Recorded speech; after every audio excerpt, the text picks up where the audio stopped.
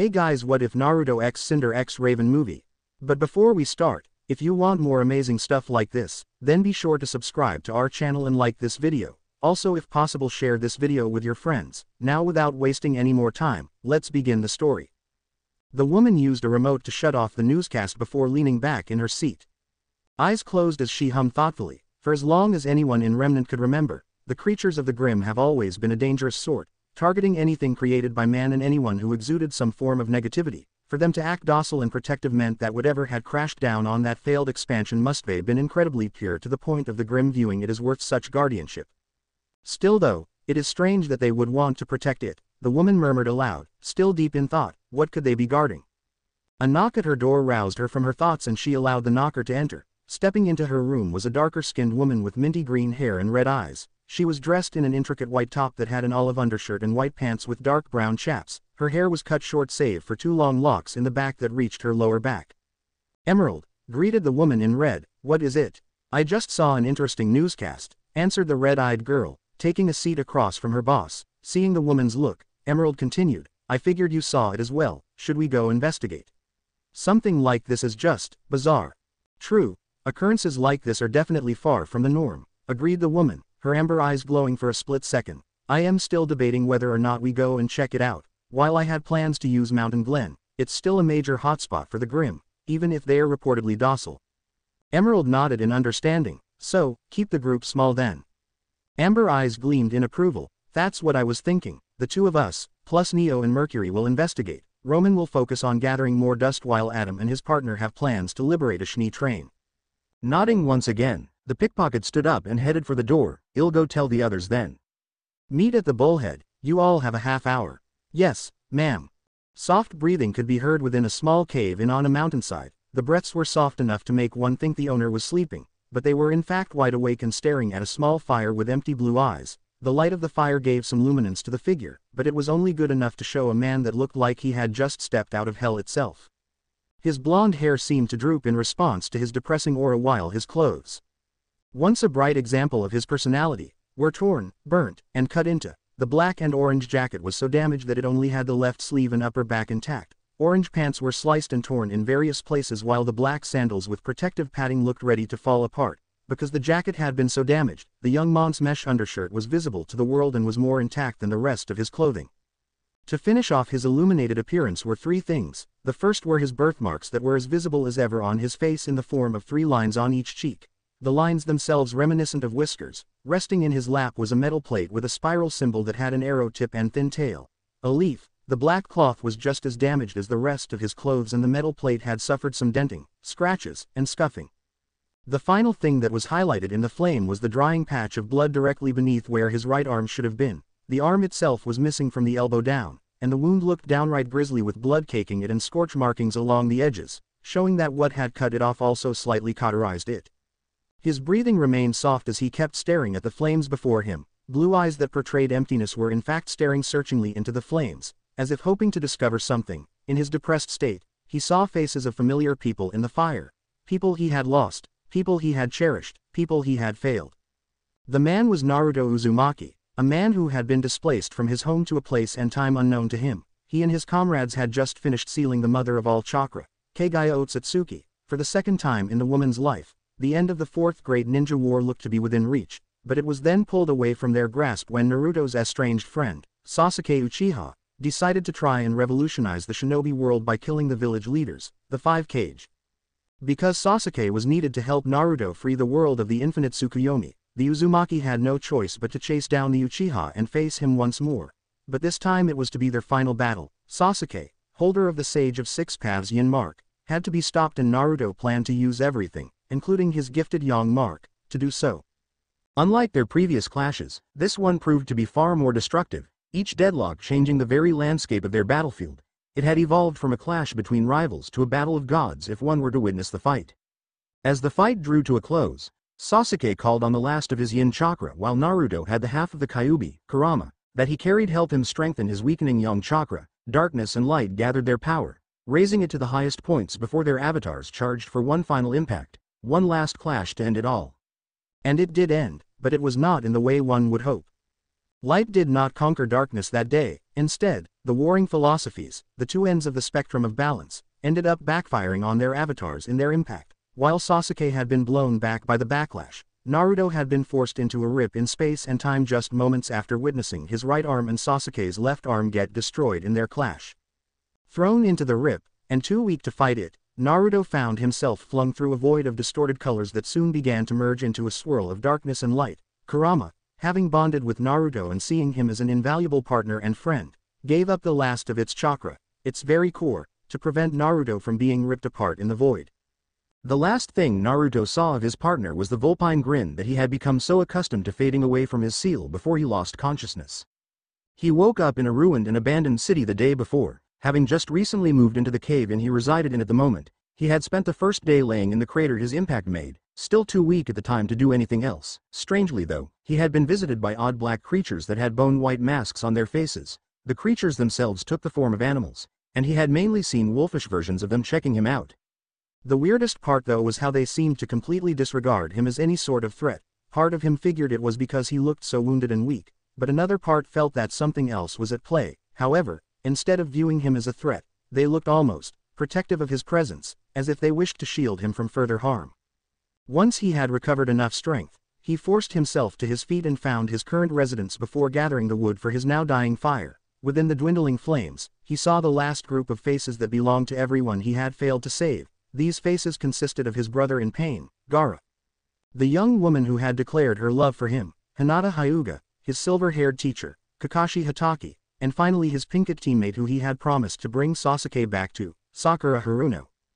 Deep inside of his dead eyes, tears formed and rolled down his cheeks before his eyes clenched shut and he curled into himself. Through his choked sobs, the exiled shinobi whispered apology after apology to the dying fire as it slowly whittled away to mere embers.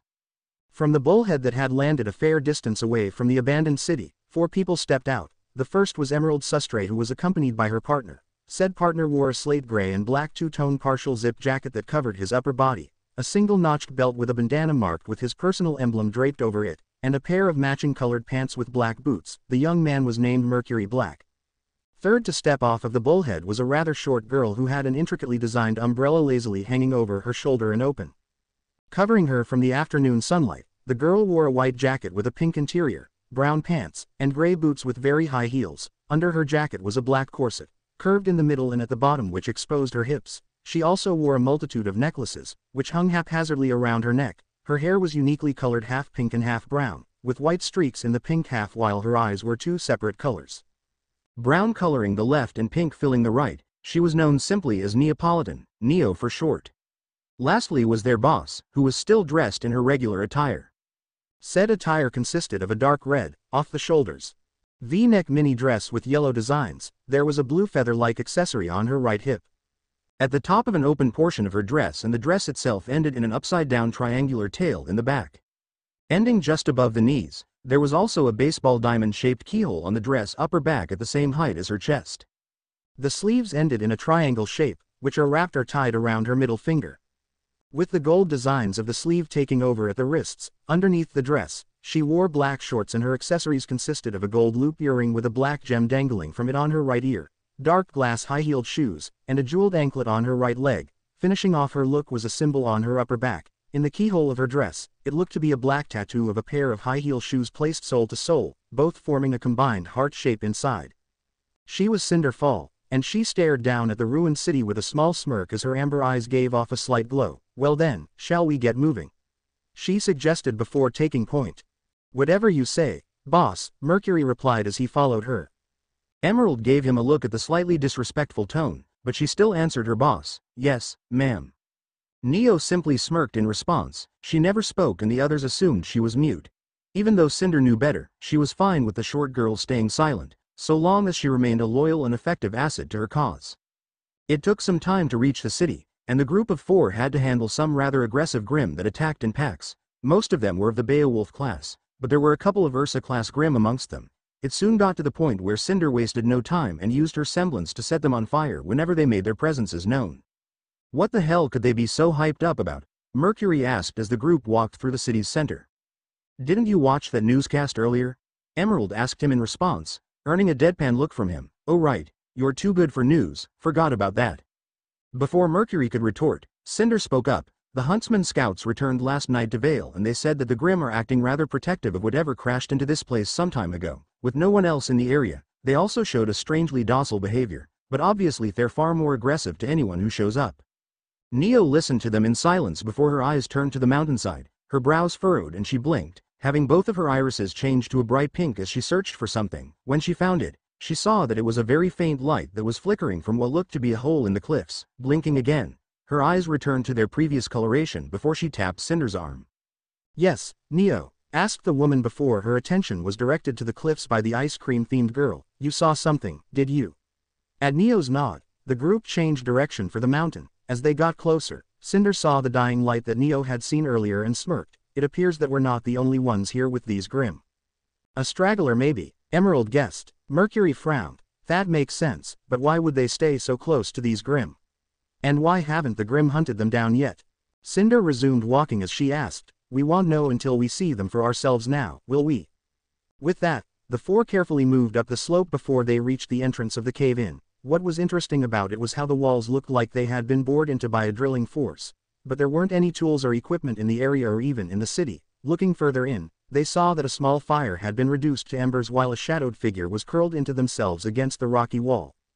Producing a small flame to act as a torch, Cinder had it light up the cave so that they could get a better look at the figure. What they saw was a blond young man, around their age at the least, curled up with his back to them. They saw that he wore predominantly orange and black clothes that were heavily damaged and worn while a red spiraling symbol rested proudly on the back of his jacket. There was also a puddle of dried blood next to him, obviously from his injuries.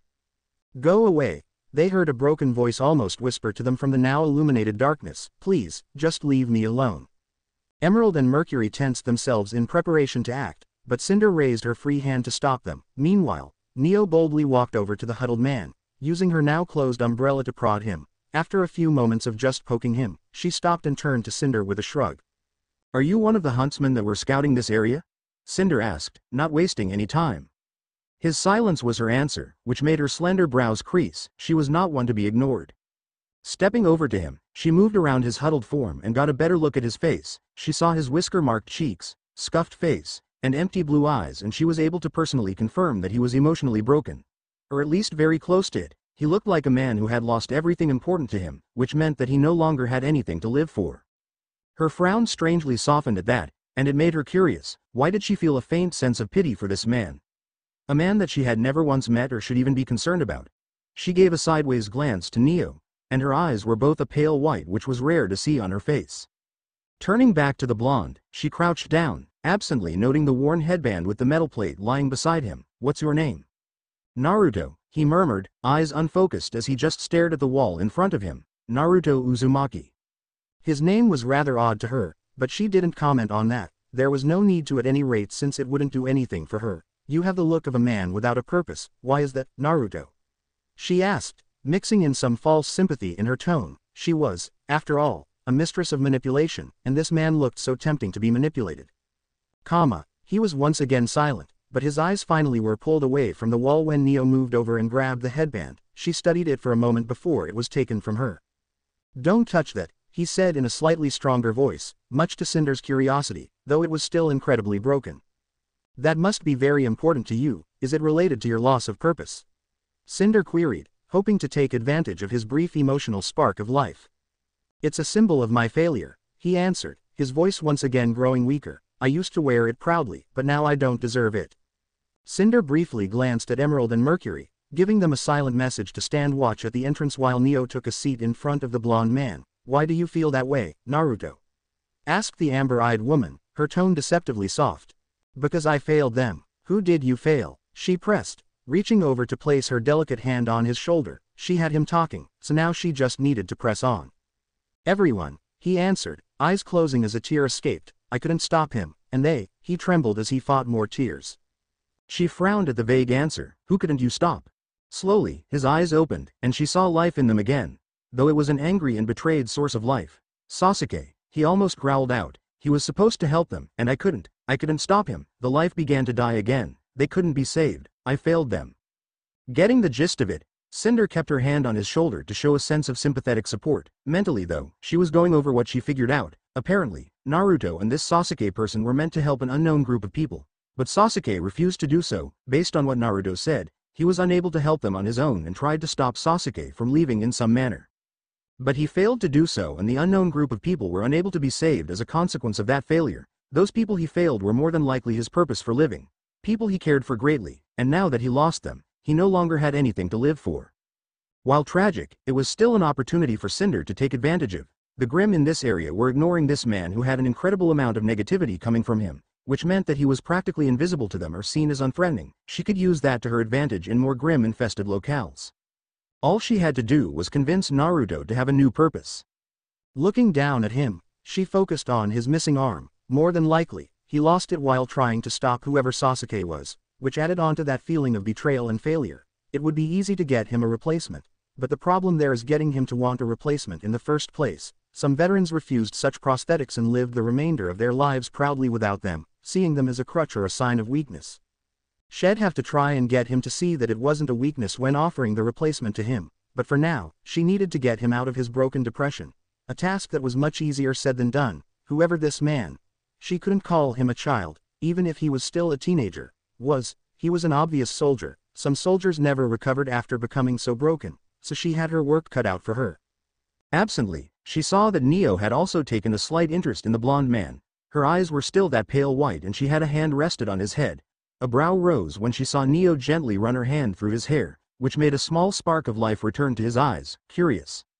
Standing up, Cinder spoke up, Neo, we're leaving. The petite girl looked to her briefly before turned back to Naruto with a faint smirk, after she patted his head and made her way to the entrance. Cinder directed her voice to Naruto. We'll be in the city until the morning, Naruto, if you want, we could offer you a purpose once more. But the choice is yours. Turning around, she made sure her voice was soft and sympathetic as she added, think about it. With her piece said, and her smirk hidden from his view, she made her way out of his personally made cave, leaving the broken man to his thoughts. Do you think he'll come, Cinder? asked Emerald as she sat on her bedroll. It was a few hours past midnight and the group was staying in a ruined, yet still stable, building close to Naruto's cave. He seemed really depressed. Depression could be a great motivator, answered Cinder, smirking as she read from a worn-out book she had found in the building. It was a simple fantasy novel, but it helped to pass time. I have a feeling we'll be seeing Mr. Uzumaki before we leave. And, if we don't? Mercury asked in response, dragging out the first word of his question. If we don't, then we continue as planned. After all, there isn't anything a man that broken could do to stop us. Looking up from her book, she saw Neo seated on some rubble, staring out of the broken window and towards the blonde's cave. See anything, Neo? The girl turned to Cinder and shook her head. Keep a lookout, then. Mercury raised a curious brow. You seem to be really interested in this guy, boss. Any reason why? Cinder regarded him, smirk still in place and her eyes glowing faintly. There's something rather peculiar about him that I find myself drawn to. If you think about it, the Grimm seemed to be uncaring or even unaware of his presence. Even through the obvious deluge of negativity coming from him, we could use that to our advantage when we move to more infested areas. Emerald nodded in understanding while Mercury hummed thoughtfully, I am guessing you had plans already for tackling those places before we even met this guy. Cinder nodded in response, what's the real endgame you're going for, anyway? You already know the answer to that, Cinder said dismissively. I know what you told me, not what you actually have planned, he shot back. Merc. Scolded Emerald. Why are you questioning her when she hasn't done anything to make us mistrust her? Because I like to know what I am going for before I do anything so risky. This coming from the man who killed his assassin of a father, fired back Emerald, making Mercury growl. Cinder was about to step in, but a new voice caught her by surprise. Did I come at a bad time? The four others all turned at once, Seeing Naruto standing in the doorway of the large room they were staying in, his eyes looked tired and unsure, but Cinder still gave a smirk at seeing him, not at all. Naruto, please, have a seat, she assured before offering him an old crate to sit on. Hesitantly, he took it and faced her, and she saw that he still had empty eyes, but they also held a level of anxiety in them. Unknown to the four, due to leaving Naruto alone hours before, the Uzumaki had spent the time in resumed solitude thinking over his options. However limited they were, he was in an unknown place, and full of people who lacked chakra from what he could sense due to his years of training. He needed answers and, more importantly, he needed to see if there were ways for him to attempt a return trip back home. So, with those needs in mind, he decided to take the offer from the woman in red, however, that didn't mean he planned on being tricked into doing something he didn't want to.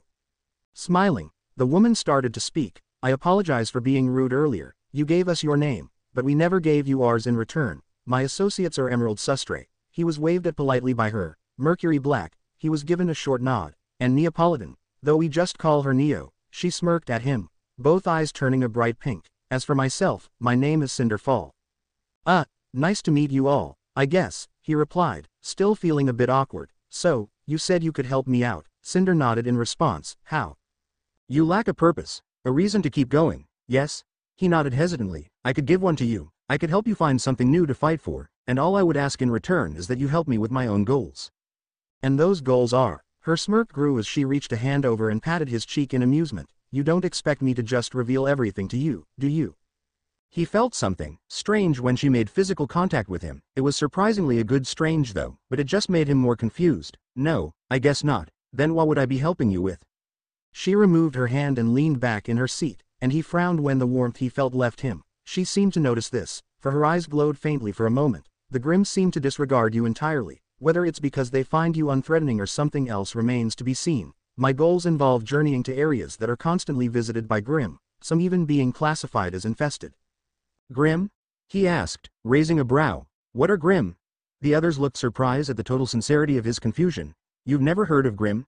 You know, those black creatures with glowing red eyes and white masks and stuff on them? Emerald asked incredulously. Oh, that's what they're called. They came up to me after I crashed into this place, but they didn't attack me. They instead acted protective of you, right? Guessed Cinder, earning a confused nod. Her smirk returned. Interesting, this means that the Grimm see you as something important and they naturally try to protect you from outside threats. She used air quotes for threats. This makes you even more helpful to my goals.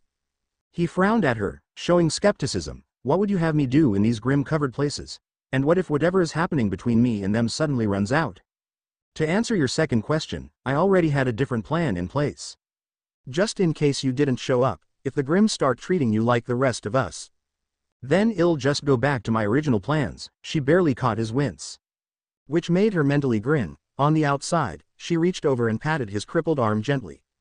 Don't think that's all I wanted to ask your help for, it's my hope that you come to view us as partners of sorts, we look after our own, and maybe you can become one of our own after some time. Her mental grin grew when she saw him looking away, averting his gaze from hers, she was wearing him down. We could all watch each other's backs and keep each other safe. I will never betray you, Naruto, you have my word. Moving her hand up, she placed it on his cheek and gently guided his gaze back to her own, making his blue orbs lock onto her amber ones. She gave him a smile and saw his resistance wearing down even further. A part of her wondered if he would deny her when he closed his eyes, hiding them from her own. You promise? He asked softly, trying to hide his anxiety.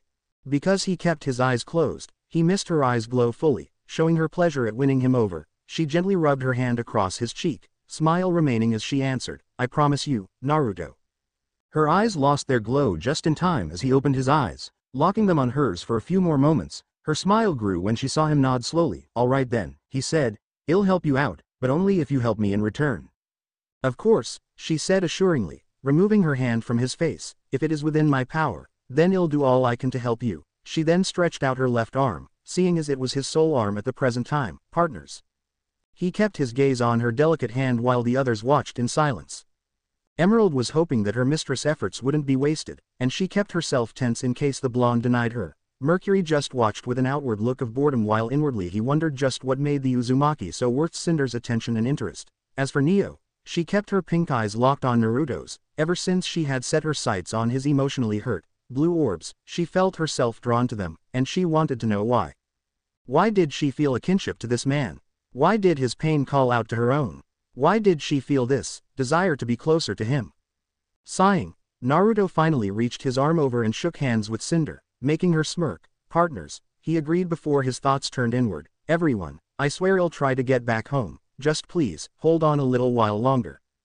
W what is this? A certain Uchiha gasped out in shock as the moon that held Kaguya started to crack. As it did, an immense pressure was felt throughout the world as storm clouds as dark as oblivion began forming. The moon kept cracking as more and more clouds formed before. With a massive shockwave, a part of the moon shattered and unleashed an invisible force of deep negativity upon the world. As it floated above in the night sky, its broken pieces being held close by because of the moon's gravity, the clouds began to rain thick, Black globs, the black raindrops, once making impact with the earth, began to rise up and take the shape of black-furred, skinned animals with menacing red eyes and bone-white masks on their faces. From the biggest source of rainfall, the drops began to merge and grow before, with a roar that echoed across the country, a fierce dragon rose up from the darkness. Falling to his knees, Sasuke Uchiha knew he was still too weak to do anything as the dragon set its sights on his form. Never before had he felt his situation be so grim. Before he became consumed by the dark beast, he only had one thought echo across his mind. So, began an orange-haired man dressed in a white coat with a black bowler hat and cane, this was what you four left me all alone for. His visible black eye looked down at the pair of blue eyes that belonged to the crippled blonde, turning his attention to Cinder, he smirked and added, he don't look like much.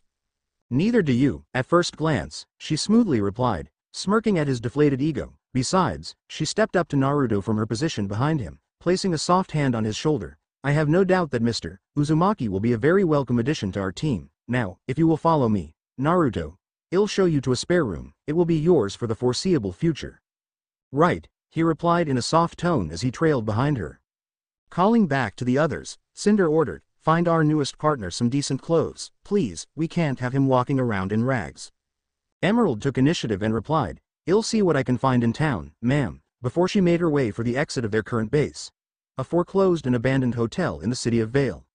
Neo stopped her just before she made it to the door before handing her a slip of paper. As Emerald looked it over, she saw two spelled out colors as well as an accurate drawing of both the red spiral on Naruto's destroyed jacket and the symbol on his headband. The colors written down were orange and black, so it gave Emerald a better idea of what to get the Uzumaki. Thanks, Neo, the minty greenette drawled out with an eye roll as she left the hotel. Neo only smirked before walking off to find her newest source of interest, she was in such a good mood that she almost skipped down the old hallways. I apologize for all of the dust and any other potential damages to the room, Cinder began, opening the door for her newest partner, but I am sure you understand that there's only so much we could do for this place while staying under the radar.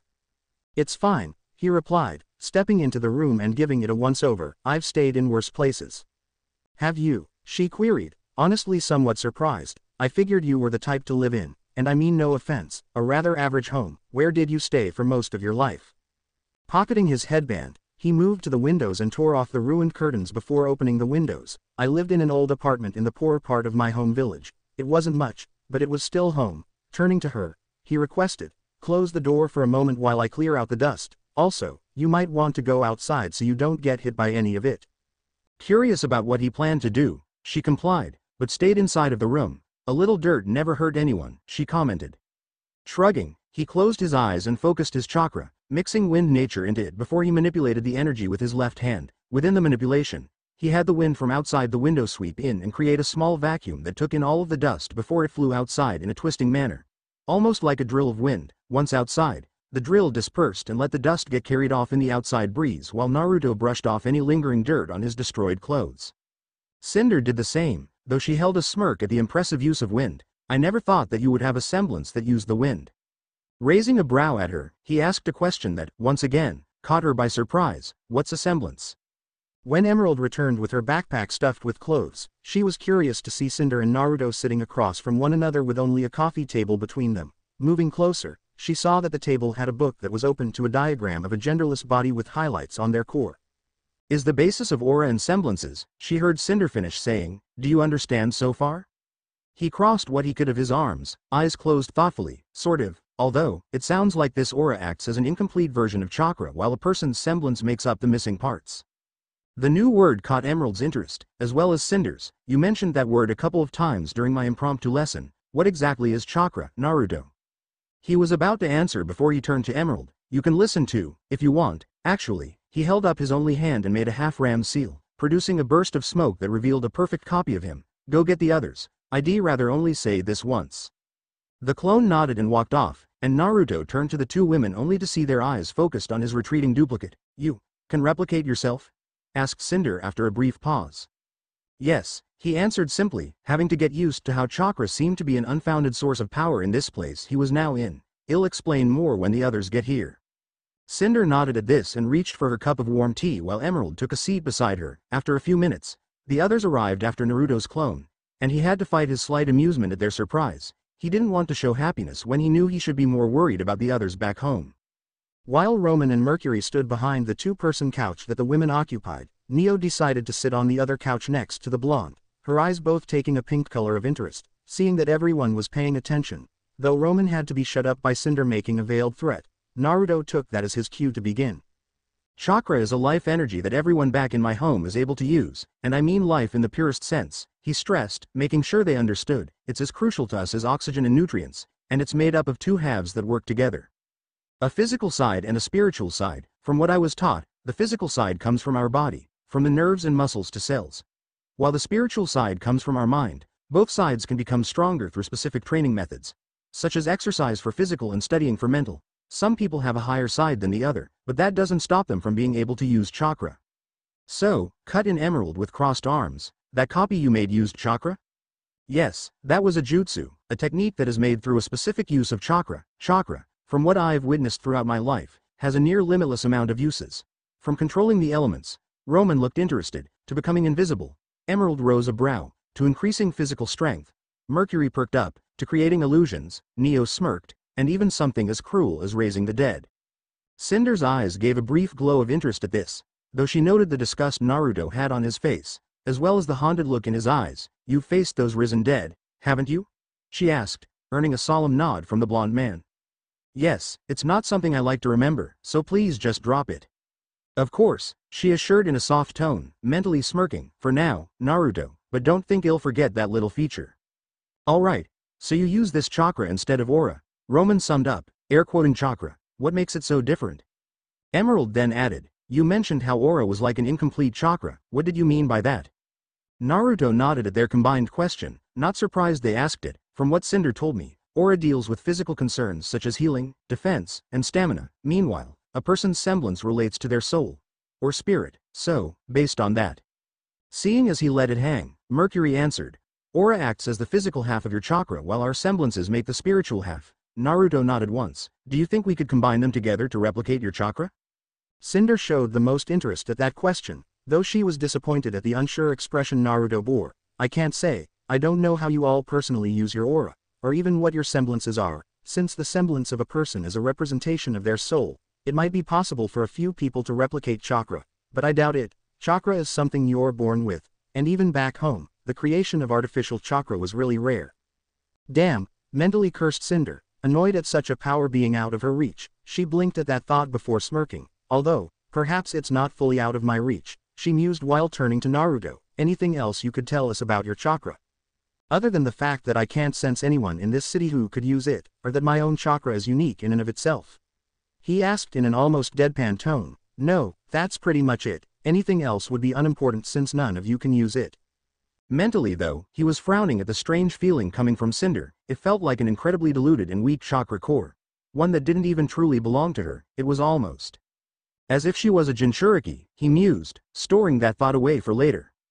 That's a shame, I am curious as to how I'd fare with that kind of power, she mused almost wistfully. This earned her a frown from Naruto, much to her continued interest, power isn't everything, he shot down with a knowing undertone. Someone with insane power will only be seen as such, never allowed to live in peace because of those who crave that very power for themselves. She had to give him that one, she herself craved his power. As well as her power, well, I believe that's enough talk of different energies for the time being, I need to look over some things for our current and potential operations. Standing up, she started to leave the room, placing her hand on Naruto's shoulder to gently brush her fingers against him. I look forward to more opportunities to speak with you. Mr. Uzumaki, I find myself more and more interested in what made you into the man you are now. He didn't look at her as she spoke, instead having an unfocused gaze as memories involuntarily moved to the forefront of his thoughts. She saw this and smirked, enjoying how she could cause an effect on him with her rather simple comments. She was going to enjoy seeing just how much she could influence his thoughts. After she left, Roman took his leave as well, not even bothering to give the others a form of farewell. He had heists to plan, and he needed men to do it, and every person who walked the underground knew where to get cheap grunts. He chuckled as he made his way to his personal ride in the hotel's garage. Wonder how good OL Jr.'s doing. Mercury was next to leave. I need to do some maintenance, he said as he made a face at his legs. We still have extra oil in stock, right Emerald? She rolled her red eyes at him, annoyed at the unnecessary inquiry. We should have plenty for at least a few days' worth, considering that we restocked just this week, Emerald answered pointedly, earning a look of irritation from the gray-haired young man. You probably also forgot that mistress had me make sure that I left a spare can next to your tools for you. Irritated further by how she made him feel like a fool, he left for a different part of the hotel building, he needed something to quell his annoyance. Well, I have my own tasks to take care of, so I'll just leave these here for you, Emerald continued, pulling out a large bag from her backpack and setting it in front of Naruto. If you don't like them, then do your own shopping, she almost snarked, but kept her tone civil, this man was of great interest to her mistress, after all, and if you want to have something specific put on them, there's a clothing shop downtown that does personalized stitching for a cost. Naruto only nodded in thanks, ignoring her rather rude speech since he was still trying to stop his onslaught of memories. He was left alone with the shortest member of Cinder's team, and she was content to just sit on the couch with him in silence. Sure, she wanted to talk to him, but she knew he was too preoccupied with his own thoughts for the moment. Neo was a patient girl, so she could wait for her chance. After a few moments, the blond man got his thoughts in order and took note of his remaining company. Neo, right? He asked unsurely, earning a nod in confirmation, you don't talk much, do you? A head shake, can you talk? A smirk, which made him sigh, I'll take that as a yes, anyway, I am going to see what my new clothes will look like. Grabbing the bag, he stood up and made for his room, only to feel a presence following him, turning around, he looked down to see Neo smirking up at him, both eyes that pink color that he associated with intrigue or interest, from what he had observed, she had three eye colorations, and that meant a total of six different combinations. Or moods as he liked to believe, and from what he had seen, when both of her eyes were pink, it meant that she was interested in something. In this case, it seemed to be himself that Neo was interested in. You don't plan to follow me all the way to my room, do you? He asked, earning a vague shrug from her. Listen, I appreciate you keeping me company, but I need some time alone. Ill, talk to you when I've had enough time. Will that work for you? She frowned, both eyes turning to a brown color as she blinked, still frowning. She held out her left hand and gestured to it with her eyes, Catching her meaning, he sighed again and looped the bag on his crippled arm before shaking her hand, showing that they had struck an accord. Satisfied, Neo returned her eyes to their natural brown-pink combination before she walked off. Where she was going was anyone's guess, and the last Uzumaki didn't feel like make any guesses about it. Instead, he headed for his room and closed the door to give himself some much-needed privacy. He set the bag down on his bed before pulling out the clothes Emerald had gotten for him on Cinder's orders.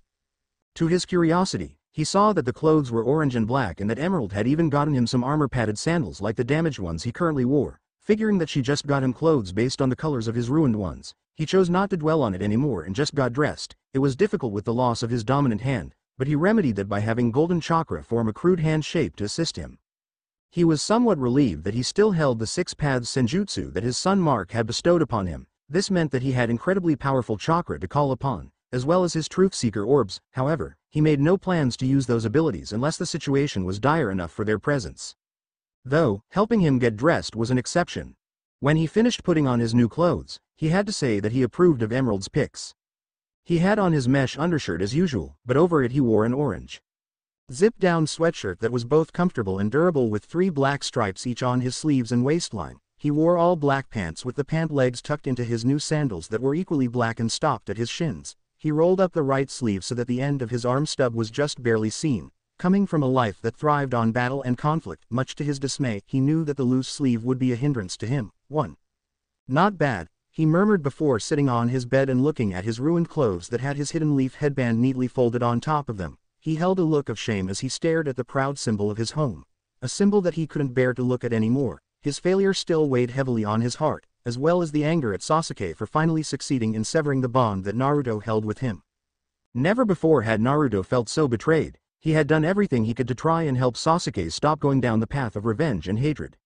But Sasuke denied every attempt and even tried to kill him, and it wasn't just a one-time attempt at murder. It was several. The first two, possibly three, were when they were both still children. The next attempt was when they reunited as young adults at Orochimaru's hideout, and Naruto didn't even try to stop him that time, the next was in the Land of Iron, after Sasuke had made himself a criminal against the five Kage of the elemental nations. Right after Naruto had stopped him from trying to kill Sakura. When they reunited during the war, Naruto truly believed that Sasuke had finally turned around. Even though he was upset at the Uchiha claiming to take the position of Hokage, it was thanks to Sasuke, as well as a great hit from Sakura on Kaguya, that the Mother of Chakra was able to be sealed away again, things were starting to really look up for Naruto. But, then Sasuke had to ruin it once again by choosing a hatred, vengeful path, one that he claimed would be a revolution for the shinobi world as a whole. Naruto knew he had to stop Sasuke, not just for his incredibly selfish plan, but to save the people who were still trapped within their perfect dreams and forced to act as nutrients for the Shinju tree. After everything he had done, it had all been spurned and practically spit upon by Sasuke during their final battle, and now, because of Sasuke's foolish desire and hatred, Naruto had been unable to get him to help free the others and was now stuck in an unknown place. Forced to become a partner with a woman who held obvious ulterior motives. Sighing in frustration, he laid on the comforter of his bed, staring at the ceiling as tears formed in his eyes. These tears held regret, they held pain, they held anger, but most of all, they held resentment. This resentment wasn't for Sasuke, however, it was for himself. He resented how he couldn't work the nerve to strike a more crucial blow on Sasuke on multiple occasions. He could have done so in almost all of their fights, but he didn't. And now, he was paying for that weak nerve, and it was torture on his damaged heart. It was a couple of days later that Naruto found himself alone at the hotel building with Mercury. Cinder wanted him to have a sort of grace period to get adjusted with his new home before she had him take on any jobs or assignments. So, Naruto decided to just use the time to think some more about his situation. Mercury had moved his tools into the empty room he was in and was working on something unknown to the Uzumaki, not that he wanted to know anyway. Cinder had given Mercury orders to keep an eye on Naruto, as well as try to get him talking. He honestly didn't want to, not seeing the point in dealing with the whiskered blonde, but Cinder could be very persuasive when she wanted to be. Too bad for Merc that her persuasions weren't of the pleasurable sort. So, the silver-haired man began, wondering how he would talk with the guy that only Cinder and, ironically, Neo could get to actually speak.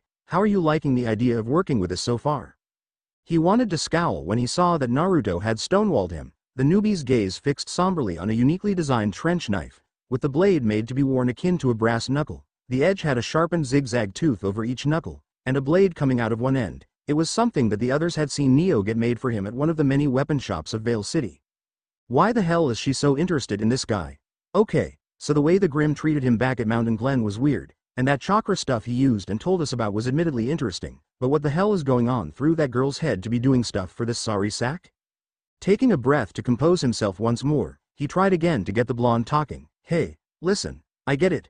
You don't want to talk, Mercury said, continuing the one-sided conversation. From the forlorn expression the blonde wore, his mind was yet again on those that had been unable to protect. You know, you can trust the boss. Cinder helped me get back on my feet. He then pulled up his pants partway up his thighs, literally. Naruto finally removed his gaze from the trench knife in his hand and looked over at Mercury. His brow rose at what he saw, fully functional prosthetic legs that preformed as well as the original biological versions. While it was interesting, it also explained why Mercury always wore pants and why he never took his shoes off, as well as the recurring comments on maintenance, oil, and tools the guy regularly made. Seeing he had their newest member's attention, Mercury also removed the armor he wore over his arms, exposing what appeared to be oddly shaped scars on the outer sides and backs of both of his arms. He didn't like showing these or his legs to other people, but it wasn't like this guy wouldn't eventually learn about them since they'd be working together, and considering the blonde's own obvious maiming, it wasn't like he'd be unable to understand why things like this were touchy subjects. Naruto looked at the state of Mercury's body, so, Cinder has helped others like me before, then, I am not surprised that she goes for the broken and downtrodden, the ones that life spat on. Still, that had earned her a few points in his book, considering that he knew what it was like to need help but not receive any, the woman may have had ulterior motives, but as the saying goes, nothing in life is free, everything has its price. Naruto nodded at the gray-haired, lackadaisical young man that almost reminded him Kakashi-sensei. Cinder had helped put him together again, and she tried giving him the means to maintain some form of a regular life. Mercury might have felt the two of them were somewhat similar, which would help them form some kind of mutual understanding. His eyes drifted to his own stub, his mind drifting again as he wondered what he was going to do. Look, Continued Mercury, I know it's hard when you're at the shittiest end of the stick, but unless you figure out how to pick yourself up and find a way to move forward, things will never change, you'll stay stuck in the same place and rot to death. You can still try doing something with your life, and maybe find a way to reach your goals, but that can't happen unless you choose to do it, right?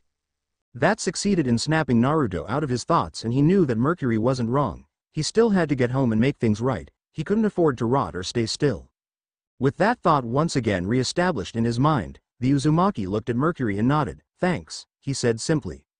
All Mercury did was nod in return before resuming his work, as far as he cared, he got Naruto to speak, so he didn't feel the need to keep up the conversation.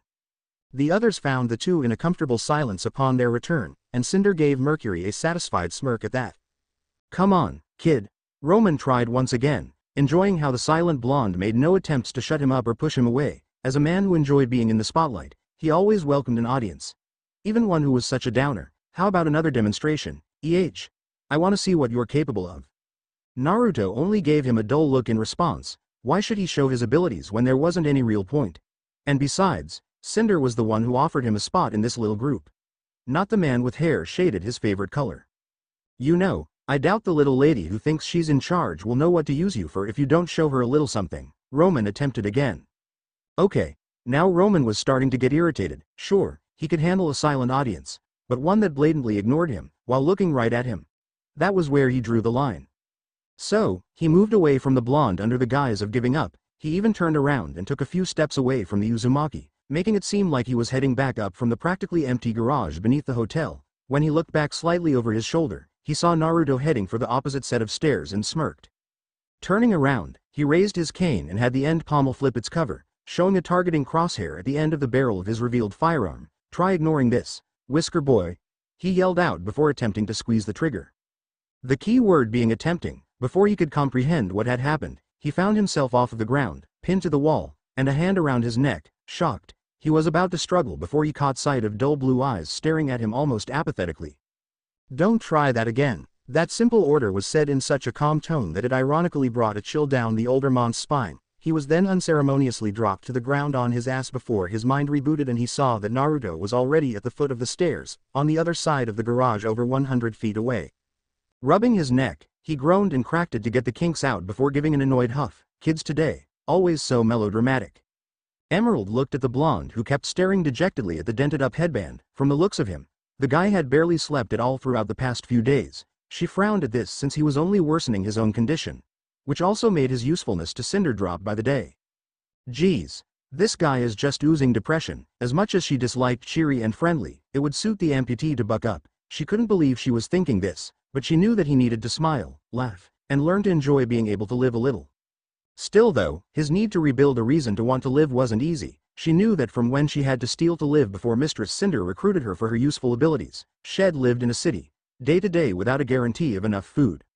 Always resorting to stealing to get by, while she wouldn't ever admit it, and if anyone suggested she did, then Shed put a bullet in them. She empathized with the downtrodden people of Remnant, she couldn't really help it when she remembered the days before her mistress had come into her life. Thanks to that, she understood a bit where the one-armed newbie was coming from.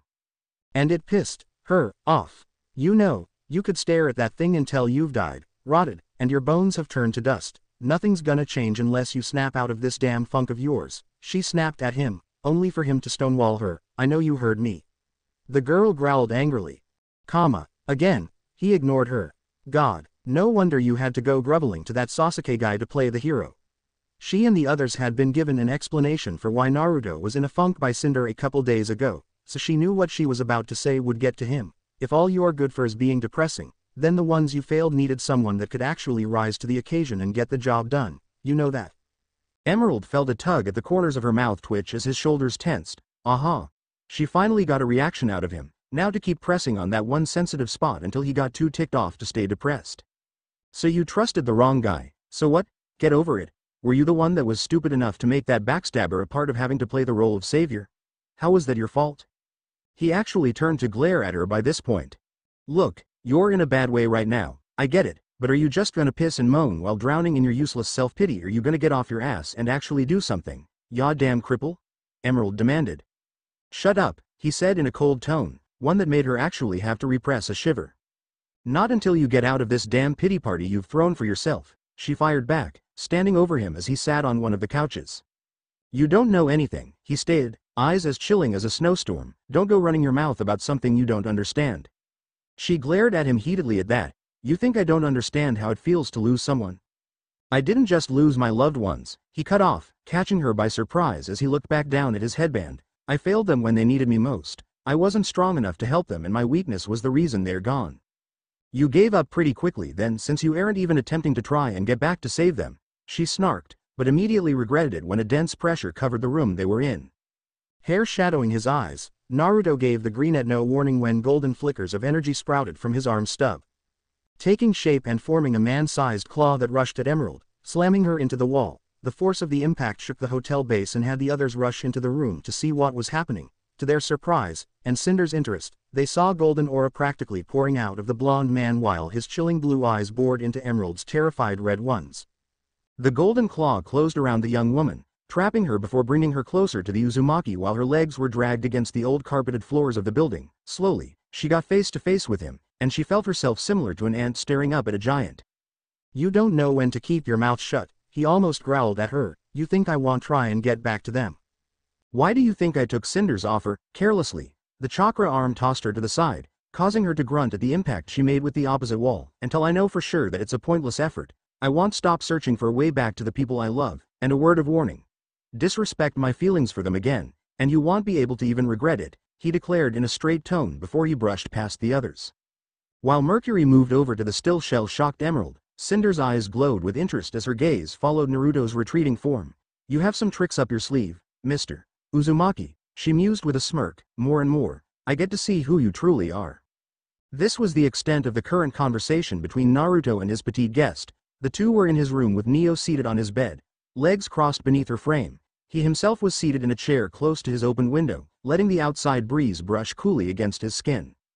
In his hand was a book that Cinder had gotten for him during one of her outings. It was a text that dealt with the most updated knowledge on the creatures of Grimm. From what he had read so far, it was strange to him that the Grimm didn't bother him at all. Especially with how depressed and angry he had been for the past week. He should have been a beacon for them with flashing lights, for goodness sake. This left him with more questions, and he hoped that he would find them by the book's end, but, he still had company at the present time. Company who seemed just fine with sitting silently and smirking at him with her eyes, once again, both being a bright pink. Neo, I'd be willing to answer any questions you might have, provided you, I don't know, speak. He suggested, brow twitching minutely. Her smirk grew in amusement before she shifted herself so that her legs were out, and one of them crossed over the other, depressed, she said in a rather soft tone.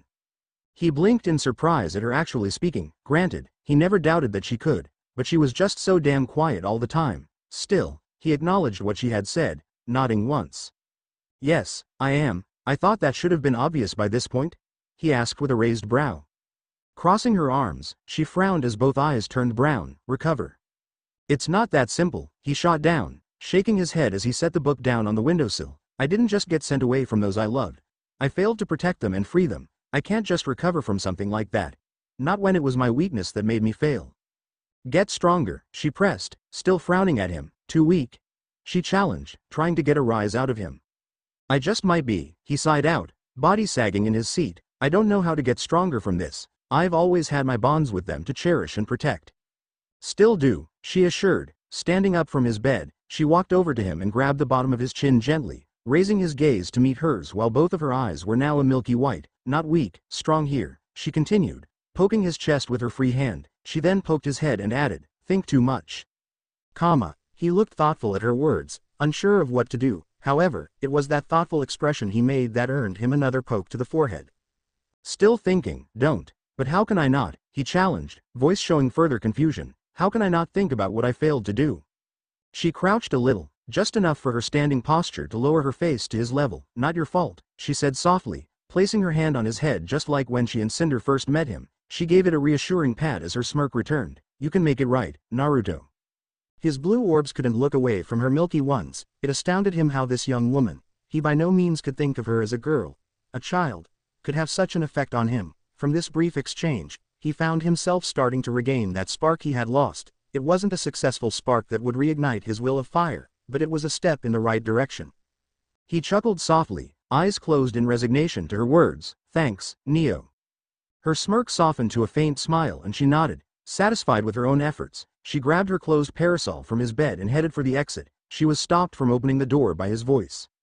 Neo. She turned around to see that he was on his feet and had moved closer to her position. He looked to be on the fence about something, which made her raise a brow to urge him on. Taking a quick breath, he held out his soul fist to her. This time she was confused. A fist bump? Why would he offer something like that to her? Looking back up at him, she saw he was struggling a little to keep his fist extended to her. Was this really such an important thing to him? Curiosity guiding her, she raised her own left fist and had it meet his fist. As soon as she did, she found herself completely defenseless at what had happened next. You seem to be in higher spirits today, Naruto, noted Cinder as she sat across from the blonde, once again enjoying a warm cup of tea. Naruto was holding his own cup and paused from taking a drink at her comment, You really think so? He asked her, setting the cup down on the coffee table between their respective couches. Of course I do, You don't have as much of a depressing air about you anymore, that, and you seem a bit more, relaxed, I suppose would be the proper word, may I ask what caused this progression? Shrugging, he gave her an oblivious look, I wasn't aware I had changed that much. She smirked in amusement, finding his confusion enjoyable, can you think of nothing? She pressed, crossing one of her legs over the other and leaning forward slightly in her seat. Scratching his head, he hummed in thought, nothing comes to mind, though, I guess I did have a nice talk with Neo earlier. That interested her, truly? And she spoke to you? As much as a near-mute woman would, at any rate, he elaborated, but still, I appreciated the talk she gave me, it made me feel a bit better, why no? Mentally noting to question Neo about her talk with the interesting blonde before her, Cinder nodded in understanding. Well, I am pleased to see that she helped you make such progress with your depression, I can only hope well help you make further progress. You're starting to sound like a shrink, he commented, surprising her by the amused look he sported even if it was rather faint. Perhaps, but I'd rather not be something so simple, her amber eyes bored into his blues, and she smirked once more, I would rather be a more inspiring person for you, not just someone to help you heal. Truth be told, Naruto, I find myself continuously growing more interested in you, you have such an enigmatic air about you that I can't help but want to discover what lies within those walls you have. He looked a tad uncomfortable at the almost predatory gleam in her eyes. But, she continued, Letting the glow in her eyes die down, I don't want to pressure you into something that would make you insecure around me. I am a patient woman, Naruto. I can wait for you to find yourself more comfortable around me. She gave a soft chuckle, one that accentuated her natural beauty. However, that doesn't mean I won't try to make you more comfortable sooner. Yes, I am patient. But I am also someone who knows what they want. He swallowed the lump in his throat, and uh, what do you want, Cinder? He asked, just a bit nervous. Her eyes glowed briefly once again, I want us to grow closer, she answered, and he found himself stunned at both the simple answer and her sincerity, that's all. He blinked at her answer, it was definitely unexpected, but he couldn't find any deception in her voice, really? He couldn't help but ask, relaxing a bit in his seat. She mentally grinned at her small victory, but of course. After all, something about you just draws me in, it could be your unknown origins. She slowly stood up, your unique gift against the Grimm. She moved towards him, your chakra compared to our aura. She stood next to the arm of his couch, placing her hand on his resting arm, or perhaps it's just you in general, either way, I can only hope that we'll progress our current standing further, Naruto. I look forward to seeing just how much well influence each other. With her piece said, she walked off, making sure to have her fingers glide across his arm as she moved away, out of sight from his eyes. Her smirk grew full force and her eyes gleamed excitedly, nearly lighting up the halls with their glow. She had seen the consideration he tried to hide in his eyes, she just had to keep pressing forward, keep offering him a chance to find new reasons to move on while making sure that they centered around her group, and herself especially. It was inevitable in her eyes, soon, the enticing man that she had been lucky to meet would fully join her, standing by her side as her plans came into place, and when that day came. She shivered excitedly, chuckling to herself, welcome to Remnant, Naruto Uzumaki, I hope you enjoy staying here, because sooner or later, you'll be mine, she mentally promised while Naruto felt a strange shiver go down his spine. Shielding his face from the whipping wind and kicked up dust, Naruto watched as the bullhead that dropped him off ascended higher and higher. From the ajar side door, Cinder looked down at him and locked eyes with the Uzumaki, giving him a confident smirk that she knew he would be able to see. After the week of letting him adjust, Cinder had finally come up with an assignment for her newest partner, seeing as she had been unable to fully search the ruins of Mountain Glenn thanks to being more interested in the blonde. She had decided to make use of his unique immunity to the Grimm to her advantage and have him search through the ruins alone. As she watched his form get smaller from her rising vantage point, the amber-eyed woman spoke up, You and Roman know what to do, correct? Beside her, Mercury smirked and nodded, Yeah, we know. While Blondie checks out the place, Roman and some of those White Fang members will run distraction detail for those huntsmen that are supposed to investigate what happened here a week ago. Good, be sure not to be seen. Mercury, Roman is already a well-known criminal, so it isn't much of a risk to have him spotted. You, on the other hand, are not identified, so keep it that way. Got it, boss. Emerald was on Cinder's other side, frowning as she watched Naruto just stand in place and watch them leave. You sure he can handle this alone? Mr. Uzumaki has shown himself capable of many unique different feats. Including that curious golden arm that caught you by surprise, reminded Cinder, making Emerald clench her fist at the memory. Also, I find myself, confident in him, regardless of him not showing everything he has at his disposal. She then turned her head behind her, smirking at seeing her mostly silent partner once again staring at her hands with a far-off expression. Neo, she called out, breaking the tricolor-haired girl from her slight trance. What do you think of Naruto's chances? Neo frowned for a moment, both eyes displaying a brown color before they turned bright pink and she smirked. Comma, and once again, she said nothing, but her expression spoke for itself, she was in total confidence of Naruto, her pink orb saw her leader nod in satisfaction before looking away, allowing Neo to look back down at her hands. In truth, she was still a bit shaken up by what had happened between her and Naruto just the other day. Flashback, Neo. She turned around to see that he was on his feet and had moved closer to her position. He looked to be on the fence about something, which made her raise a brow to urge him on. Taking a quick breath, he held out his soul fist to her. This time she was confused. A fist bump? Why would he offer something like that to her? Looking back up at him, she saw he was struggling a little to keep his fist extended to her, was this really such an important thing to him? Curiosity guiding her, she raised her own left fist and had it meet his fist. As soon as she did, she found herself completely defenseless at what had happened next. She found herself in front of a building that had young teenagers and their parents. She herself was under the shade of a single tree, standing next to a familiar, yet younger, whiskered blonde. She saw that he was seated on a swing, staring at the others with a mix of depression, longing, envy, and anger. From some of the parents, she heard mutterings of how they were relieved that he didn't pass some final exam. She also saw looks of disgust, loathing, and even some hatred aimed at the blonde while from his shadow. She was surprised to see it take the shape of a four-pawed animal with pointed ears and multiple tails that waved erratically. I didn't think that I was still able to do this, she heard a familiar voice comment, and she turned to see the blonde that she had just been speaking with right beside her, looking at his younger self with sad nostalgia. I wasn't welcome in the eyes of many of the villagers back home, and it was because of something completely out of my control. She raised a brow at his vagueness. What do you mean? She spoke up, before looking surprised that she did so. Wait, why can't I stop talking? What's going on here? Easy, urged Naruto, placing a comforting hand on her shoulder. We're linking together temporarily since we bumped fists. What does that have to do with anything? She asked, visibly frustrated that she couldn't stay silent, speaking had become such a foreign thing to her over the years. Everything, Neo, my chakra has grown more and more potent throughout my life, and I am able to link my soul with someone else's whenever I bump my fist with theirs. Something I learned from someone similar to myself. During this connection, nothing is hidden or silent from the both of us. You're seeing my memories, getting a front row seat of my life. While I can hear you without anything to hold you back, that's why you can't keep anything quiet. She gave him a hard look, both eyes turning milky white, cut the connection, now. I will, but I wanted you to see something first, he stated, waving his hand and shifting the scenery to that of the village from the view of the Hokage mountain. The village itself was under attack, and a massive beast with nine tails was seen causing havoc. That is Kurama, a tailed beast that was sealed into me on the very night I was born. She watched with some fear at how massive and destructive Kurama was, the blood-red eyes gleaming in the firelight of the damaged village. A slight tremble crawled down her spine, and she took an involuntary step back. W. Why show me this? I feel something from you, Neo, he confessed, letting the scene keep playing, something that I believe is somewhat akin to myself. He looked down at her, and she turned to look back up at him. You were lonely, weren't you? Filled with a deep pain that you couldn't bottle down entirely and because of something you couldn't control.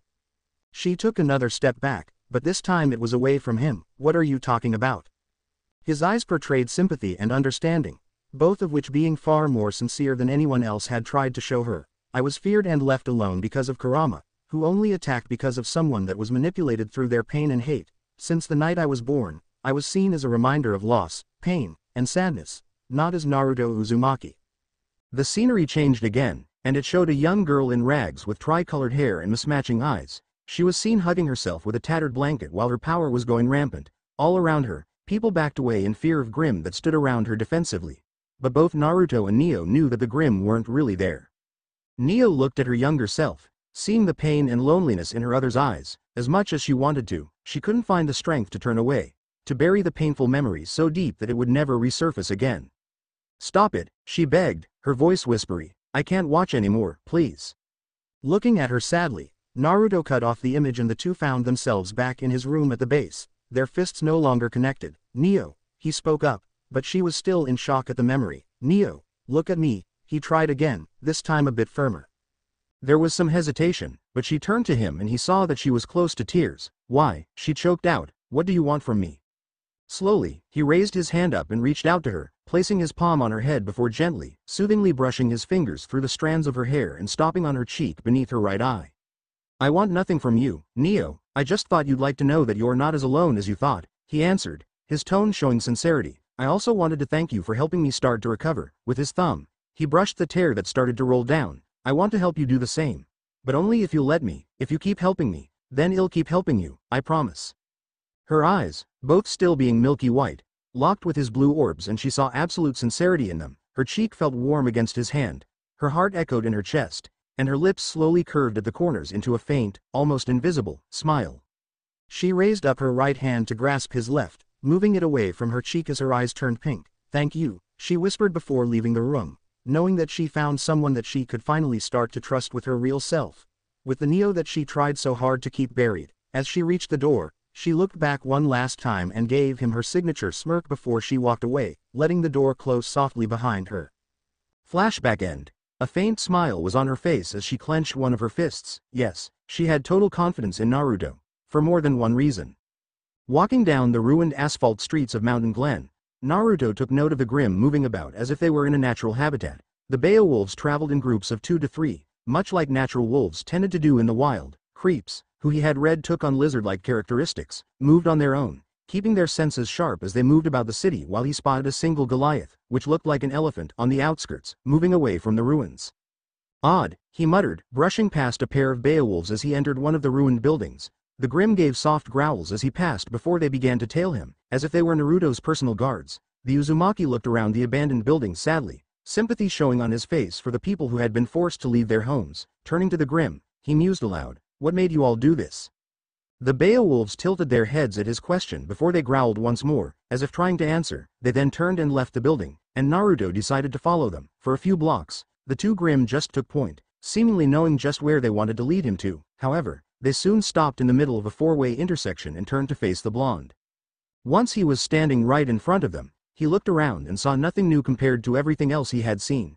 He peered into the buildings from the street, but saw nothing of interest before he turned back to the Grimm, only to see them heading off in separate directions. Great, he muttered, now what? As if the universe wanted to answer him, he felt the ground shift beneath him as soon as he finished that query, before he could even utter a curse.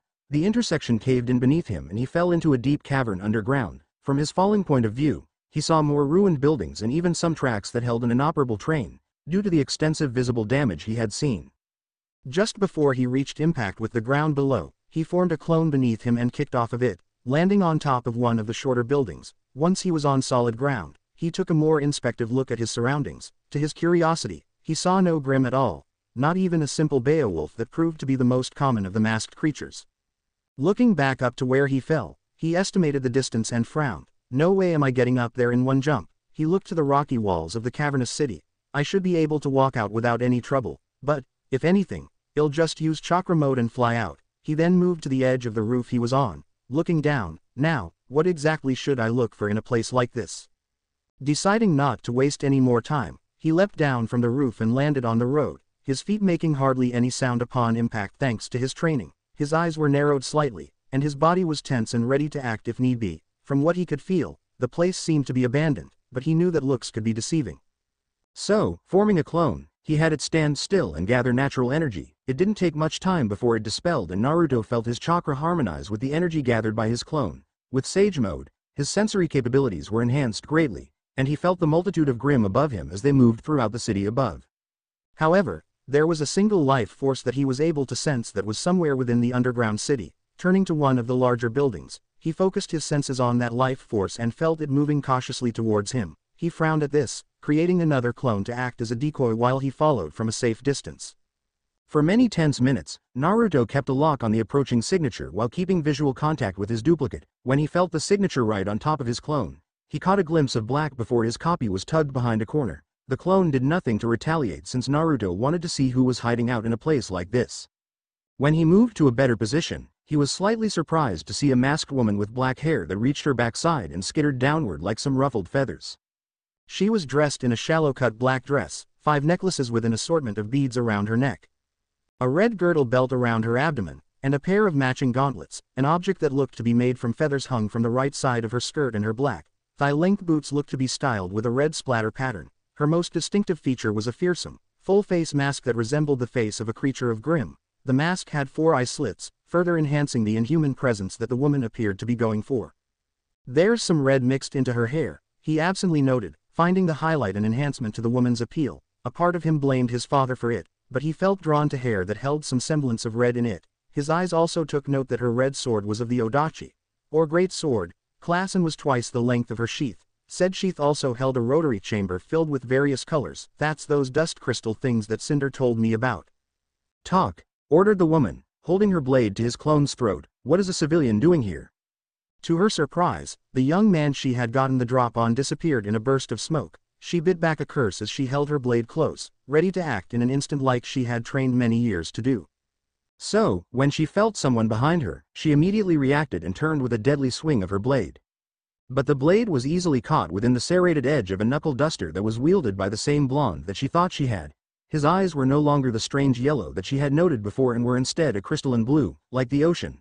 The only other features she found noteworthy about him were the whisker markings on his cheeks and the fact that he only had one full arm while the other was missing from the elbow down.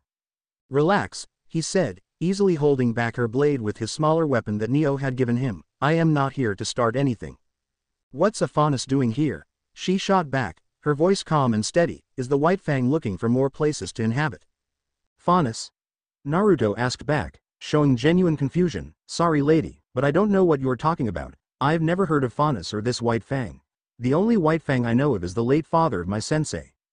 Sensei. That means teacher, if I recall, he uses terms from an older language so easily, like he's spoken with them his entire life. Her blood-red eyes narrowed behind her mask, he also doesn't look like he has any idea what I am talking about. Where the hell has this fool been staying? Under a rock. Look, can we please just put away our weapons and talk like reasonable people?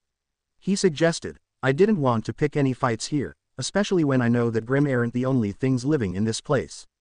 How do you know of this place? She ordered, not making any moves to back down, who sent you here? He sighed at her questions, you really want just calm down, will you? Are you just itching for a fight or something? In truth, the woman actually was feeling a bit restless as of late. While she could have hunted down Grimm, it got rather bothersome really quickly, especially with how predictable they could be sometimes. On the other hand, fighting someone else, no matter if they were a human or a faunus. Now that was far more enticing. Maybe I am, she replied with a hidden smirk before sliding the edge of her sword through the crevice it was held back in, freeing it for her to quickly move in for a deadly swing. She wasn't even surprised when she saw him evade it by bending his body backward just enough for her weapon to move over him safely. Care to indulge me, kid? She taunted, feeling a tingle go down her spine at the potential fight. Sighing again, Naruto said nothing and instead just put away his weapon. I'd rather not, he answered after his knife was fully sheathed. This ended up being the wrong response, because the masked woman took it as an insult and charged, her sword blazing with fire dust mid-swing as she closed in on the damnable blonde. With a flurry of slashes, she attempted to make him answer for the blow to her pride, a smirk forming beneath her mask as she saw him redraw his knife to catch her blade and deflect it away from himself. Following a wider than intended swing, that the Uzumaki dodged by leaning back, the woman moved with her momentum and went for a spinning kick that was blocked by the blonde's forearm. She gasped when something flashed through her head upon contact. You'll still believe in what Jiraiya sensei spoke of? After all that has happened? After so much death? After everything I've done to you? A red-headed man who looked incredibly emaciated asked of a whiskered blonde teen, his face shifted from incredulity to rage. Do you expect us to wait for you to bring peace when there is so much pain? Face it, peace is impossible. Then, if there's such a thing as peace, I'll find it. I'll break the cycle of hatred and pain by carrying it for everyone else. I'll help people so that they won't have to feel pain anymore. Raising his fist up to face the redhead, the blonde declared, I'll never give up, and I won't go back on my word. Purple eyes with ringed pupils widened at that, recognition and shock shining in them. Beside him, a blue-haired woman with a paper flower in her hair looked just as surprised. The whole time, the blonde held a look of unbreakable, unwavering determination and the aura of a leader radiated from him. What was that? She thought in confusion before refocusing on the fight. Unknown to her, Naruto had seen something as well, and what he saw marred his face with a frown. The woman glared at a blonde dressed in light armor, think about it, Taiyang. If they lash out at anything negative, then why do they go after humans unless humans are actually inherently evil? Taiyang let out an aggravated sigh. Things had just kept going downhill ever since Summer had died. Since then, Raven had come to accept a belief that humans were detestable things of war, segregation, hatred, and death. Preaching that they were civil, yet slaughtered anything, even one another, for the slightest reason. He didn't like such a cold, cynical, nihilistic, and misanthropic worldview, but Raven insisted that, other than what the setting, clothing, and level of technology was, human nature had not really changed from when they were violence-addicted savages living in caves. As far as Raven viewed things, the Grimm were basically white blood cells trying to purge an illness from a body. The world, remnant, being the body, and humanity being the illness. Raven, you're being unreasonable, Taiyang said in response. Unreasonable, Raven snapped, furious at what he had just said, why, because I am not stupidly, blindly giving undeserved faith to humanity. With humans, and even Faunus, it's always the same shit but a different era. They constantly repeat the same self-destructive patterns over and over. They've only lasted this long because vermin are so damn hard to get rid of. You're talking like you're not human yourself, he pointed out with a frown. Believe me, I wish that I wasn't, she fired back, turning away from him. Are you even listening to yourself? Raven, is this really the kind of example you want yourself to set for our daughter? Taiyang asked. That was the wrong thing to say, and he knew it as soon as he left his lips, in the time it took for him to even blink. The end of her sword's scabbard was buried in his gut before he was flipped over and slammed onto the ground. The next thing he knew after the unexpected attack was the tip of Raven's unsheathed Odachi hovering ominously over his throat. Glaring down at the man before her, Raven hesitated before she shook her head in disgust. You're so naive to everything that it's revolting. So much that it's not even worth putting you out of your misery, she stated, clicking her teeth in annoyance before sheathing her sword and turning as a red-black portal opened up in front of her. With nothing left to say to him, she entered it and never looked back. Damn, he mentally cursed, it's not just when I bump fists with people, he deduced, forcing his body to evade more than guard, I can still link my soul with others when in combat. Stop dodging and fight, damn it, roared the woman as she began using wind dust to extend the reach of her longsword even further, Rog, she cried, bringing her sword down for a bisecting slash. Her eyes widened behind her mask when she saw him easily catch her weapon again with his. But his knife's edge also had an extended wind blade, the surprising part about it was that it was there without any use of dust. Is that his semblance? She thought before wincing when another vision forced itself into her mind. There are three words I say to people who compliment my hair, a stunning red-headed woman said softly to the whiskered blonde, a loving smile gracing her face as her long tresses curled around her. The space around them looked to be bathed with warm golden light, as if it were a dreamscape safe from the harshness of reality. Oh yeah? asked the teen, a grin on his face, and what's that, mom? Her smile grew more loving, if that was even possible, as she stated, I love you. His grin fell for a look of shock before it returned with a vengeance while he rubbed his head bashfully.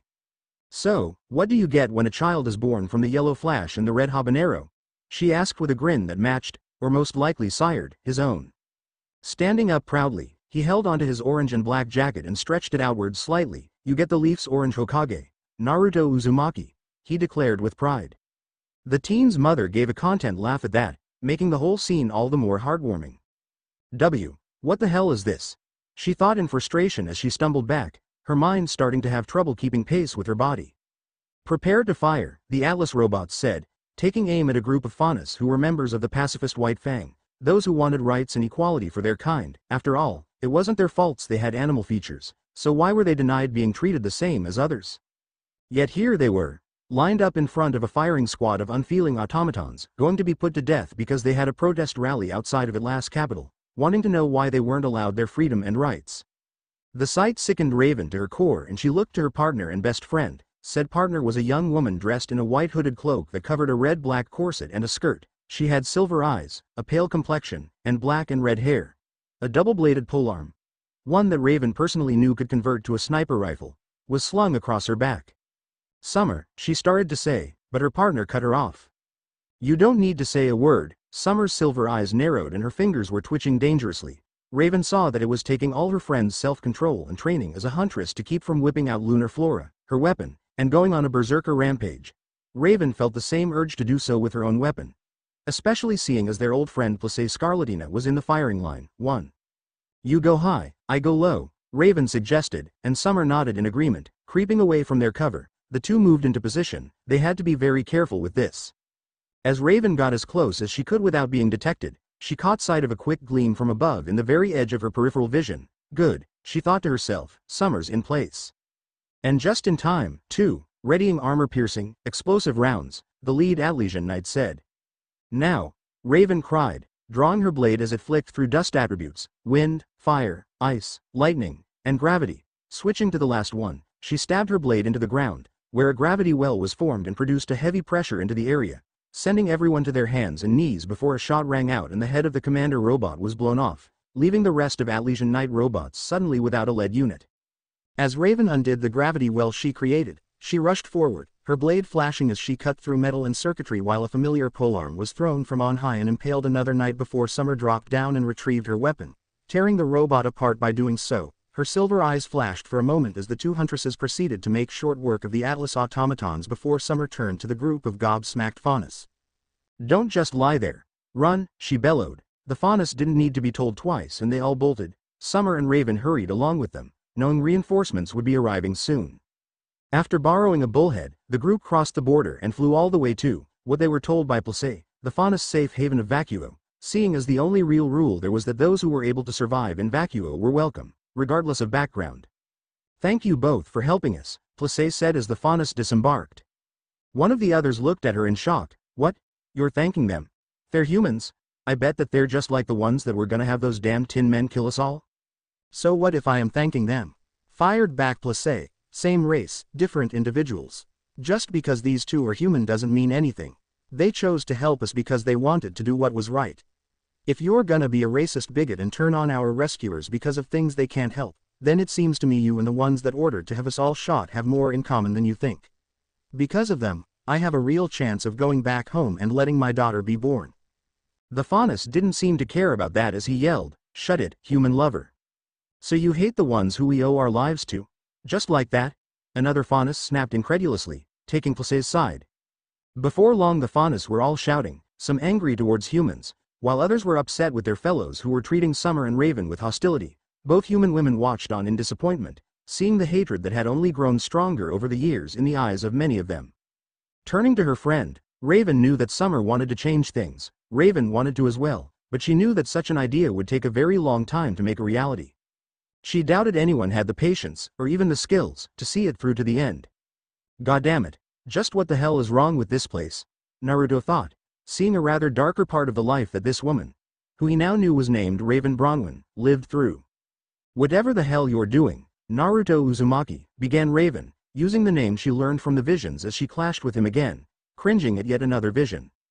Let's go, guys, roared the Uzumaki, bathed in golden energy as he held out his right hand towards a regal woman with long white hair, three eyes, and horns on her head, on the palm of said hand was a white sun marking.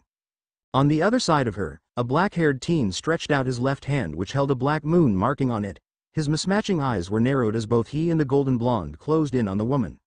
Said woman, tried to evade by flying upwards, but she was caught off guard when a pinkette young woman descended from above her, fist emblazoned with blue aura as it bashed the regal woman on the head, the force of the blow pushed her back down, just in time for both young men to place their marked palms on her body. As one, they both roared, six paths, planetary devastation. The next thing Raven saw was the woman being encased in a large sphere that rose upwards and became the newest moon. Make it stop, she finished, growing more furious at being unable to understand the situation. Who the hell are you? She raged inside her head. Raven trailed behind her white-cloaked friend from a safe, undetectable distance. When she had heard about Summer's latest assignment from her network, she immediately made plans to watch over the mission personally. Was it paranoia? Perhaps, but there was something about these guys that just rubbed her the wrong way, and as a huntress, shed honed her danger perception instincts to an insane degree. Besides, Summer was her best friend. Hell, they were practically family to one another. It was Raven's duty to look out for Summer, as far as the bird-themed woman was concerned. More importantly, Summer had a family waiting back home for her, she needed to go back to them, even if it was with the man Raven had called naive and left with her daughter. Team Dope, David, Oswald, Patrick and Edgar, was who Summer was working with, and needless to say, there was something about them that rubbed Raven the wrong way, hence why she was trailing her friend. The mission was simple. Get in, extinguish the Grimm inside of the mines, and get out, easy on paper. But Raven knew better than to not expect trouble, even on simple assignments, she was a firm believer of if something bad can happen, there's a good chance that it will happen. Part of her wanted to go back in time and slap the shit out of the founder of such a belief. Murphy, she believed his name was. Shaking her head to clear her drifting thoughts, she refocused on keeping an eye on Summer and the three members of Team Dope that were with her. David, Patrick, and Edgar were with her while Oswald was told to hang back, due to being the team's sharpshooter with his sniper rifle. That was the biggest red flag in Raven's mind. Summer was damn hawk-eyed with her own sniper, so she should have been allowed to hang back as well. So, why was she being put on the front line? Frowning, Raven turned to the small black bird of the same name on her shoulder, with a nod of her head in Summer's direction, she gave the avian its order and the bird took off, like Qrow. Raven always had a distinct connection with the black carrion birds, and she liked to use them as scouts, spies, or even foragers when she was out in the wilds. With her partner tailing Summer, Raven moved over to Oswald's position, having overheard it when she set her radio frequency to the one Team Dope and Summer were using. Standing at the base of the tree he was stationed in, Raven scowled as she looked up and easily spotted him, even though the snow-covered branches mostly hid him from sight. With deathly quiet movement, Raven moved up to another tree that was behind his sight range and pulled out a scope. Looking downhill at the entrance of the mine, she saw her avian friend even through the cover of night, and a frown marred her face as she saw that Summer was taking the lead into the mines. What are you doing, Summer? She asked herself, whispering so that her voice wouldn't carry. Through the scope, she saw the members of Team Dope that were with her followed her friend inside, but they immediately came out not even a minute later, the sound of a crow cawing frantically made her eyes widen and she made to kick off of the tree she was in. Summer, her cry of worry echoed across the moonlit hillside, accompanied by a round from a sniper rifle being fired at the entrance of the mines. Where an explosive had been set to collapse the whole damn thing in on itself. By the kami, muttered Naruto, seeing yet another dark part of Raven's life, he locked eyes with the slits of her mask, showing an understanding of the pain she was holding within herself. How could you keep going after that, after losing your friend? She recoiled at that, shock filling her to the core, he didn't, not that. Rage filled her to the core, and the red that highlighted her hair began to bleed into the black, changing it from an ebon black to a bloody red. Two. Get out of my head, you bastard, she roared, ignoring all of her disciplines and attacking on sheer instinct. Naruto kept looking at her with sympathy as he refused to retaliate and chose to only dodge or block. Most of the choices being the former option, with every clash, he knew she was seeing more and more of his life, just as he was seeing more and more of hers. He saw the birth of her daughter, Yang, her reluctance to leave Yang with a man she felt was naive to the true nature of the world. Her psychological state becoming more and more jaded as time passed. Her guilt at not being able to save her best friend. Her vow to her dead friend to keep both of their daughters safe. He didn't know what she had seen from his life, but he was easily able to tell that she was becoming greatly affected by it. Her mind was warring with itself at the glimpses she was seeing and he knew he had to put an end to this before it got to the point beyond fixing. So, when she went for another killing blow, he tossed his knife and had it stab into a nearby building wall while his now free hand reached out, with barely a grunt at the blade cutting into his skin. He caught the red sword and held it tightly while his blue eyes locked with the red orbs he saw through the slits of her mask. Enough, he declared sternly, actively creating a link with her as both of their visions went blank for a moment. When her eyes adjusted to the strange sensation she was forced to endure, they widened when they saw that she was no longer in the underground city beneath Mountain Glenn. Instead, she found herself standing in knee-deep water that made up a river that flowed from a raging waterfall. On either side of the waterfall was a statue of a different person facing the other. But the statues themselves were ruined from the knees down, showing different legs and similarly sandaled feet. At the base of the waterfall were different chunks of rubble from the mountainside and the statues themselves. She turned behind her when she heard deep, heavy breaths, seeing the same blond man from earlier, but he was heavily damaged and seemed, different from the one she was just fighting a moment ago. She narrowed her eyes at the fully formed right arm that the one she faced definitely didn't have. His blue eyes, one of them heavily swollen from a previous injury, were glaring at something on the waterfall, so she turned back and looked upwards. As she did, she saw the person the blonde was glaring at and saw that his left hand was sparking with dark lightning. It's time, Naruto, the black-haired young man declared in a tired voice, I won't have my revolution be stopped here. Not by you. His strangely designed eyes glared hatefully at the whiskered blonde as he roared, Just let me cut you down. Before leaping off of the waterfall, diving at his foe with his lightning-encased hand spearheading his descent. She looked back to the damaged Naruto, seeing golden energy begin swirling in his right hand slowly before furiously picking up speed and growing in both size and power. You can't cut your bond with me, Sasuke, she heard him say softly, more to himself than to that Sasuke kid. The force of his technique picked up the wind and water around him as he gave a powerful leap, meeting his opponent's charge with his own. As they got closer and closer, she saw the clashing energy wisps lash out at one another before the two combatants even reached each other. Her red orbs narrowed when the space around each impact seemed to distort and rip away at something. These rips surrounded both men, and their inevitable impact only linked them together into a more jagged rip in what she could only describe as space-time. Looking to them both with narrowed eyes, she saw that Naruto was the first to notice the rip, with a determination in his eyes that she had only ever seen in her brother Qrow. Raven watched as the blonde forced more power into his technique so that he could direct Sasuke away from the rip. When the techniques were forced to end, both of them shot away with a vicious recoil and Naruto wound up flying into the temporal rip. His right arm having been blown apart from the elbow down while Sasuke was in a similar state with his left one. Just before the rip closed, she saw sadness in the blue orbs of the whiskered young man, a part of her felt respect for him, as well as sympathy for his sacrifice, as for Sasuke, actually, the vision paused at that point and the world around her turned grayscale, losing all color and vibrancy. That was the last thing I remember before I woke up in a crater in that ruined city above ground. She heard a familiar voice inform her, and she turned around to see the Naruto she had been fighting before. Missing arm and all, as you can see, I am not exactly a natural-born citizen of Remnant, at least, I don't think I am. Space-time theories weren't something I ever touched on in terms of study.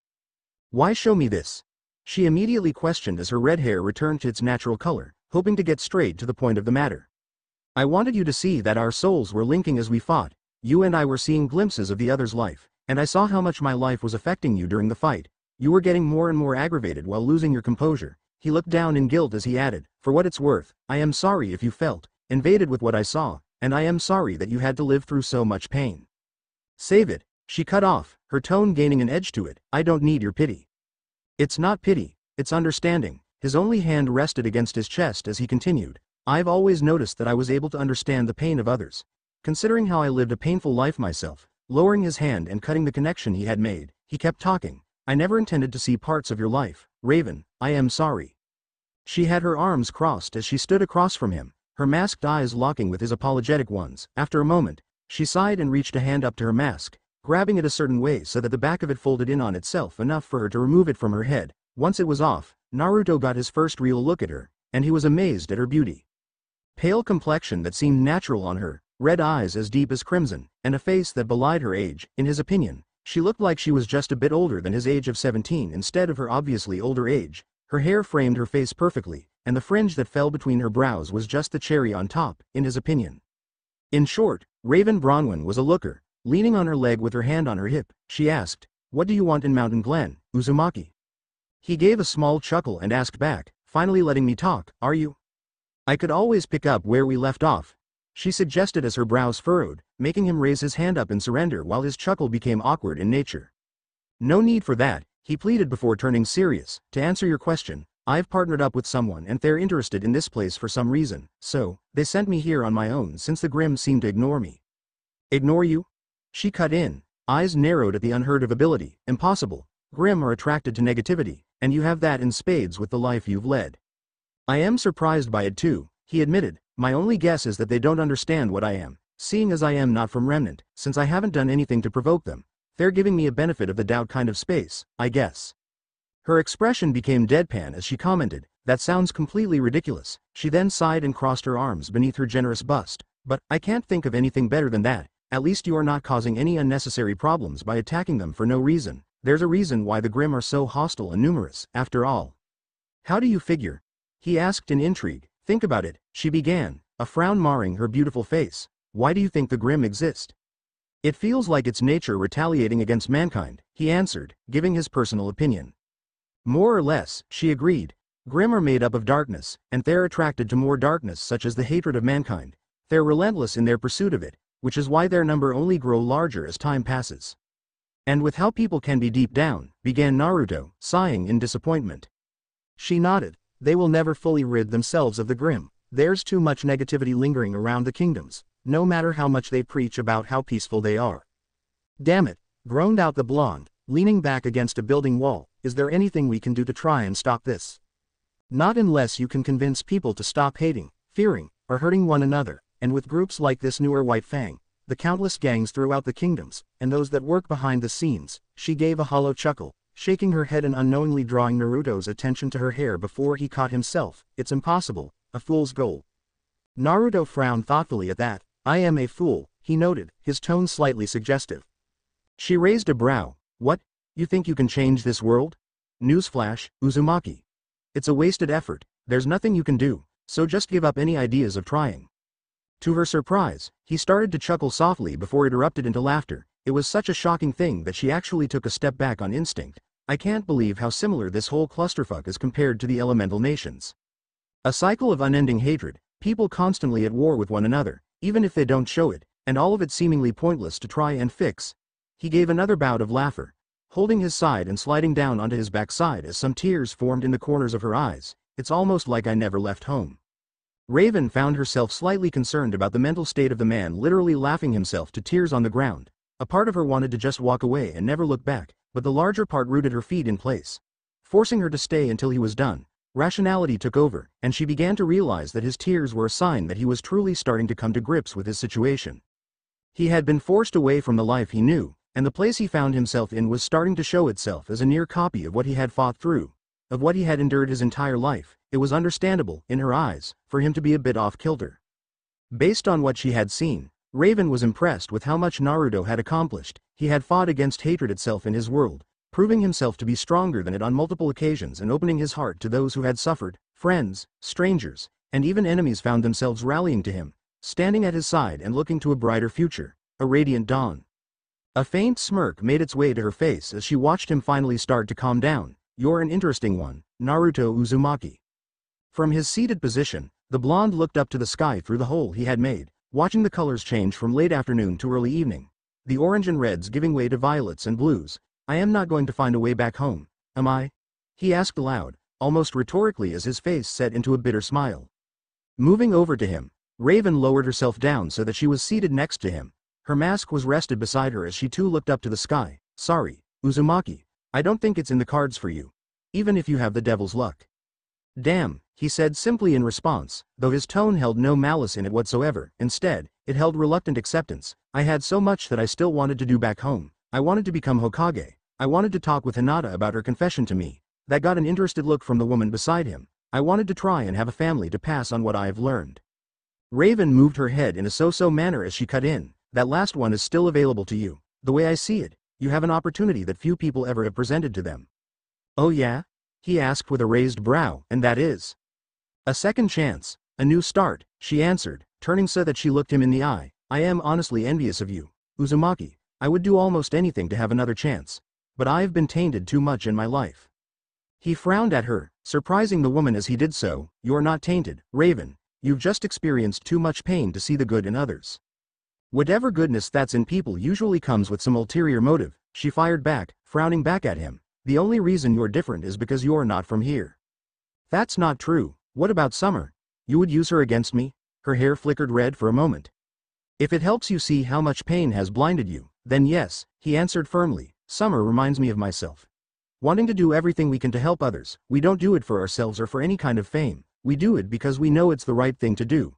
Because it's what our hearts tell us is right. To his surprise, Raven gave a melancholy smile as she shook her head. You sound just like her. She always talked about doing what felt right, especially when it came to helping others. A soft chuckle escaped her lips, along with a tear that rolled down her cheek. She would have loved to meet you, and so would her kid. That girl is as reckless as her mother, but is also just as morally influenced. Naruto chuckled as well, giving a small smile. Sounds like my kind of person. She's naive though, and I am worried for her, if I was honest with myself. One of these days, she's going to see firsthand just how cruel the world can be. When that comes, she'll either break or she'll be like you. Strive to get stronger to fix it. He nodded in understanding. Maybe I'll see her for myself one of these days. I'd like to see what makes her so special. I am sure you will, Raven commented with certainty. Keep a lookout for anything concerning a girl in a red hood and a big scythe. That's Summer's kid. Will do, assured the Uzumaki as he stood up, Offering his arm to help Raven do the same, she gave him a nod in thanks for the gesture as he took a step back from her. Don't give up on Remnant, Raven. There are people out there who are trying to help it heal. Like you? She asked with a teasing smirk, which earned her an unsure shrug from the one-armed blonde.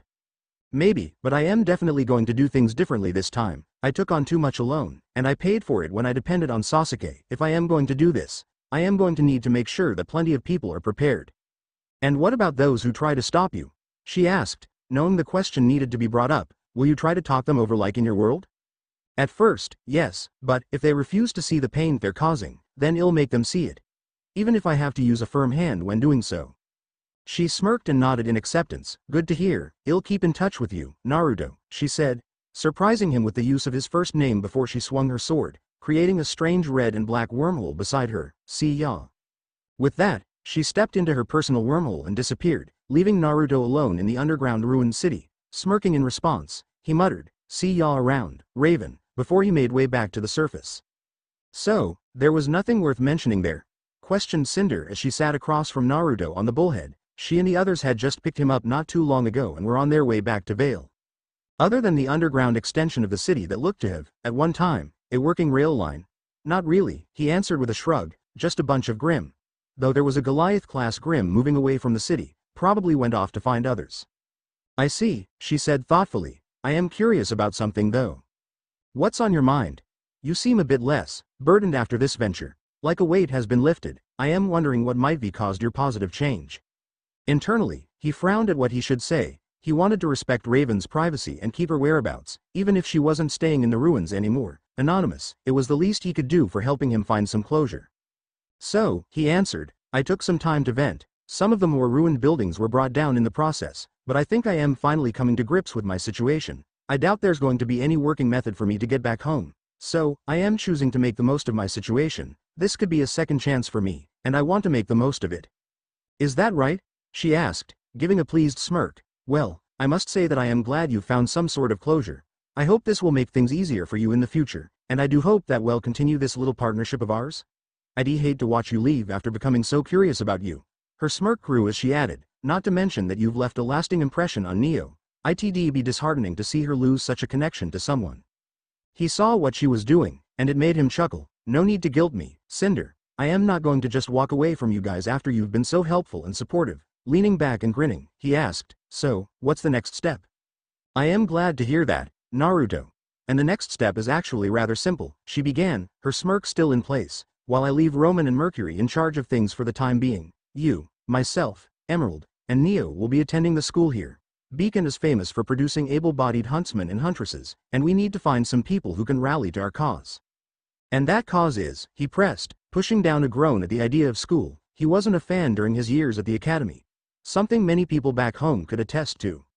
Her eyes glowed for a moment as she gave a single-worded answer. That was uncomfortable, groused Naruto as he felt his damaged nerves being connected to his new arm. One that was offered to him by Cinder. The arm went through an automated series of tests, starting with flexing the fingers, rotating the wrist, complete with doing full spins both clockwise and counterclockwise, and checking to see if aura was flowing through some of the wiring. Naturally, instead of aura, Naruto felt his chakra moving just fine through the mechanical arm. I am not surprised. Nerves are fickle things after all, the doctor that had been paid to attach the arm noted. Everything seems to be fine so far, however, if anything comes up that concerns you about the arm, he handed Naruto a card with a series of numbers on it, give me a call so we can schedule an appointment. Anything special about this arm, besides it being the latest model? Emerald asked. She had been tasked by Cinder to accompany Naruto for this, and she wanted to be sure that her mistress money wasn't going to waste. Well, inside of the arm chamber, there's some cable wires that have been retrofitted to act as a grapple line. It attaches to the wrist of the hand, which would act as the grapple itself. The fingers can have hooked claws come out to anchor the grapple hand, or to act as a close quarters weapon if you prefer. How do I fire my hand? Naruto asked, honestly a bit excited about the added feature of his new limb. It's activated by projecting your aura through the cable and into your wrist. The wrist will detach and, if enough aura is used, fire outward. If minimal aura is used, it will only detach the wrist and you can maneuver it however you please, explained the doctor. He then handed the Uzumaki a small manual that gave better details about his arm. Inside will explain everything, as well as inform you of the maintenance you will need to continuously perform on your arm so that it stays in working order. Thanks, replied the blonde before he was discharged from the hospital and led by Emerald through the streets of Vale City. As they walked, he moved around his arm to get a better feel for it and even practiced detaching the hand and activating his claws. Man, if we had this kind of technology back home, so many lives could have been fixed. What a shame, Emerald noted, not really caring for the conversation, at least I don't have to see you moping around all the time now. Excuse me for battling my biggest rival and losing an arm for it, fired back the Uzumaki with a growl, not to mention being sent away from my home for all my efforts. You gonna go cry in the corner again, Whiskers? taunted the red-eyed girl. Don't push me, Emerald, he warned, releasing a minuscule amount of chakra, just enough to make her feel some pressure around her form, or did you forget just what I could do to you? He finished, taking the lead and walking off down the road while Emerald struggled not to let the show of power, however small it was, bother her. Once the pressure lifted, she followed the blonde and kept glaring at him from behind, he made her feel so powerless, and she loathed that feeling, mentally, she made a promise to return the favor one day. Just so she could relish in having some kind of power over him. I am gonna explore the city, informed Naruto before taking a sudden right turn down another road, I'll see you back at the hotel. She watched as he waved back at her with his new arm. Not even looking over his shoulder as he walked off, scoffing, she continued walking towards the hotel she and her associates were staying in. Cinder is currently getting us into Beacon, so she won't be back for some time. Roman is getting in touch with Junior to pull off another heist. Neo and Merc are at the base waiting for us to get back. The asshole could easily find his way back to us, she mused, glad to have some time away from the Uzumaki. He got under her skin so easily, and she needed a break. The money this place has is so weird, commented Naruto with a sour look, eyeing the card like currency that Cinder gave him. Based on what she informed him of about the currency, he had about 100 lien, 100. Alright, let's see if I can't find something good to eat in this city. Walking around, he took note of how very little Faunus were walking around in the city, he had been told about them by Neo when he asked her in private. Knowing how she didn't really like talking, from what she had told him, Faunus were treated like second-class citizens. Similar to how poorly Jinchuriki like him were treated. It bothered him at how eerily similar circumstances were between the elemental nations and Remnant, not only was there a hopeless situation in this place, there was also cruel prejudice against people not in control of how they were born or raised, very few people wanted to be Jinchuriki. Most not having a choice in the matter, and yet, they were hated for that lack of choice. Faunus were despised and feared for having animal characteristics. Thinking about it, Naruto made the decision to introduce himself as a Faunus, after all, he had two sets of animal affinities. Both from his parents, from Minato, he got his affinity for toads. One that was awakened by Jiraiya, from Kushina, he got his fox affinity, since she held Kurama when he was born. So, it wouldn't be much of a lie to say that he was a faunus hybrid with toad and fox features. Toad only being visible during certain moments. It made sense to him, at any rate. Pissed, a whisper sounded, breaking him his thoughts just in time for someone to grab him by the sleeve of his shirt and tug him into an alleyway. With a surprised grunt, he was about to give the person a piece of his mind, but familiar red eyes stopped that train in its tracks, Raven. Who else?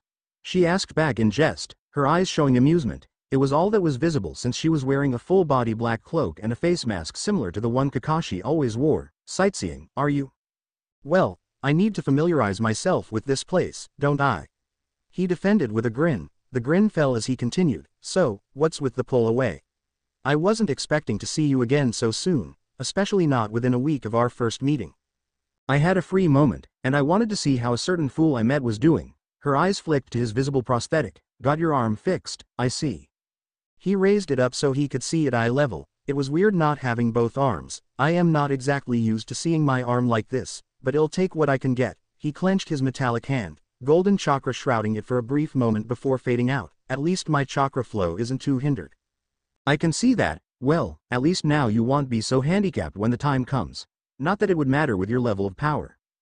Don't give me a swelled head, Raven, he replied, his tone showing he was completely serious. Many people have failed because they were overconfident, myself included. I don't need another failure on my conscience. Fair enough, she agreed before reaching into her cloak and handing him a small parcel. Here, I figured you might need this. Taking it with his new arm, he turned the wrapped box over and asked, What is it? In Remnant, huntsmen and huntresses use weapons known as firearms, and most are built into their melee weapons. Some people, however, keep those kinds of weapons separated, I myself use my sword mainly, but I keep a sidearm on my person just in case. She nodded her head to the parcel and continued, that firearm should suit you. I made sure to have some ammunition packed with it as well. Get someone to teach how to better use it when you get the chance. He nodded slowly, thanks, but why give me this? To help you fit in, with your abilities, you're going to stand out. In fact, I suggest you keep a very low profile for the time being. Uzumaki, if anything, just say that your chakra is your semblance. Semblances are unique to the individual, so it won't be too strange to say that yours is pure energy manipulation. I got it, not a big fan of hiding, but I know when it's needed, anything else I should know about? She nodded, I've seen this partner of yours, be careful around her, she serves someone else, someone rather dark. I am aware of the need for caution around her, she's trying to probe me for more information and make me see things her way. I don't know what her endgame is yet, but ill be careful. Right, and keep your guard up around Ozpin, the Mon's more cunning than that woman is, and he probably already knows about you, added Raven before she turned to the end of the alley. A portal opened up and she moved over to it, saying one last thing before she entered it, I'll keep in touch, Naruto. With that, She was gone and Naruto was left mulling over her warnings. He already had some suspicions about Cinder and her subtle attempts to sway him to her cause. It was a respectable attempt. Especially with how his depression lowered his guard, it reminded him of how some Kunoichi pulled off some stealth missions. While he didn't particularly like being the target of such acts, he couldn't help but see the nostalgia in them, it was strangely comforting, which unnerved him at the same time. Taking a breath to gather his thoughts, he left the alleyway and resumed his search for something to eat. Out of the corner of his eye, he saw that a red-eyed crow was just taking flight from its perch, which had a perfect view of the alley Raven pulled him into. Eye in the sky, indeed, he mused, finding the irony in the saying.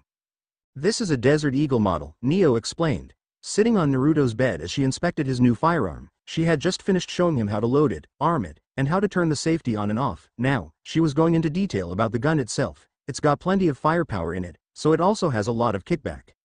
I've never used firearms before, so what makes this model so special? Mainly the power behind it, but it's also semi-automatic, which makes it easier to get more rounds off, she answered, putting the gun back in the box it came in. So, power and speed, summarized the blonde, I need to get a better understanding of this if I am going to use it in the future. He sighed and leaned back in the chair he was seated in. What do you think about us going to Beacon, Neo? She shrugged, showing that she wasn't too concerned about it. I figured as much, he commented with a short chuckle, nothing really seems to bother you, except for talking. I just prefer silence, she explained with crossed arms, I hate how words can be so destructive, so I keep quiet and let my actions speak for me. At least you are honest with your actions. A lot of people I faced betrayed their own actions with their words, and the other way around too. He frowned as he recalled his fight with pain. One of the few things I hate is when someone lies to themselves to justify their own actions. If you need to lie to yourself, then there's something very wrong in your life. She frowned as well, taking note of his tone. It sounded like he was speaking to himself at the same time when he said those words. He sighed again, running his metal hand through his hair and slightly shivering at the cool touch it gave his head. Oh well, no point in wallowing in the past. Not anymore, we have a big day tomorrow, so we should probably get some rest. Neo nodded and got off of his bed before heading for the door. Just before she opened it, she turned back to him and asked, What do you plan to do now? He was silent for a moment, finding the right words to say in response. I plan on making an impression, he answered vaguely before giving Neo a small smile. Good night, Neo. She returned his smile with a faint smirk and nod before leaving his room. While vague, she understood what he meant. Ever since they linked souls, she found a better understanding of the enigma that was Naruto Uzumaki. And she enjoyed that enigma. The next morning, with clothes and other necessities packed, Naruto found himself standing in a large airship surrounded by boys and girls in their late teens. He was looking out the window, enjoying the new perspective he had thanks to the ship. He got a rush out of flying when he first used his six-paths sage mode, but that was joined by the adrenaline of battling in a war. Here on the ship, it was far more relaxing. Enjoying the view? Cinder asked as she moved over to his side, her signature smirk in place. Yep, he answered without turning to her, so, what's your plan for getting us all on one team? You told me how the schools of Remnant consistently make teams of four and give them names, how will you guarantee the four of us being on a team? Truthfully, I can't guarantee it. Best I can do is try to improve our chances, but I can't make it set in stone. Besides, teams are chosen at random, making it nearly impossible to get the perfect team you were hoping for. Damn, cursed the blonde. Well, let's hope for the best then. Inwardly, he was curious if his strange luck would work in his favor this time. Outside of missions, it usually helped, especially with gambling. During missions, yeah, let's just say that Naruto was justifiably cautious whenever he was on a mission. A flash of red was caught in his peripheral, and he turned to see a short girl with a red hood and flowing cape. This captured his interest since Raven had told him that Summer's daughter had a red hood and a big scythe. Not to mention, the young teen looked like a mini-me of the white-cloaked woman from Raven's memories. She was wearing a black blouse, a black waist cincher with red lacing and a skirt with red trimmings. Completed by her hooded cloak, holding the cloak in place were two pins that were attached to her blouse. Her belt had cartridges for ammo and strapped to her back was a folded hunk of metal, which Naruto guessed was her large scythe that Raven told him about. She had a nervous air about her, which wasn't surprising since the memories he saw from Raven informed him that Ruby Rose, daughter of Summer Rose, was only 15. Standard age entry at Beacon, or any of the more well-known schools, was 17. She was being gushed over by a rather buxom blonde girl, one that Naruto recognized in an instant. So, that's Yang, she looks like a blonde version of you, Raven, except she's still rather sheltered from the world, he mused. He saw the excitement and pride Yang had on her face for Ruby, no doubt for getting accepted at an early age, she seems rather doting of little Ruby. probably trying to fill that void that Summer's death and Raven's departure left there. Normally, Naruto would be rather sympathetic for the two sisters, but his own upbringing and seeing why Raven left dulled that feeling. Besides, the two seemed to be alright for now. Still, there was no harm in getting to know them, so he moved away from Cinder, earning a raised brow from her, and walked over to the two sisters. I just want to be a normal girl with normal knees, Ruby exclaimed, feeling very self-conscious about her early acceptance. Yang gave her sister a small smile, knowing how socially awkward she could be. However, she was cut off by a male voice, Ino, being normal is pretty overrated. Both sisters turned to see a tall teen with wild blonde hair. Stunning blue eyes and whisker-marked cheeks standing in front of them. He was dressed in open-toed black sandals that were made of durable material and also left his heel exposed. Over his legs, he wore black cargo pants with a knife holster wrapped around his right leg, Holding the pants up was an orange belt that had a pouch attached to it and resting behind him on his right side. He also wore a tunic-styled shirt that had two buttons to close it off in the abdomen area. The shirt itself was orange and had a black trim on it while only the left arm was covered by a sleeve.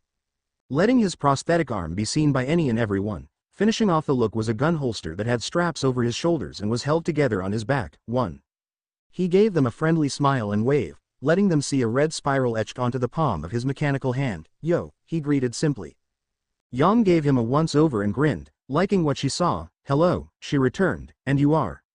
Name's Naruto Uzumaki. I am going to be attending Beacon today, just like you too. Couldn't help but notice how nervous you looked over here. Red, Ruby squeaked at being brought to attention. You feeling unsure about all of this?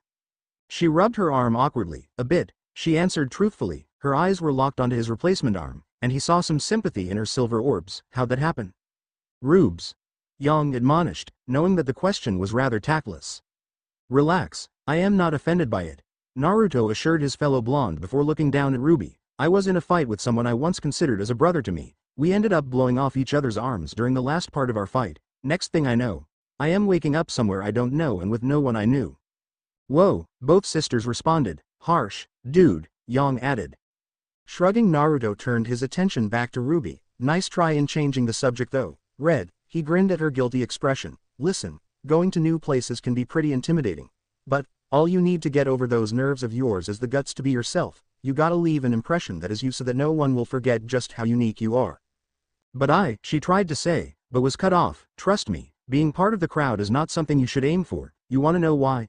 When she slowly nodded, he continued, because you lose your individuality, you start lying to yourself and become someone else. The red-themed girl looked down at that, a thoughtful look etched on her face. A large part of her was still afraid of being treated differently for being accepted by Ozpin, but a growing part of her was proud of herself and how she was already so close to achieving her dream. To be a huntress and help people wherever she went, just like her mother did. Seeing her sister out of it, the female blonde offered her hand to Naruto, I am Yang Xiao Long, and my sister's named Ruby, nice to meet you. Taking her offered hand with his false hand, he shook it with a small smile, you too, Yang, so, what's your goal with coming here? She shrugged, eh, learn how to fight better, go on a couple of missions, make a name for myself, Ino, typical big dreamer goals, you. Like I said to Ruby, I want to make an impression here, he answered vaguely, remnants due for some big changes soon, and I want to be a part of that change. She was a bit confused at his answer, but she shrugged it off, it wasn't that odd of a goal. Everyone wanted to make changes for the better, the way she saw it, her fellow blonde just wanted to get as early a start as possible in his changes. Naruto, a voice called out, making the three of them turn to see Cinder looking a bit expectant. You can meet new people later. He gave her a raised brow in response before shrugging and turning back to the sisters. See y'all later. I guess, think about what I said. Red, walking away from them, he gave Cinder a questioning look. Problem? I'd rather we stick close to each other, is all. We're not here to make friends or anything silly like that. Don't forget the real reason we're here. You said change was the reason we're here. Cinder, you never specified how that was supposed to happen. Besides, those two reminded me of people I once met. I was curious if they were related to them. This caught her interest. You've met others from Remnant. He mentally cursed at his slip-up. Thinking fast, he answered. I met a couple of people when I went around town yesterday. One of them helped me pick out the gun I have on me. She took a quick glance at the Desert Eagle that was held in his gun holster. I see. Regardless, try not to wander off anymore. His grin in response wasn't something she had hoped to see. You're not really here, are you? Shaking his head, the now revealed clone of Naruto answered, Nope. Boss took another way to the school and is already checking out the place. She frowned at him and he waved her off with his left hand. Relax, Cinder, boss knows not to cause too much trouble. I am sorry. Too much? She repeated, her frown deepening and her arms crossed. The clone just grinned, don't be surprised if you see that boss livened up the place. She palmed her face at that and sighed, wonderful. Naruto hummed to himself as he finished his latest project, which involved marking the face of the school with his clan symbol. He grinned at how it spruced up the place, giving it some more color and life. Perfect. Commented the Uzumaki, unlocking the cable in his mechanical arm so that he could lower himself back down to ground level. With a jerk of the arm, the clawed hand let go of the building and retracted back to him, clicking as it reconnected with the wrist section. Well uh, a voice started, making him turn to see a rather beautiful redhead dressed in bronze armor staring at his artwork. It's certainly expressive. She complimented, though her tone sounded unsure. Thanks, he replied, getting her attention, glad that someone can appreciate real art when they see it. He offered her his right hand to shake. I am Naruto Uzumaki. She gave him a kind smile and shook his hand, not bothered at seeing it so open for others to see. Pyrrha Nikos, it's a pleasure to meet you.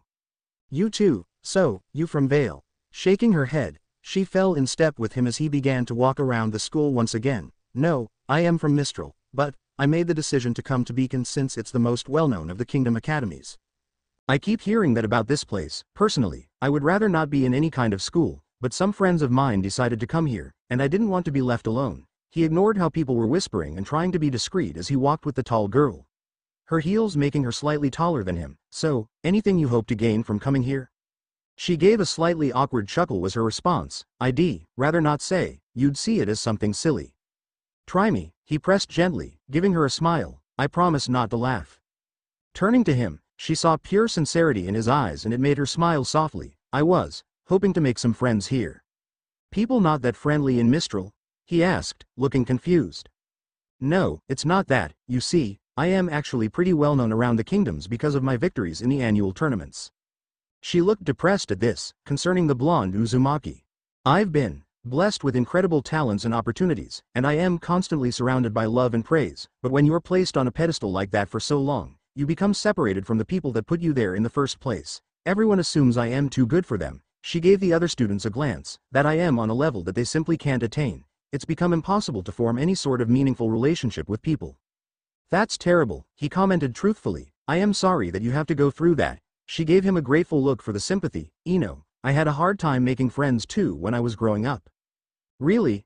She asked, interested, he nodded and explained. I was born on a day that was rather infamous in my village, people saw it as a rather bad omen, and they urged their kids to keep their distance from me, it was hard, and I was lonely for so many years before I entered my first school, it was there that I finally got to talk to other kids my age, and I found myself making friends with other troublemakers like myself. He chuckled at the memory, making her smile at the warmth she heard in his laugh. I'll never forget the friends I made. Where are they now? Gone, he answered simply, making her cringe slightly. I am sorry, don't be, you didn't know, he assured her. Besides, I think you and I just made new friends today, wouldn't you agree, Pyrrha? She looked surprised at the question before smiling beautifully. Yes, yes, I agree completely, Naruto. The two of them smiled as they kept walking, enjoying the comfort in the new bond they had formed. So, did you enjoy checking out the school grounds on your own? Cinder asked when the real Naruto regrouped with her and the other girls. Yep. He answered with a grin, got to liven up the place a bit, he jabbed a thumb at the red spiral on the building, met someone pretty cool, Cinder raised a brow at that, and got to see how unprepared all these kids really are. His face turned from jovial to serious in an instant, they're treating this like a game when there's real dangers out there they don't even know about. True, which is why we're trying to change that outdated way of thinking, assured Cinder, though Naruto suspected a different reason for her changes, at any rate, we should head inside for the orientation ceremony. I am curious about the words of wisdom the headmaster plans to give his newest students. He shrugged and let her lead on, following after her in Emerald while Neo decided to hitch a ride on his shoulders. He figured she must be really enjoyed her new vantage point because she rested her arms on his head and her head in her arms as he walked toward the auditorium. Enjoying yourself? He asked, his blue eyes looking upward, she leaned forward a bit so that he could see her face. A smirk was her answer, which he gave an amused look in reply. Try not to fall then, Neo-chan.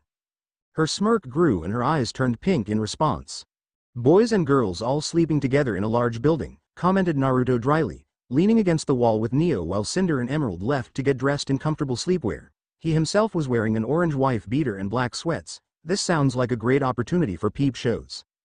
Pervert, teased the ice cream-themed girl, who had dressed into her own sleepwear under the protection of her illusionary semblance. She was now dressed in brown sweats with a white shirt that had a pink trim on it. He rolled his eyes at her teasing, not perverted to point out what these teenagers will try to do. She nodded in acceptance at that as she set up her bedroll next to him, sleep now. It'll be fine, he replied, watching her lay down on her roll after setting up his for him. I just want to stay up a bit longer and get a better read on these kids. You do realize that you're their age, right? Emerald asked as she and Cinder returned. She was dressed like he was, except that her shirt was a green tank top. Cinder was dressed in red silk pajamas that looked to be made from the finest fabric. Age is but a number, besides, mentally I am much older than they are, I've been through a war, after all. True, and I am still rather curious about that war, commented Cinder. It's not something I like to look back on, he shot down, frowning at the memories, anyway, I am gonna go get some air before I hit the sack. He gave them a small wave before walking off, heading for the exit. Once he was gone, Emerald commented, he's still an asshole. Calm down, admonished her mistress, he's simply coming to terms with everything, whatever you went through during that war is still fresh in his mind. The red-eyed girl scoffed at that, he's just being pissy. You too, Neo cut in with a smirk, no one asked you, Neo. Enough, Cinder cut off, her eyes glowing briefly, I won't tolerate fighting amongst ourselves, am I clear? Both of them nodded, good, now, get some rest, well needed for our little test tomorrow. Nice night, huh? Naruto asked as he approached a raven-eyed girl dressed in an evening yukata. She turned away from her book to him, letting him see her piercing amber orbs. Can I help you? Nah, I was just hoping to get some fresh air before going to sleep. Sorry if I disturbed you. He made to turn away, but the faintest of twitches made him pause. Any reason why you're hiding your ears? She tensed. What are you? Relax, you're among kin, he assured, jabbing a thumb at his whiskers. But why are you hiding? She frowned and subtly sniffed the air around him before relaxing when she smelled a heavy scent of fox. Along with toads strangely, coming from him. I don't want to be judged on appearances. The minute people see that I am a faunus, they'll treat me as if I was part of the White Fang. Are you? immediately asked the blonde with crossed arms. She hesitated for a second. No, he hummed at that. What you're doing is pretty stupid. Excuse me? The girl retorted, glaring at him. You're lying. Both to everyone here and to yourself. You say you don't want to be judged by appearances, well bravo, now you're being judged for lying. What happens if you make friends and they found out you were a faunus from some other method? He didn't let her answer as he finished. They'd know you were lying to them and that you weren't upfront from the get-go. They'd lose trust in you and wonder what else you kept hidden from them. But I, you're too afraid to face the woman in the mirror. He cut off again with a frown, ashamed too, because the woman I see is quite beautiful. Turning away, he started to head back inside. Enjoy living a lie, kitten. With that said, he left her alone with her thoughts, and for Blake Belladonna, her thoughts were a jumbled mess. Looking up to the shattered moon, she wondered if what her fellow faunus said was from personal experience, if he lived a lie of his own and saw the damage it caused. Frowning to herself, she decided to make a real decision once she got her team. I am telling you, Oz, a man spoke up, taking a short swig from a flask before continuing. You've got to keep an eye on that kid. He's been hanging around with the wrong sort of people. A man with silver hair and brown eyes looked to the speaker, a cup of warm coffee in his hands, and who has he been seen with, exactly? My sister, for starters, came the immediate answer, and last I checked, Raven wasn't the type to hang around with random people unless they shared her mindset or were useful to her. That's concerning, but has he done anything to warrant suspicion other than being seen with Raven? Has he acted out against the public, or harmed anyone? It'll only be a matter of time with Raven involved. Qrow, I know that Raven's views on the world aren't exactly acceptable, but you can't blame her for anything that this boy has yet to do, Ozpin stated, setting his coffee down on his desk to steeple his hands together in his lap. I can if she's given him the means to do so, the red-eyed man retorted, when I saw the kid before Raven talked to him, he had nothing on him in terms of weapons. And everyone with training keeps a weapon on hand wherever they go. Next thing I see, my sister gives him some kind of package and the next day, the guy's got a firearm on hand, that can't be coincidence, Oz. I suppose not, however, I can't do anything unless I have solid evidence to support this, while I trust you with many things, I can't just place him under surveillance based on a hunch. Which is what this is. He raised a hand to stop Qrow from saying anything. And you know this, Qrow. Your views on your sister are, regrettably, biased thanks to your past with her. The man took a breath to steady himself before crossing his arms, so then, you'll do nothing? I keep an eye on all of my potential students, my friend. Especially those who show something noteworthy, perhaps Mr. Uzumaki will show us something worth keeping an eye on. The two men shared a look, and Qrow nodded to the man before leaving his office, Ozpin wouldn't let him down. He never had, jolting awake, Naruto hissed in pain and grabbed where his arm connected to metal while his eyes were wide in panic, looking around, he saw that everyone else was still asleep since it was still pretty early in the morning. Damn it, he cursed softly, another nightmare, getting out of his bedroll, he grabbed his clothes and moved through the throng of sleeping students to change. Unknown to him, a pair of mismatching eyes opened as he got up and watched him leave. They narrowed in slight concern before Neo decided to speak with the blonde Uzumaki later, something was bothering him, she could feel it. After he got dressed in his new combat gear, Naruto decided to go for a morning run so that he could clear his head, running around the campus was sure to do the trick, and he figured that he could finish a couple of laps before the initiation was set to begin.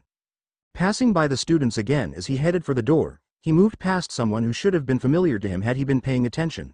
The person's bow twitched and an amber eye cracked open just in time to see him head out the door, the other eye opened as Blake sat up and stared at the door, frowning in confusion at why her fellow Faunus was up so early. Who are you? She thought to herself before she decided to get some more rest. A couple of laps around the campus later, Naruto returned to the auditorium just in time to see the other potential students up and about, moving through the sea of people. He made his way to where Cinder and the others had chosen to sleep last night. Bumping into someone, he turned to them and said, Sorry. Watch where you're going.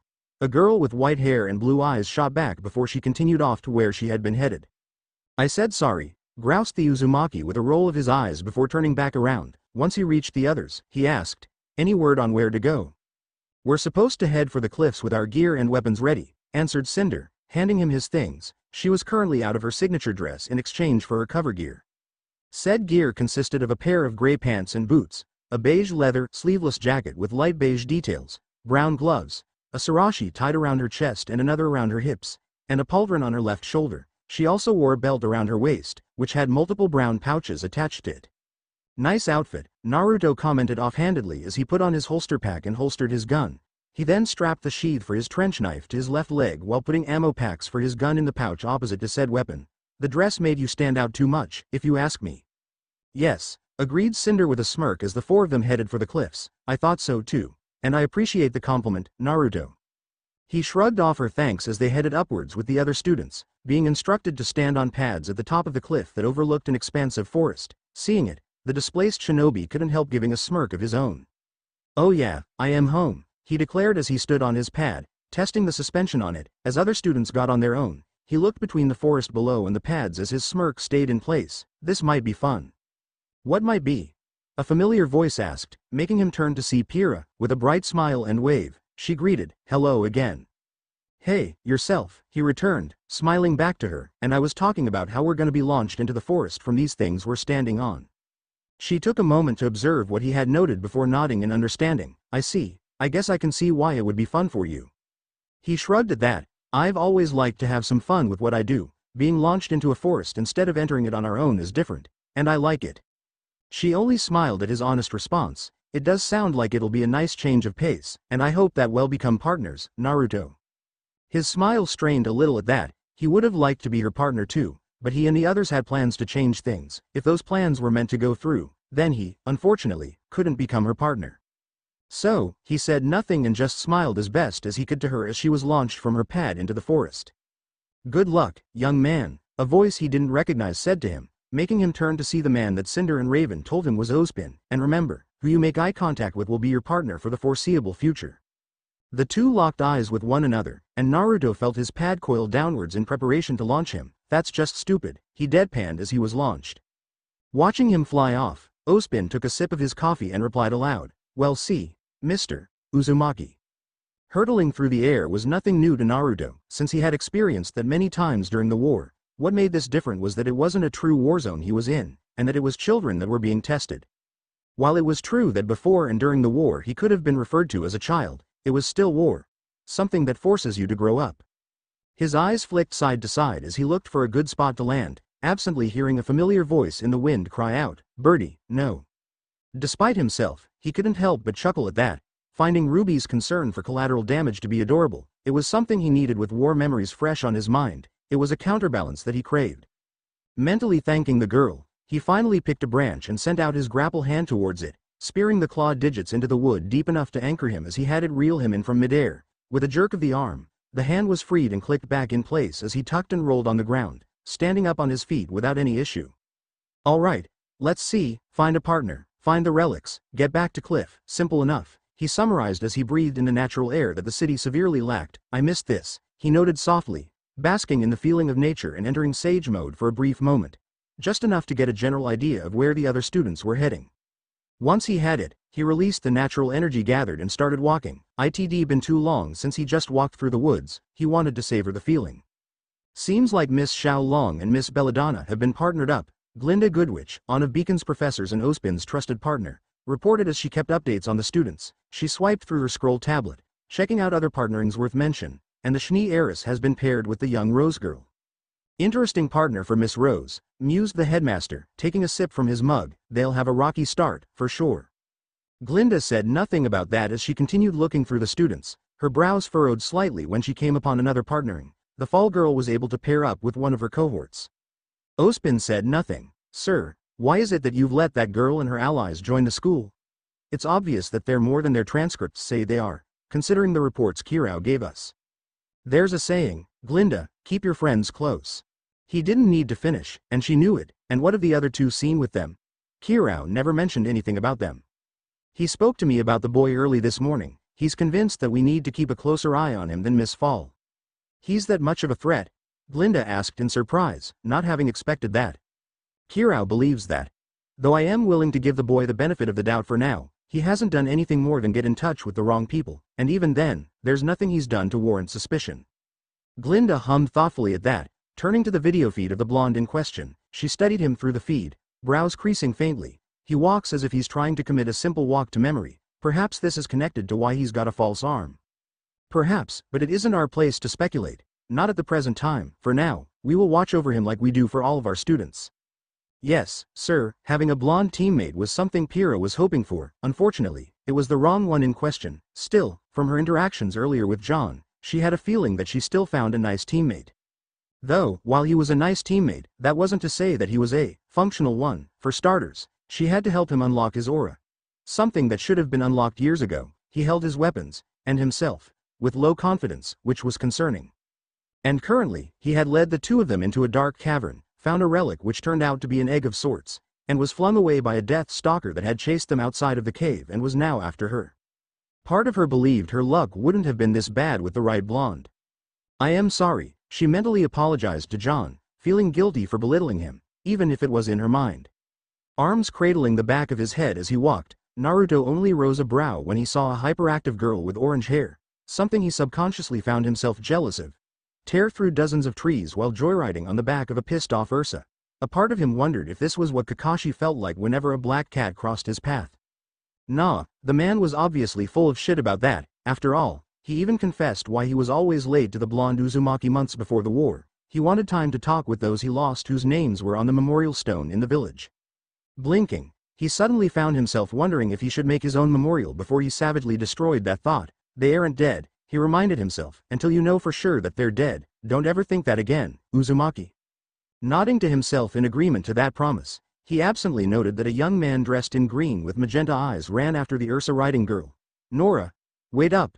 He called out to her, voice full of concern. It was understandable since the girl was riding something that wouldn't hesitate to kill her. He was about to follow before his senses picked up something above him, turning his gaze upward, he locked eyes with Neo, who was floating down, almost casually, with her umbrella. She smirked at him as she landed, making him shake his head in amusement. Took you long enough to land, he joked, shrugging, she closed her umbrella and grabbed it at the center before doing a handspring and settling herself on his shoulders, bending forward so that she looked at him upside down, she gave him another smirk that he chuckled at. Off we go, then, he stated, still in a joking manner as he followed after the two from before, glad to have you as my partner, Neo-chan. Same, was all she said. Did your sister just fall from the sky? Blake asked after said girl was saved from a harsh landing by Jaune flying into her and sending them both into a tree. Yang tried to say, she was cut off by an Ursa, the one that Nora had been riding, crashed through some trees and collapsed after Nora shot it with one of her grenades. Ah, she whined sadly, it's broken, not far behind her, an out-of-breath Ren stopped to rest, using the downed Ursa for support. Nora, he began, taking a few deep breaths before finishing, please, don't ever do that again. Look, Ren. She called out to him, making everyone see that she was somehow yards away from where she once was and was holding up a gold rook chess piece. I am queen of the castle, she sang eagerly before skipping over to him. Blake couldn't help but ask, did, did that girl just ride in on an Ursa? Once again, Yang tried to say something, I but again, she was cut off by more trees falling as a death stalker chased Pyrrha and she was only able to keep herself inches from being taken out by its claws. A little help, please. She called out, sounding very winded from the continuous sprint she was forced to maintain. Did she just run all the way here with a death stalker on her tail? Blake once again felt the need to ask the obvious, though she was honestly amused at how often her partner was being cut off. That amusement grew when Yang growled and then, almost literally, exploded, I can't take it anymore. Her eyes were red. A sign of her anger. Can everyone just chill out for two seconds before something crazy happens again? Ah, classic, Blake mused, fighting a laugh. Ruby was looking up with a worried face, and she gently nudged her sister, um, Yang. Said blonde slumped in defeat, how could you leave me? They all heard Weiss scream over the wind as she held onto Nevermore's talon for dear life. I said jump, Ruby mumbled, she's gonna fall, Blake noted. She'll be fine, the young Rose waved off, though she herself didn't sound all too sure. The sound of her scream shattered that notion as she began to descend at rapid speed. She's falling, Ren stated. What followed was Jaune jumping from the tree he was in so that he could catch Weiss. While he succeeded, he forgot to remember that gravity always won, and when it did as the two fell to the ground, with Weiss landing on top of the swordsman, and in a painful way for said arc. To finish things off, Pyrrha finally couldn't take the maintained speed anymore and was sent flying by the Death Stalker, landing with an exhausted huff before Ruby and the others. Yang saw this as the perfect time to summarize their situation. Great. The gang's all here, now, we can die together, she exclaimed with false cheer. The Death Stalker turned to them and prepared to engage while the Nevermore was circling around for another round, seeing no sense in staying. Ruby quickly grabbed a golden knight, unknowingly matching the one Yang grabbed before, while Jaune grabbed the other golden rook. Left alone in the ruins were two black queens, one of which was grabbed by a slender hand that belonged to Cinder, fitting, she mused, smirking in amusement. Ilse, Emerald agreed, taking notice of the other eight at the two Grimm in range of them, think we should help? I'd rather not, but we can't ignore an opportunity to remove any suspicion from us, Cinder answered, forming a ball of fire and sending it hurtling into the Death Stalker's face, making it roar in surprise and pain. What the? Yang asked before turning to see two girls moving over to stand beside them. So sorry, the amber-eyed one apologized, holding another fireball, I hope you don't mind if we cut in. By all means, Weiss answered, the Nevermore decided to make its presence known as it dived down at them all, wings tucked, it shot down at high speed for an intentional crash landing that was cut off by an orange and pink blur slamming into it, striking the side of its face and throwing off its aim so that it hit some trees off to the side. Landing behind them all, having used the recoil to propel them, was Naruto and Neo, with the girl having used her umbrella as a makeshift ram that was enhanced by Naruto's chakra. Did we miss the ass kicking? Naruto asked, smirking at them with Neo. Naruto, Pyrrha, Ruby, and Yang exclaimed happily while Blake looked pleased to see him as well. Took your time, Blondie, Emerald teased, reading her weapons in their gun forms. Shrugging, he replied, sorry, I got lost on the road of life. Silence greeted him before it was broken by Yang snickering, classic.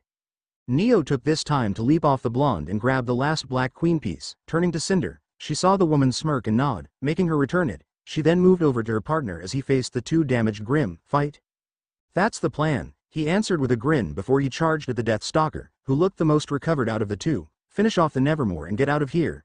He ordered the others as he, Neo, Cinder, and Emerald all took on the Death Stalker. Right, Ruby replied, shooting for the bird-like Grimm with reckless abandon. Ruby, wait. Yang called out, only for it to be too late since the Nevermore screeched and stuck outwards with its wings, hitting Ruby and sending her tumbling back. I am okay. She called out, sounding dazed. The Nevermore took to the air and turned, sending forth a rain of feathers with sharpened quills that were mean to skewer her. The young Rose was able to evade them for the most part, but one of them pinned her down by her cloak, leaving her trapped. Ruby. Yang called out again, racing towards her sister with Blake and the others in tow. More feathers rained down towards the trapped girl, and they would have killed her if a thick wall of ice hadn't been formed just in the nick of time to intercept and capture them. What? Ruby asked, looking surprised. I swear, you are so childish, she heard Weiss admonish, and dim-witted, and hyperactive, and don't even get me started on your fighting style. Ruby cringed at every put down, but, the next thing made Ruby perk up, I suppose I could be a bit difficult, so, if we're going to do this, we need to do it together. If you quit trying to show off, she took a moment to make sure the Nevermore was kept occupied by the others. I'll try to be a bit nicer. I wasn't trying to show off, Ruby replied softly, sounding slightly ashamed. I just wanted you to know that I can do this. Weiss rose a brow at that before giving a faint smile. You're fine, Ruby smiled back and was helped to her feet by the heiress. Now come on, the others need our help. Left alone, Ruby took a moment to compose herself before she rushed after her partner, ready to do her part. You seem to be in a good mood, Naruto, commented Cinder as she and said blonde teamed up and kept the pincers of the Grimm at bay. She was using her fire to form twin swords of black glass that she used almost expertly. He himself was using his new arm to hold back the other pincer while Emerald and Neo fired at will on the Grimm's face. Just been a while since I had a fight, I am a bit. He stopped to grab the pincer, digging his clawed fingers into it while pulling out his Desert Eagle and firing of a few rounds, on edge, why no. He then holstered the gun once again and tugged the Grimm hard pulling it closer to him so that he could boot it with a chakra-enhanced foot to its face, sending it flying while his cable extended, keeping the Grimm within range. I need to get myself back under control before I get stir-crazy. I understand, then, would you like to take this Grimm on alone? She suggested, using her fire to change the swords into a bow and some black arrows, firing a few of them with deadly accuracy. With a grunt, Naruto jerked his arm and tugged the cable, pulling the Grimm back and releasing his hand from its pincer. ID appreciated, he said calmly before ducking and spinning, getting low enough to be under the airborne Grimm so that he could kick it upwards from its belly. With it catching more air, he ran forward a few feet before hitting a backflip, jumping high enough to be over the Grimm while his left hand pulled out his trench knife and enhanced it with wind-style chakra. Do we help him? Emerald asked, stepping up to Cinder alongside Neo. The woman held them back with an outstretched arm, never looking away from the fight. No, let's see what he's capable of. Neo smirked at that, having a good idea what he was going to do and simply waited for it to happen. Absently, she never noticed her tongue poke out and lick her lips in excitement. Back with Naruto, he was right above the Grimm, looking it in the eye with his belly to the sky.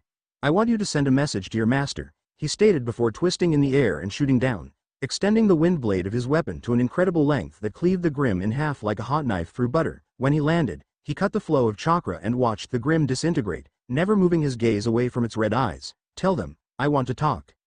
Face to face, that was what the person seated on a throne in a dark chamber heard as she felt one of her Grimm die, her black eyes, enhanced by the red irises within, looked intrigued at the message sent to her.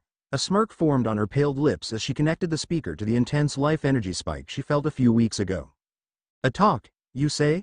She mused aloud, standing up from her throne and moving towards one of the windows within the chamber, letting the outside light reveal herself to the world. She was a woman with skin that was a deathly pallor, covered with tortuous, deep red and purple veins that run up her arms and face. The woman gave off an air of dark regality, dressed in a very long black robe with red designs that resembled eyes, a ring resembling an insect on her right index finger, and pure white hair that was formed into a bun with six offshoots from which ornaments were suspended, making it resemble an arachnoid of sorts. Very well then, she continued, still smirking as she stared at the expanse of her world that was teeming with Grimm. I look forward to our Talk, newcomer. Ruby Rose, Ozpin was heard saying, having been naming the new teams that would become a part of Beacon, Weiss Schnee, Blake Belladonna, and Yang Xiao Long, together, the four of you gathered the White Knight pieces, and are henceforth named Team RWBY, led by Ruby Rose. Both the new leader and the heiress looked shocked at that while everyone else applauded the young woman respectfully. Way to go, Red, echoed Naruto's voice as he gave the girl a supportive thumbs up, one that made her smile back. Next, we have Pyrrha Nikos, Jaune Arc, Nora Valkyrie, and Lie Ren. The four of you gathered the white rook pieces, and are henceforth named Team JNPR, led by Jaune Arc. Said blonde looked like he might be ill at that, never expecting himself to be given such a responsibility. Pyrrha gave him a supportive pat on the back, but it was a bit too strong and he fell in a heap, earning a few laughs and an apology from her as she helped him back up. He needs to get his act together, fast, or he won't last long out there. Naruto thought with a frown as he and his obvious teammates walked onto the stage. Lastly, having retrieved the Black Queen pieces, we have Cinder Fall, Naruto Uzumaki, Neapolitan, and Emerald Sustrai. He took a moment to regard them all, earning a faint smirk from Cinder that he didn't react to, due to having a team CMNN, Carmen, already in commission, they will be named Team Funds, Funhouse, 1, led by Cinder Fall. Rolling his eyes, Naruto mused, of course it is, the newest team faced the crowd and a few people gave the only male member a smile that he returned with a faint grin. Noticing this, Cinder felt her brows furrow slightly and she knew that these connections being formed by the Uzumaki would get in the way of her plans. She had to do something before he got too attached. Far from the school, yet still aware of what was going on, a red-eyed ravenette smirked at the last team to be announced. Good work, she praised aloud. She pocketed her listening equipment and added, Keep it up, Naruto. A crow's caw made her pause in her exit, and she turned to look at it with restrained annoyance. Still spying on your little sister, Qrow? She asked the bird, making a caw before it flashed black and became a man she had known since her birth. What do you want? I was gonna ask you the same question, he retorted, only, I would have also asked this. What's your goal with the blonde brat that's with the enemy? Oh, the enemy, huh?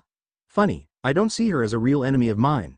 Only her master, quipped Raven, crossing her arms. Quit playing games, Qrow stated, crossing his own and locking his red eyes with his sister's own. What's your interest in him? None of your concern, she immediately shot down, who I speak with and who I associate with are not for you to get involved in. You cut yourself out of my life when you turned your back on the tribe, big brother. He said nothing, only narrowing his eyes at her, at any rate, he knows what's at stake and I've warned him about your enemy, she added, air quoting the last word, I've warned him about Ozpin too. Ozpin isn't don't talk to me about what that man is and isn't, she cut off, hair flickering red for an instant before she calmed herself. I know what he's capable of, what he hides, and what he wants to do. She smirked as a portal took shape behind her and she began to backstep into it. I just hope that whoever he picks is ready for the sacrifice they will have to make for his selfish desires. She finished before the portal closed and Qrow was left alone. He stood in silence for a moment before taking out his flask and taking a good gulp of it. Damn it, he cursed softly before a crow took flight and headed off into the horizon. The music starts with heavy beats as Naruto is seen with a golden Rasengan in his hand. Glaring up at Sasuke who had a black Chidori in his hand, the two of them rush toward each other at incredible speed before they leap into the air, the camera focusing on the two attacks as they slam against each other, where a large explosion created by the collision consumes both Naruto and Sasuke. The screen zooms in close on Naruto as his arm is destroyed before he slowly closes his eyes with the light of the explosion slowly covering his face before coming to a halt. It used to feel like a fairy tale, now it seems we were just pretending. Naruto scrunches his eyes before opening them and the screen zooms out to reveal him wearing his new clothes and standing on top of a cliff. He brings up his right arm up as a breeze blows past him, revealing it to be Automail as he brushes hair from his face. A switch of viewpoint shows that he is staring out at the city of Vale in the distance. A small smirk forms on his face before he feels something land on his shoulders and looks up to see Neo smiling down at him as she sits on his shoulders with her umbrella open and her eyes both changing to pink. Wed fix our world, then on our way to a happy ending. Behind the two, the screen focuses on Cinder, who could be seen standing under a tree with her arms crossed and a smirk on her face. The shadows of the tree slightly covering the upper part of her body, Emerald is standing next to her with a serious expression, staring at Naruto as well. A raven could be seen soaring through the air above them. Naruto looking up to see the bird do a spin before the screen changes to reveal a masked raven standing somewhere dark with a hand on the hilt of her sword. Then it turned out life was far less like a bedtime story. A small screen rotation goes around Raven's body and shows Qrow in an office with his scythe propped over his shoulder, turning his head to see Ozpin standing behind him with his hands resting on his cane. The scene quickly changes to Torchwick standing in a warehouse with a large dust crystal in hand, Mercury standing off in the distance working on one of his robotic legs. Then a tragedy, with no big reveal of the hero's glory. The image changes to Team RWBY and Team JNPR standing back to back before charging at an airborne Nevermore and a Death Stalker respectively with their weapons drawn. The screen focuses on Yang's face to reveal her red eyes, zooming into the iris before zooming out to reveal an unmasked raven staring at Naruto, who's covered in a golden glow, with a pile of dead Grimm in the distance. The two slowly walk towards each other with Naruto raising his automail arm before clenching it into a fist and held it up to Raven, who was very slowly doing the same, both sharing a smirk. And it seems we weren't prepared for a game that wasn't fair. The focus turns to Naruto, who is now standing alone with the background turning dark. He perks his head up and spins around to see a white-skinned figure standing on top of a rock formation with Grimm crouched all around it. The screen trails up the rock to the very top where the figure is revealed to be Salem. The screen divides to show Naruto and Salem staring each other down. The two of them slowly becoming covered in their respective chakra, aura, Naruto then leaps into the air with his chakra making him turn into his six paths sage mode. Do we just go home? Can we follow through? When all hope is gone, there is one thing we can do. The background behind Naruto changes once again and shows the emblems of the four kingdoms of Remnant with the silhouettes of fighting being seen. The green image of Vale's emblem appearing before turning into the blue emblem of Mistral, shifting once again to the orange emblem of Vacuo for a few seconds before stopping on the white emblem of Atlas. The whiteness of the emblem overtakes the background before a red flash cuts through the screen behind Naruto and the white fang's emblem appears, glowing brightly behind him. Let's just live. Naruto narrows his eyes as he pulls his automail arm back and punches forwards. The fist stretches out with the six paths chakra covering it, slamming it into the ground where Grimm could be seen causing them all to go flying with the explosive impact. Day by day, and not be conquered by our sorrows, Naruto wasn't finished however as he retracts his arm, pulls out his gun, and starts firing at the surrounding Grimm before ducking under the attack of a White Fang member, kicking them away as more surrounded him. Suddenly one of them gets knocked down to reveal a smirking Neo with her closed umbrella in hand, jumping next to Naruto to help him fight off the White Fang and the Grimm.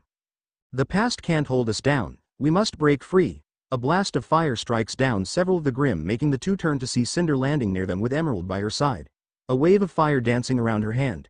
Emerald then charges at the incoming Grimm and fights them off while Cinder uses her flames to incinerate any that get close to her, the screen doing a zoom-in headshot to reveal her right eye glowing brightly as she brings her hand up and releases a wave of fire in front of her. Inside were torn apart. The screen changes to Beacon Academy's cafeteria where a grinning Cardin is pulling on one of Velvet's ears before Naruto suddenly appears from the side and grips Cardin's arm tightly, making the two turn their heads to see Naruto glaring the leader of Team CRDL. Zooming in next to Naruto's head, the scene is replaced with a child version of himself could be seen crying into his hand while facing a large shadowy mob. But time will mend our hearts. The scene shifts to smiling Naruto sitting on a grassy surface outside with the rest of Team Funds joining him with a smiling Neo standing behind Naruto while resting her arms on his head. Cinder is sitting next to him with her legs crossed while Emerald is located on the other side of her, counting lien in her hands with several empty wallets next to her, a raven with red eyes could be seen flying over them before soaring towards the trees and covers the screen briefly. Move onward, not there yet, so, let's just live. Naruto slowly raises his automail arm up to the sky with his palm wide open, the screen trailing upwards, following his arm until it reaches the sky where the words sackcloth and ashes appear. The raven seen behind the title in the horizon. Sackcloth and Ashes, Chapter 6, Where I Stand. A pair of white eyes stared across the room, narrowing slightly at the sight of a familiar blonde twitching in his sleep, muttering denials and pleas while sweat falls down his face. Neo slowly got out of her bed and silently moved towards Naruto's bed, noting just how tightly his left hand was gripping the bedsheet. Absently, she noted that his mechanical arm was detached from his body and laying on the desk near his bed. She placed her hand gently on his crippled arm, gripping it firmly while her eyes stayed their white shade. With her free hand, she reached over and cupped his cheek, softly rubbing where his whisker markings were, it seemed to help, for his twitches slowed to a stop while his mutters quieted down. His head turned to hers, eyes opened and unfocused, showing he was still trying to get out of whatever nightmare he was having. Don't go, he whispered, his tone pleading, begging whoever he was seeing to adhere to his words. Seeing this, and hearing the desperation in his voice, struck the petite woman hard. Her gaze softened as the hand on his cheek kept rubbing his whiskers softly, making a decision. She climbed into his bed and laid down against him, her head resting against his chest as she whispered back, I want, slowly, his calming heartbeat lulled her back to sleep, and she held onto him tightly in hopes he would sleep peacefully. Unknown to her, a pair of narrowed amber eyes glowed in the darkness of the room as the owner witnessed the sentimental moment. A couple hours later, Naruto began to stir, which Neo felt due to his chest rumbling slightly, while she enjoyed the warmth he gave off, she let go of the blonde and got off his bed, grabbing her school uniform, something she found to be very bland, she headed for the bathroom to shower and change. Blue eyes blinked open, getting focused on their surroundings before Naruto sighed softly, another one, he mumbled. If you have trouble sleeping, he heard Cinder speak up, making him turn to see her adjusting her own uniform, you can always talk to us about it. You can confide in us, Naruto, after all, she looked to him with her signature smirk, we're legitimate teammates now. He gave a small hum at her words while Emerald yawned awake, damn, how long was I out? She groused. About six hours, Cinder answered, you fell asleep before I did. How the hell are you so, up in the mornings, years of practice, was the slightly cheeky response.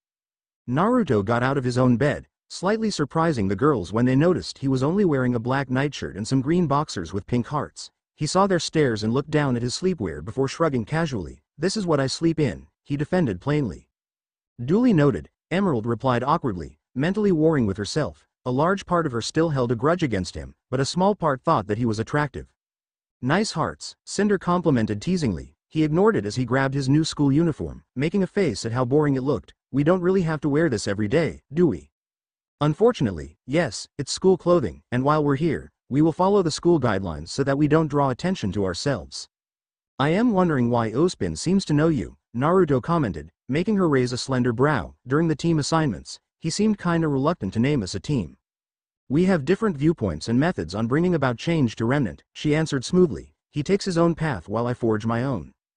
He also spoke to me before we were launched into that forest. Oh, and what did he have to say? Frowning, the whiskered blonde answered, he wished me good luck and reminded me how partners were chosen. Nothing else. Nope, my guess is that he has suspicions about me already knowing you and he was getting his own first impression. That sounds like him, Emerald spoke up, sharing a look with her boss. Yes, it does, be careful around that man, Naruto, he thinks he knows many things. But he's actually pretty narrow-minded. Yeah, I think I saw what you mean, he agreed, mentally thinking back on Raven's warning to him about Ozpin. Neo cut into their chat by stepping out of the bathroom, dressed in her uniform and looking pouty. She shared a look with Naruto, tugging at her red ribbon while her eyes turned brown. Yeah, I know, Naruto sighed out in agreement, sending another dirty look at his own uniform before going into the restroom to change. Naruto was officially bored out of his mind as the portly Professor Port went on a tangent about his youth. Throwing in his own extravagance to his tales, the blonde Uzumaki could tell right off the bat that the man was full or crap, but he said nothing. Instead, he gave a soft groan and leaned back in his seat, looking to his right. He saw that Neo was passing time by doodling in her notebook. Her drawings consisting of Grimm from her own imagination. He had to smirk at the incredibly detailed drawing of a fox like Grimm with nine tails. Gee, I wonder where she got the idea for that one? He mused sarcastically, chuckling to himself.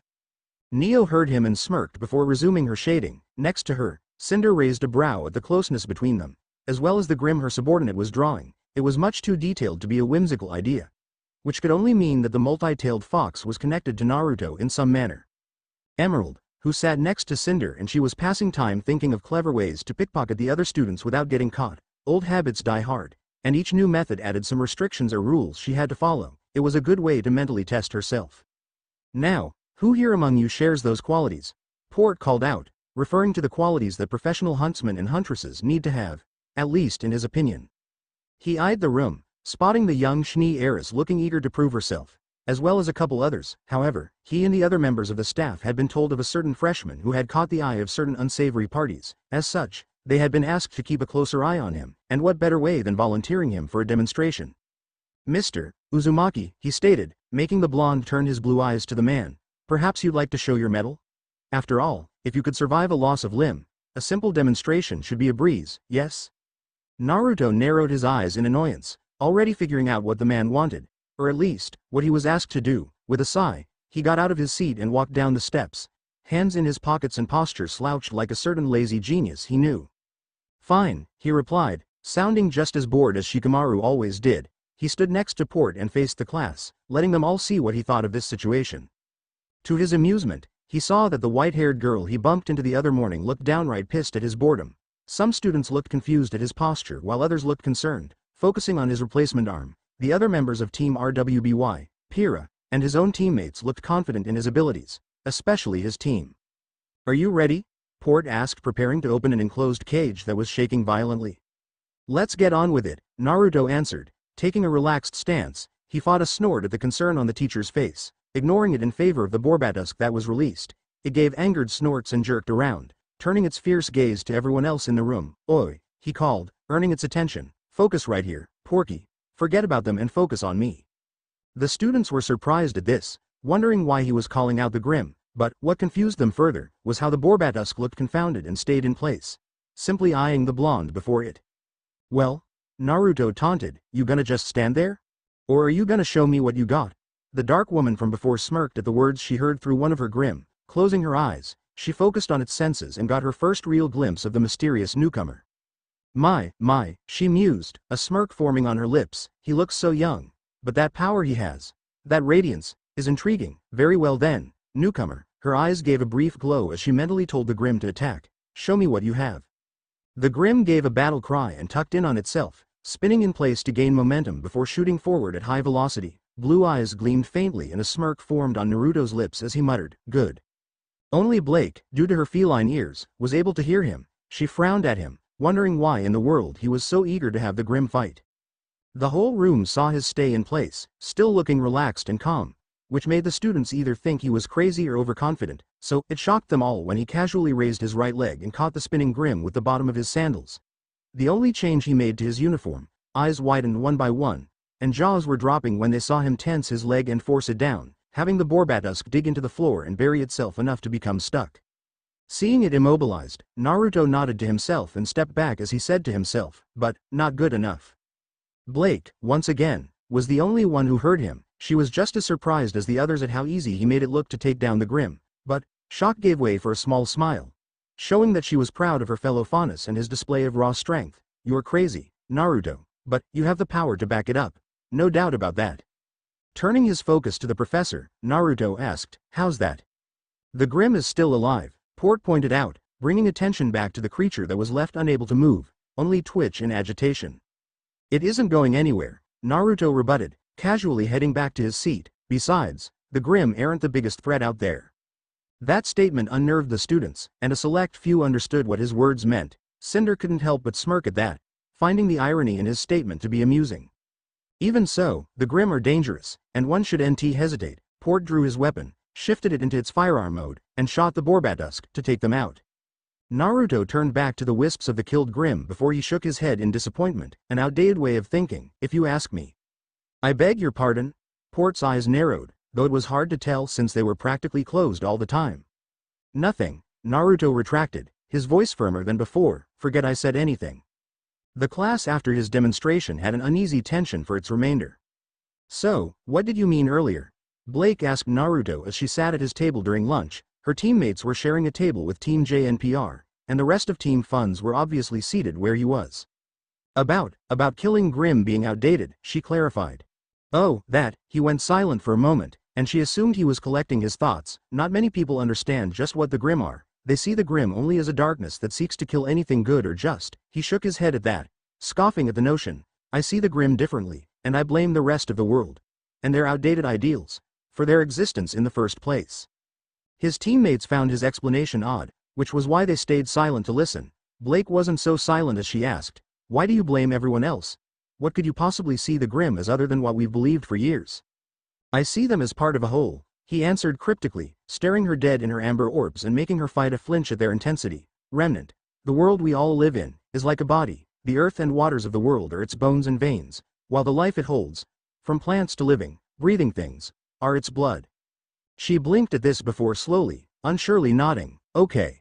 At times, a body becomes sick, and it starts to repair itself on its own, like antibodies attacking a virus, so, take a moment to think. Blake, his expression was serious, and she couldn't help but see how his eyes took on the world with a focus much older than his age entailed. If life and nature are the blood of remnant, what do you call the four kingdoms and their senseless disregard for forests and other natural wildlands just to expand their own habitats?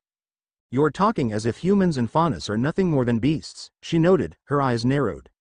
Not beasts, Blake, a virus.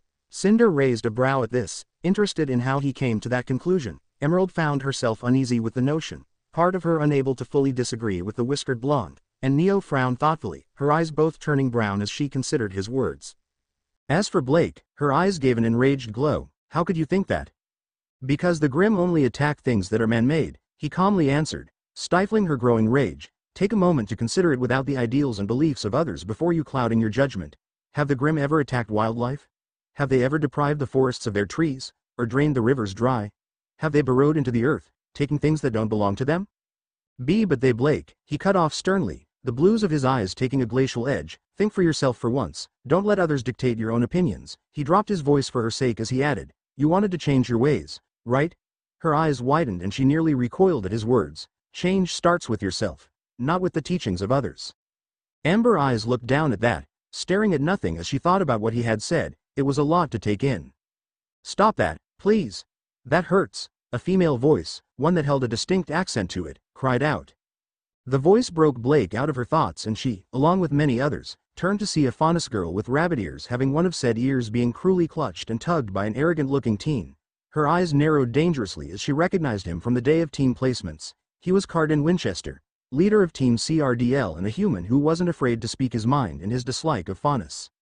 As I said, Blake heard Naruto speak again, turning to see him staring blankly at Cardin's bullying of the Faunus girl. Outdated ideals and beliefs. Calmly, he stood up from his seat and began to stalk towards the jerk.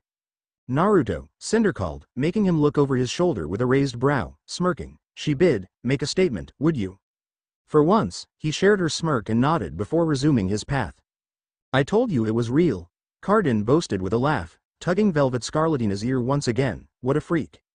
His teammates laughed alongside him while Velvet once again pleaded for Cardin to let go of her ear, mentally, she was pleading for someone to help her while also angrily wondering why none of the staff were stepping in. Wasn't Beacon supposed to be a school that was open to everyone?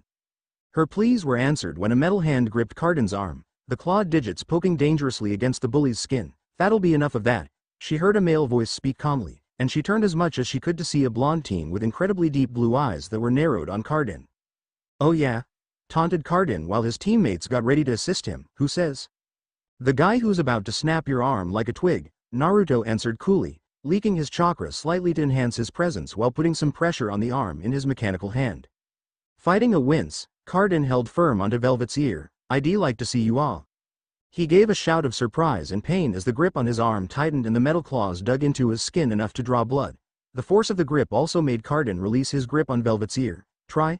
Finish the Uzumaki. I just did. And you know what? He dragged Cardin towards him, glaring him in the eyes while his blues turned amber with horizontal pupils. I'd say I am close to succeeding. The pressure on Cardin's arm increased, forcing him to his knees, wouldn't you? His teammates made to help him, but a stern voice clearing her throat had them all turn to see Glynda standing there with her arms crossed. I believe that fighting is prohibited in the lunch halls, correct? Letting go of Cardin's arm and retracting his claws, Naruto answered, Yeah, you are, though, I wonder where you were earlier, Professor. She narrowed her eyes at him, not appreciating his tone, and what do you mean by that, Mr. Uzumaki? Just being a curious student is all, he shrugged before heading back to his table. I'll see you and Mr. Winchester in detention after classes, Mr. Uzumaki. He merely waved her off with his natural arm, leaving the lunch hall shocked at his blatant disrespect for the woman. His teammates, however, found the whole moment hilarious. The three women all smirking at how the blonde ninja got under Glynda's skin. As for Blake, she sent a silent thanks to Naruto for helping a fellow Faunus. Though, a part of her also wondered what he pointed out. If someone responded so quickly to a human in pain, why was no one around when a Faunus was the one in pain? That boy has no respect for authority, Glynda seethed in Ozpin's office, pacing angrily at a certain blonde's words. Honestly, the nerve of him to call me out on something like this. He has every right to speak his mind, Ozpin defended, just as you are doing right now, if I might add. How can you defend him? Because he made a valid point, Glynda, the headmaster calmly answered, Ms. Scarlatina was being unfairly treated by a fellow student in our school grounds, and not one of our staff stepped in to stop that mistreatment. Personally, I find punishing Mr. Uzumaki for helping a fellow student, who is a faunus just like him, to be a tad unjust. You can't honestly think that? She asked in slight surprise. Oh, but I do, after all, he was right. No one stepped in to help a faunus student, but someone did when it was a human student, the situation might have just become more sensitive. Now that a student has called us out on our practices, we may be seen as prejudicial now, and other Faunus students will no doubt lose faith in the school's ability to offer them equal rights and privileges. Glynda wanted to argue, but she took a moment to rationally go over the situation. She frowned at the truth, seeing how the impact on the school could be possibly devastating in the long run. We need to take steps to reassure our students that they are all equal within Beacon's walls, otherwise, this situation may spiral out of control, Ozpin grimly declared, earning a stiff nod from his trusted aide. Yes, sir, detention was rather dull, in Naruto's opinion, it was simply him, Cardin, and any other troublemakers sitting in a room silently with Glynda keeping a watchful eye on them. He passed the time by doing the assignments that were given throughout the day, finishing them all rather quickly since it was the first day of school. Once detention was over, the students were allowed to go, and were given a stern warning to behave from now on. Mr. Uzumaki, Glynda called to him. A word, please.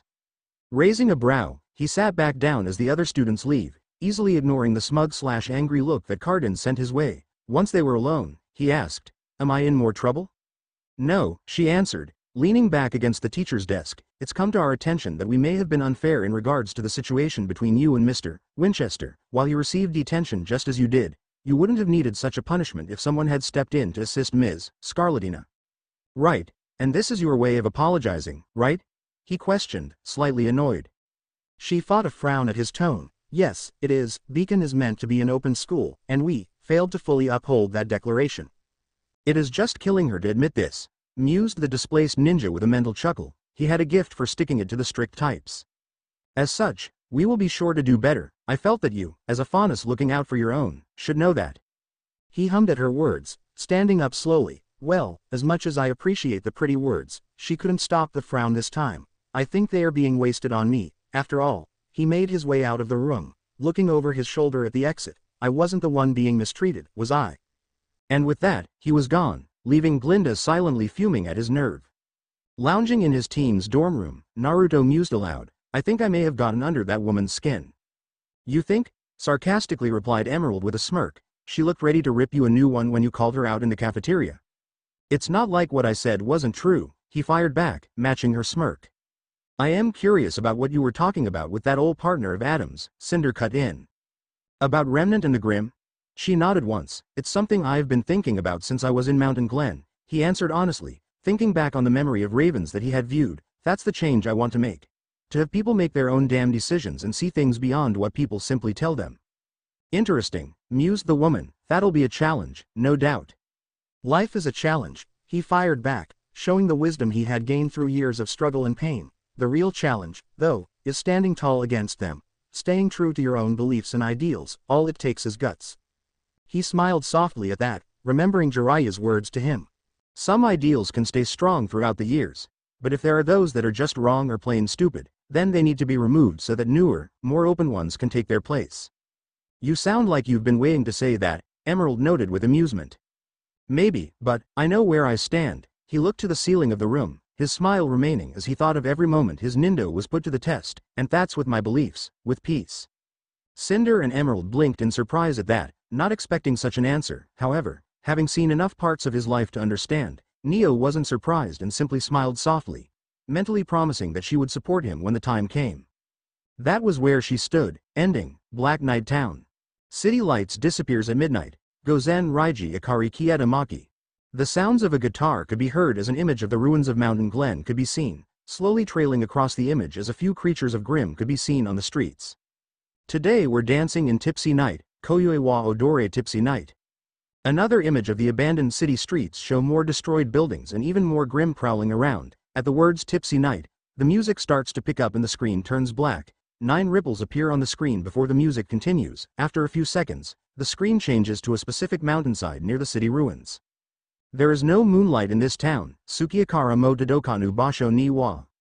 The screen reaches a cave before zooming inside to reveal a lone male figure sitting against the wall, covered in dirt, blood, and torn clothes while missing his right arm. And only loneliness is here. Kadoku sei mo utau maki ga aru. The figure is revealed to be Naruto wearing his ruined clothes, staring blankly at the ashes that had once been a small fire, a gust of wind blows into the cave and makes his hair move about, before suddenly Naruto falls to his side. The painful trembling is breaking the peace, Kuruiso na Furueso na Atami Dake ga. Trailing up his body as he lies on the floor, the image focuses on the damage done to Naruto's body throughout the Fourth Great Ninja War and his final fight with Sasuke. The city is like a lost pearl, Kowariso na Nakashiso na Hoseki da. Zooming in close to Naruto's face, a dead look could be seen in his eyes as he depressingly stares out into space before closing his eyes. A lone tear forms before falling down his cheek to the floor, hitting the ground as the screen turns black and more ripples appear at the same time as the music picks up. That cannot be bought nor be deprived. Karabarareru koto nado ubawareru koto nado nai. A tinted image of Naruto and Sasuke appears on the screen as they are staring up at Kaguya with Sakura and Kakashi standing behind them the images changes to Sasuke and Naruto staring at each other with Sasuke's hand clapped together, nine large orbs holding the tailed beasts hovering above their heads, a quick image of Naruto's wide trembling eye before it narrow as the image changes to him standing on Hashirama's head at the Valley of the End, staring at Sasuke who was on Madara's head. You can be yourself. Let me see your laugh, Kimi wa Kimi dai, saw war at Masete. The screen turns completely black as Naruto's blonde hair could be seen lifting to reveal the dead look on his face, before the camera zooms out to show dozens of Grimm crouching protectively around him as they stare at the camera. With no reason, with no thought, it's Nani mo Kanjizutomo Soko ni Ryu ga Nakutomo. A short video of Naruto and Sasuke when they first fought appears on the screen with Naruto holding a Rasengan while Sasuke was wielding a Chidori, the screen focusing on Naruto as he charges at Sasuke, as the two met in the middle, the two quickly grow older and their weapons change to Naruto wielding a brass knuckle knife while Sasuke has his sword. It's called New Great Beginning, Sor Koso ga Subarashi Hajimari. As the two clash weapons, the screen widens as images of all his comrades flash through Naruto's mind while he and Sasuke continue to fight. When the screen turns completely white, it reveals Naruto opening his eyes and turning to see Cinder standing a few feet away from him with Neo behind her. A comforting yet calculative smirk forms on her face as she holds out a hand to him. So, there comes the dawn, Saw. Yoke Da. A final ripple forms on the screen before transitioning to Naruto and Cinder standing outside of the cave, both watching as the light of the sunrise starting to rise in the distance. A small smile forms on Naruto's face as he, Cinder, and Neo start walking away from the cave. Town lights disappears at midnight, Gozen Raiji Akari Kieta Maki. Once again, the images of the city appear and stretch out to show the ruins. Only this time there aren't any Grimm in sight as the sunlight hits the buildings. And looking back the Black Night Town invites us again, Furikariba Sasu Black Night Town. With one last look at the cave, the screen zooms out to show all of Mountain Glenn with the yellow-orange rays of the sun cutting through the night's darkness. From a different viewpoint, the sun's light could be seen peeking through a building window and landing on a pile of Naruto's ruined clothes with his headband resting on top of it. Sitting on the rooftop of Beacon's dorm building, Naruto was browsing through his scroll as he tried to get a better understanding of it. Back home, technology was nowhere near the level that Remnant had at its disposal. The best form of technology involving communication for the shinobi world were frequency radios that had limited distance. And that tech was apparently rather basic in the eyes of Remnant society. So, he decided to get a better handle on his scroll, Looking through the many menus and applications, he even browsed a few things on what people called the internet. Out of curiosity, he tried to look up the hidden villages, chakra, or ninja in general. To his misfortune, there wasn't anything about those things, except for a rather mediocre view on ninja based on media. Honestly, while black suits and hiding in the shadows helped, they didn't define the ninja world, it was insulting. He sighed and looked up at the broken moon, studying it without any real focus whatsoever. He couldn't sleep, and he used fiddling with his scroll as an excuse to stay awake. He could always lay down and wait for sleep in his dorm, but there was always a chance of another nightmare from either the war, the fight with Kaguya, or his ultimate clash with Sasuke. He rubbed the stump of his right arm that was capped with the part meant for attaching his fake arm. He doubted that he'd ever get used to it completely, but it was still better than wasting chakra to make a temporary one. The scroll in his hand buzzed and lit up, catching his eye as he saw that he was receiving a call from an unknown caller. Not even a number being seen. Shrugging to himself, he accepted the call and saw, to his slight surprise, Raven's face on the screen. Glad I caught you when you were awake. You sure it's a good idea to be calling me on my scroll? The school could have found a way to listen in, after all. True, but I am using an encryption. Ozpin won't be listening in on our chats. You seem to have some real beef with that guy. I caught glimpses of you and him during our fight weeks ago, but never enough to figure out why. It's personal, she replied with a straight face. It has a lot to do with Summer's death. That caught his interest, but he said nothing, I'll respect your privacy, then. I appreciate it, so, looks like you and that fall girl are on the same team. Along with two of her associates, although, I think I managed to bring one over to my side. Based on your tone, I take it you're not too thrilled about that. I just don't like to view or talk about people as if they're objects, saying things like my side makes me feel, calculating, like I manipulated her, or something. And how did you pull it off? Same way I was able to get you to talk to me instead of kill me. I linked my heart to hers. You fought her? Raven asked with a raised brow. Nah, I initiated the link by bumping my fist to hers. The link we had was rougher, considering the circumstances. I see, so, when you made the link with her in a calmer setting, the process of sharing memories was more fluid, am I right? You're definitely smarter than most people, Raven, Naruto confirmed with a smirk, slightly praising the woman. Anyway, I saw what made Neo who she is today, and she saw a glimpse of what my life was like. Since then, she's been much easier to interact with, but, I can tell that whatever feelings of loyalty she has for Cinder are fading. He frowned at his words again. I can understand why you dislike saying things like that, hearing you say them is, admittedly, off-putting for me as well. So glad that you understand me, he replied sarcastically. At that, she chuckled and shook her head in amusement, at least you haven't changed from that knucklehead you were back then. That knucklehead was forced to grow up during a war that cost many lives. Even so, the war may have left some scars, but, I can see that you're still you deep down. I may have only seen glimpses or flashes of your life, but that's enough to understand who you are. How you face life. He smiled hollowly at her words, sometimes, I don't feel like myself. Scars may never heal, but that doesn't mean that we can't move past them. You have a goal to accomplish, right? Focus on that, and you'll slowly get better. I know, thanks for reminding me, though, I needed it.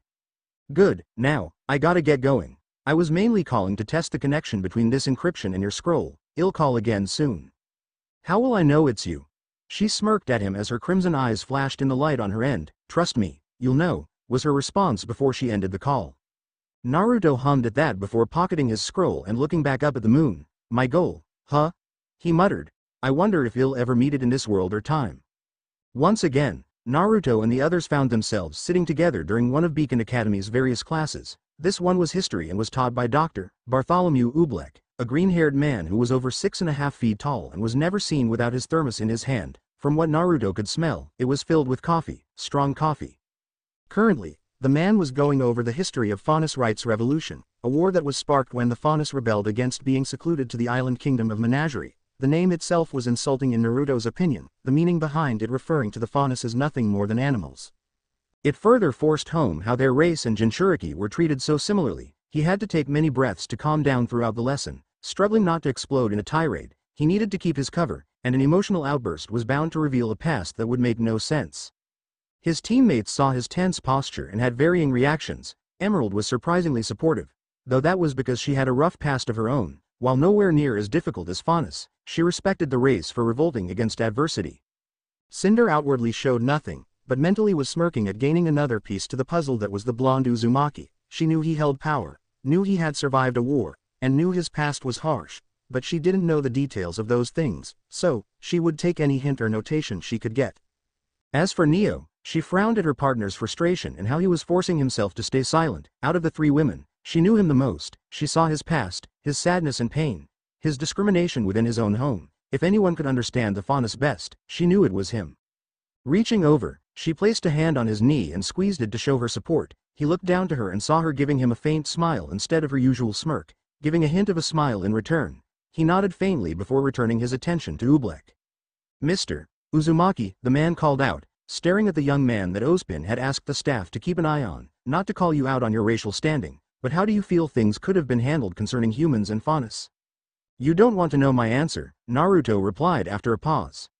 Oh, but I do, he assured before addressing the class as a whole. I've seen how frustrated many of you became as I went over the history of the revolution. I'd like to know what any of you would have suggested to those in charge at the time. How would you have handled it if you were in charge? Would you simply conform to how it happened, or would you change it? He eyed the students, observing how many of them became thoughtful while others looked bored with the lesson. That just made him shake his head in disappointment, not understanding how students didn't see how studying history prevented its mistakes from repeating themselves. There was a time, he heard someone speak up, turning to Naruto who was looking down, when I would have answered that forgiveness and understanding were needed to stop the discrimination, but, I've realized over the years that people will still hold hate in their hearts, and that hate will fester and grow as they see that retribution for their pain hasn't been achieved. That's true, unfortunately, Oobleck affirmed solemnly. So, what the world needs is a common threat, Naruto continued, catching the attention of the other students. Even the ones that once looked bored, they need a reason to set aside their differences and unite together, in that alliance. Even if it's temporary, bonds can begin, and the hate could slowly be filtered away by the camaraderie. And what threat would you say is common enough to unite two races that have a history of war and hatred? The green-haired doctor pressed, mentally noting everything the young man was saying. There already is one. The Grimm, that answer made Oobleck come up short, but the students had other responses. What? You can't be serious. I've fought loads of Grimm, they're not so tough. Maybe you would need the help, but not us. Naruto took their rebuttals silently, having said his piece. Beside him, Team Fun stared down anyone who gave their teammate annoyed or superior looks.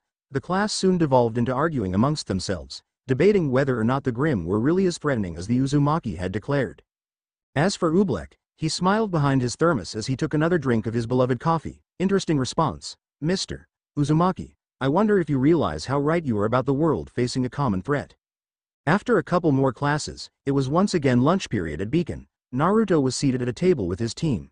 Blake once again sitting across from him. What was that earlier in Oobleck's class? She asked curiously.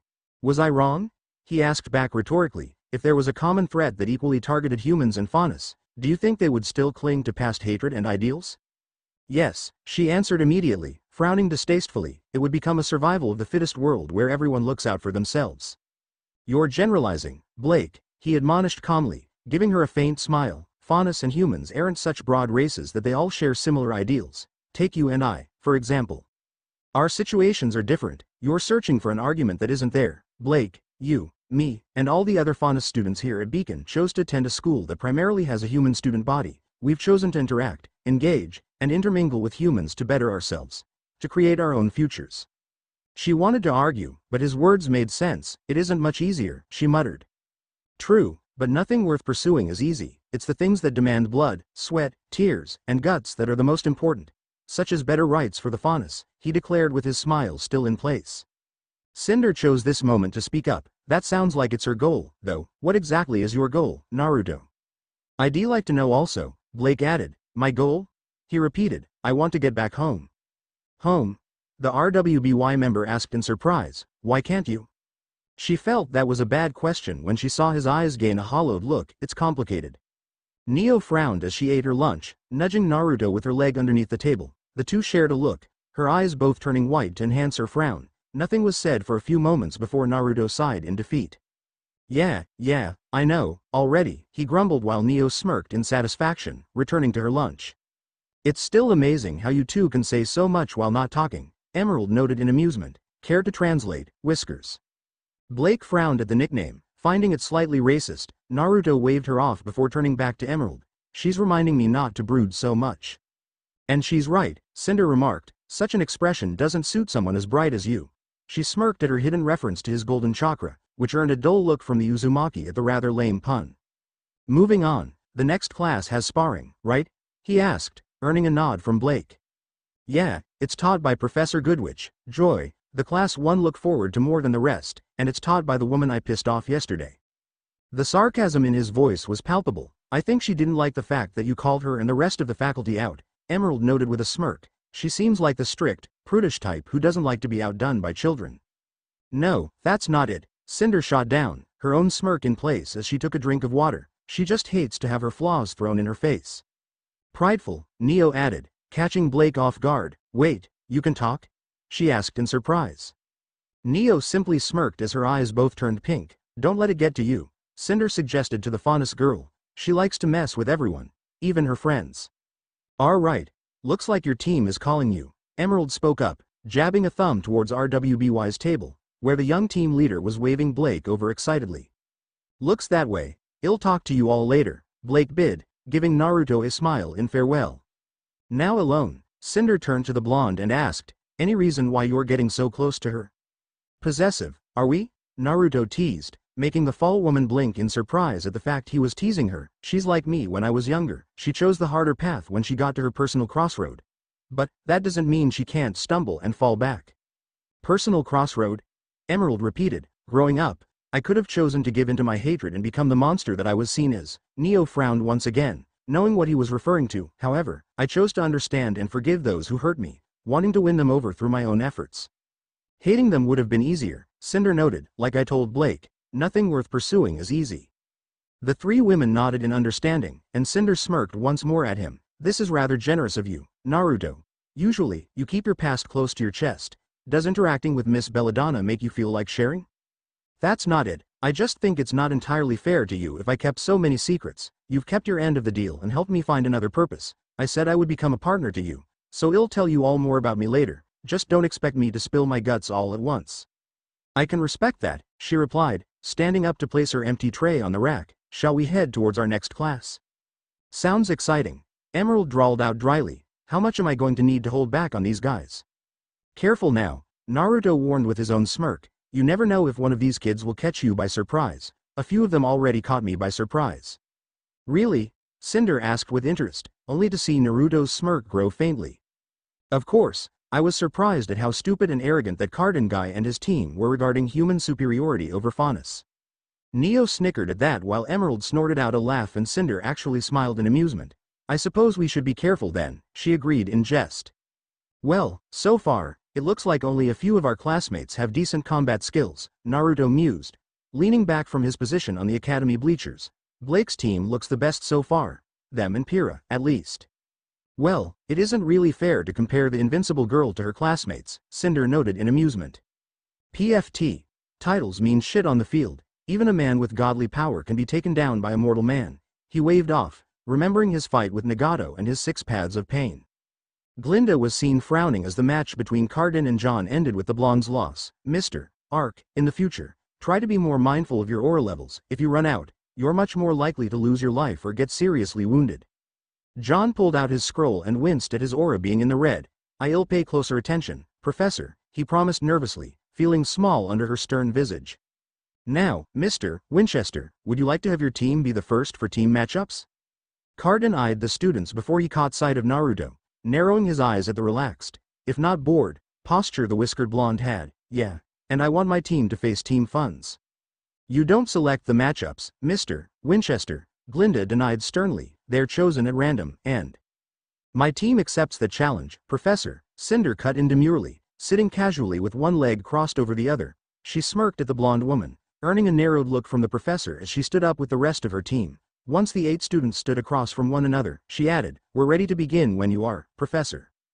Glynda looked ready to lash out before she forcefully reined in her irritation and nodded stiffly. Very well. Then, Team CRDL versus Team Funds, she declared, silently ordering the two teams to stand at opposite ends of the mock-up battleground. You may all begin. Cardin and his teammates tensed and readied their weapons, waiting for their opponents to start. When Team Funds didn't react, Cardin taunted, What's wrong? Scared of us? Naruto snorted with a smirk, saying nothing to them. Instead, he turned back to his team and proposed, You guys mind if I let off a little steam? Feeling pretty greedy, are ya? Emerald replied with crossed arms, Sure you can handle them? You didn't just ask that, he deadpanned back to her. If you really want to, Cinder relented, taking a step back. Great, he then reached his left hand over to where his fake arm locked in, giving a rough twist to unlock it before he pulled it out of its socket. The students in the bleachers looked shocked at his display, and he ignored them as he handed the arm to his partner. Hang on to that for me, will ya, Neo? She smirked in response, grabbing the metal arm from him and watching as he turned to face their opponents, her eyes turned pink with delight, her tongue darting out to lick her lips. The hell are you doing? Cardin ordered angrily as Naruto slowly walked towards them. You trying to show off or something, dipshit? Not at all, I really think that you four won't do anything more than embarrass yourselves. I am just making a point. The four teens glared at the blonde at his insult, charging as one with conjoined battle cries. Cardin took the lead with his mace, doing wide swings aimed for Naruto's head that were avoided by lazy leans to the side or backward. Russell tried to leap over Cardin to get a hit in with his twin daggers, but Naruto bent forward and he sailed over the blonde's back before getting mule kicked away from him. Naruto then spun to the side to evade a slash from Dove's short sword, raising his foot upwards at the end of his spin to kick the weapon out of the teen's hands.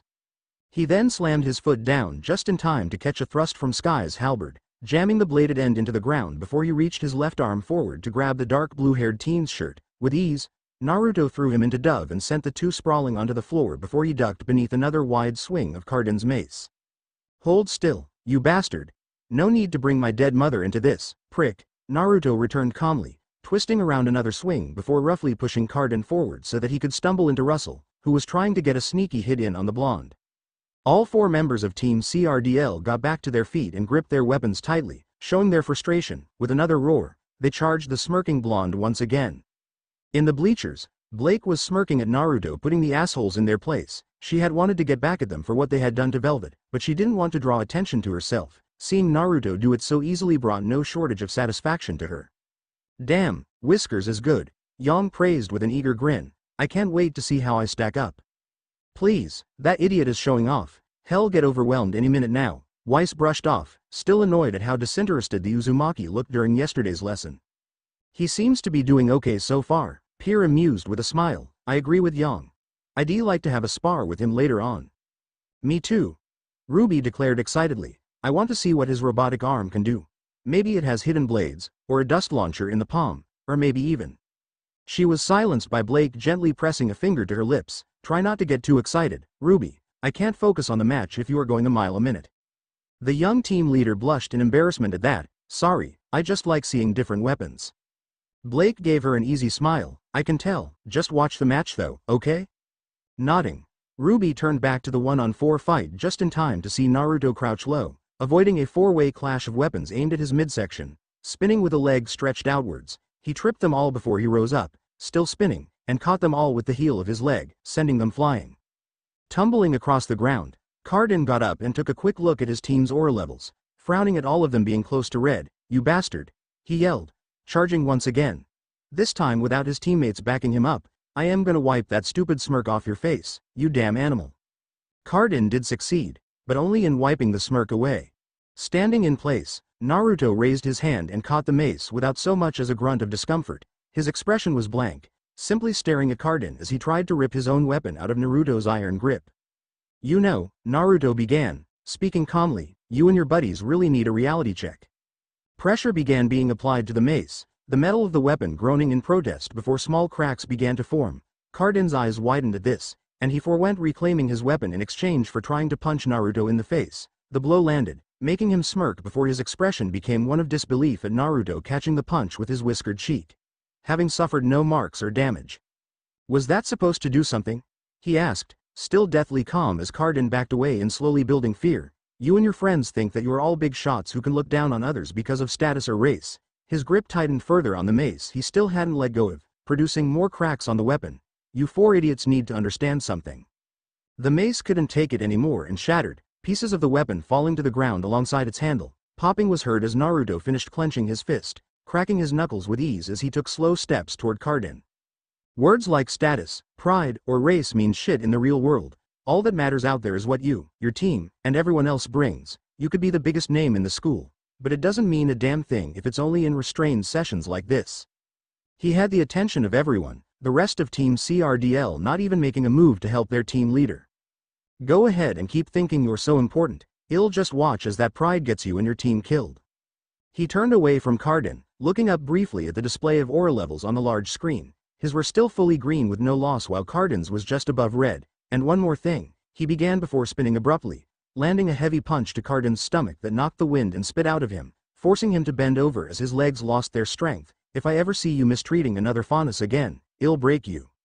He then stepped away and allowed the beaten team to fall to the ground, walking back over to his team and reclaiming his fake arm from Neo. As soon as she handed it back to him, she casually aimed her umbrella tip at the remaining CRDL members, shooting them all in their chests and sending their aura levels to red. Glynda, who was silently watching and judging the match, simply nodded and declared, Team Funds wins, that's enough matches for today, we'll have more of them in a couple of days. She watched as the students began to leave the gymnasium before she turned to the sole male of Funds, Mr. Uzumaki, if you would follow me, I'd like a private word. Relocking his arm and testing the connection, he replied, After you, Professor. As he followed the woman, Cinder called to him, We'll be in our dorm after you're finished, Naruto. The blonde waved over his shoulder as he followed Glynda through the school. After passing by a few students, he asked, Can I ask what this is about? The headmaster would like a quick word, she answered curtly. The boss, huh? Wonder why had bothered to speak to someone like me, I am just a student, after all. Professor Ozpin has spoken to other students personally before, so don't think so highly about this. Whatever you say, Professor, he replied casually, earning a slight frown from her. You're not a fan of me, are you? Your lack of respect makes it hard to be a fan, Mr. Uzumaki. Good luck with that. Where I am from, I never called anyone by their titles or positions, I preferred to call them by name, or by something I felt fit. Like the old man. How you were never punished, I will never know, she sighed out, imagining his disrespect for authority figures. Like I told Cardin and everyone else, titles mean shit in the real world. Using language like that will not be tolerated by me, Mr. Uzumaki. You may speak with other students like that, but I expect you to have some level of decorum. All this standing on ceremony stuff is pretty stupid, if you ask me. Well, I suppose it's a good thing that I am not asking you, she fired back calmly. All this did was make Naruto chuckle as they entered an elevator headed for Ozpin's office, pleased to have gotten some fire out of her, while not vocally. Naruto did respect people who were older, more experienced, or just plain better than he was, he just didn't care for all the bells and whistles that came with titles or positions of power. Hell, if he had become Hokage, he would have been fine with others still calling him by his name. He was, is, and always will be Naruto. No stupid title was going to change that. When the elevator doors opened once more, Glynda led Naruto inside the spacious office and directed him to stand in front of Ozpin, who was seated at his desk. I'll be with you in just a moment, Mr. Uzumaki, I am just finishing something important. No rush, old man. Naruto waved off, ignoring the sigh Glynda gave at his disrespect. A chuckle escaped the headmaster as he finished and shut off his computer monitor. I suppose I am quite old in your eyes. Your gray hairs gave it away, the young man joked as Ozpin offered him the chair across from him. Taking the seat, he asked, So, what does Beacon Academy's famous headmaster need with me? Was I a bit rough on Cardin and his team? No, you were within your rights to fight in that spar, and no, you aren't in trouble, the man assured. Well, that's a relief, oh, and for future reference, I didn't do it. Good to know, Ozpin replied with another chuckle, but, back to the reason I asked Glynda to bring you here. I was hoping to discuss something with you. And that would be, Naruto pressed, dropping his joking posture when he caught Glynda's tensed posture out of the corner of his eye. Pulling out his scroll, Ozpin slid it across his desk towards the Uzumaki, showing a picture of a familiar red-eyed woman on the screen. What exactly is the link between you and this woman? He asked, steepling his hands in front of his face. Naruto studied the picture of Raven being presented to him, mentally thinking of a believable way to answer Ozpin's question. He could see why Raven didn't trust the man. He was obviously overly paranoid or suspicious of others. It was amazing he even had an inner circle that Glynda was obviously a part of. I've only seen this woman a couple of times, he answered, speaking truthfully at first. The first time was when I was exploring some ruins that had some Grimm. She was camping out alone and had this vibe about her that told me to keep my distance. What ruins were you exploring? The headmaster pressed calmly. Hell if I know, Naruto replied, shrugging carelessly. I was traveling alone at the time and didn't have any said destination until I heard that Vale was nearby. I'd heard of your school and figured I could find myself. Find yourself? Goodwitch repeated with a raised brow. Nodding, the Uzumaki elaborated. I was in a low place after I lost my arm. Someone I saw as a brother had chosen a path I didn't agree to, and I needed him to help me with something personal. We ended up arguing before we fought and blew each other's arms off. I was able to survive, but I was alone when I came to. The sincerity in his voice slightly stunned the two huntsmen. I'll admit that I thought it was a Grimm that took your arm, Ozpin confessed. Naruto said nothing in response to that, prompting Glynda to resume. What was the other time you saw this woman? Here in Vale. I bumped into her on the street and she probably took pity on me, because she gave me one of the extra guns she had, he answered, gesturing to the holstered firearm. She told me I should be more careful before leaving without another word, that's the last time I saw her. She never said anything that could warrant suspicion? Ozpin asked. If anyone's suspicious, it's you, old man, is that right? You pulled away a student to ask about a random woman, and you aren't bothering to tell me what's so special about her. What, is she some sort of rogue, or a criminal? Is she one of the huntresses under your employ that you're concerned about? All I know about her is that she's strong and that she was kind enough to give me a weapon, that's it. Glynda narrowed her eyes at him, this woman is more dangerous than you realize. Her name is Raven Branwen, Ozpin continued, she's in charge of a tribe known for their illegal practices. Crossing his arms, Naruto leaned back in his chair at the information. How do you know there was some sort of connection between me and this woman, anyway? Spying on the citizens, or were you keeping tabs on her? Because, either answer is pretty messed up. In what way? Ozpin asked curiously, if it's the first option, then it shows you're really paranoid about what happens in the city, if it's the second, then you were watching a known danger to society and still let her come into contact with someone, aka me. Not sure how safe people will feel if that's your method of protecting them. You're speaking out of line, Mr. Uzumaki, Glynda admonished. No, I am speaking as a concerned citizen, he argued plainly. Vale is my home for as long as I am enrolled in your school. If I know that criminals can walk around without consequence, I am not sure if I will continue attending and just travel again. Cities like Vale provide security and protection, she fired back. Half-assed protection, by the look of things, how dare. Glynda, enough, Ozpin calmly cut in, ignoring the incredulous look the blonde huntress gave him.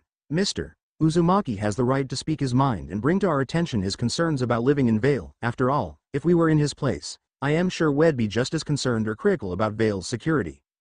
She exhaled sharply through her nose, showing her annoyance at the situation. May I be excused now? Naruto asked blandly. I need to get back to my team and warn them about some rogue huntress walking around Vale. Glynda frowned at his tone while Ozpin let him leave. Once the two were alone, he spoke up, curious, isn't it? That you continuously stand up for someone who speaks poorly about us. Yes, I find it both curious and aggravating, she answered. Not that, I find it curious how he knows Raven was a huntress when you nor I said anything about that fact. She blinked at that, mentally going over the conversation. You believe there's something he isn't telling us. I believe that there's more than meets the eye concerning Mr. Uzumaki. So, what was so important that you were pulled away?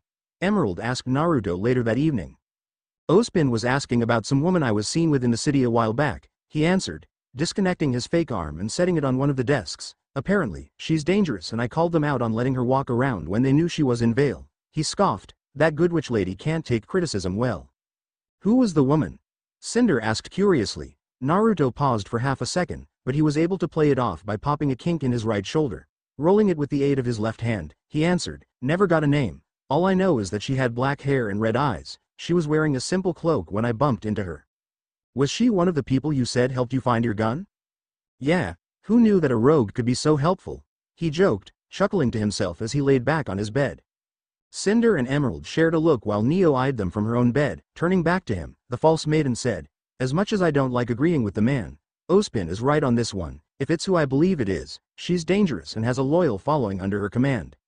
Sitting up, he regarded Cinder with a raised brow. Who do you think it is? A woman named Raven Branwen. All I know is that she used to be a huntress and that she's the leader of the Branwen tribe.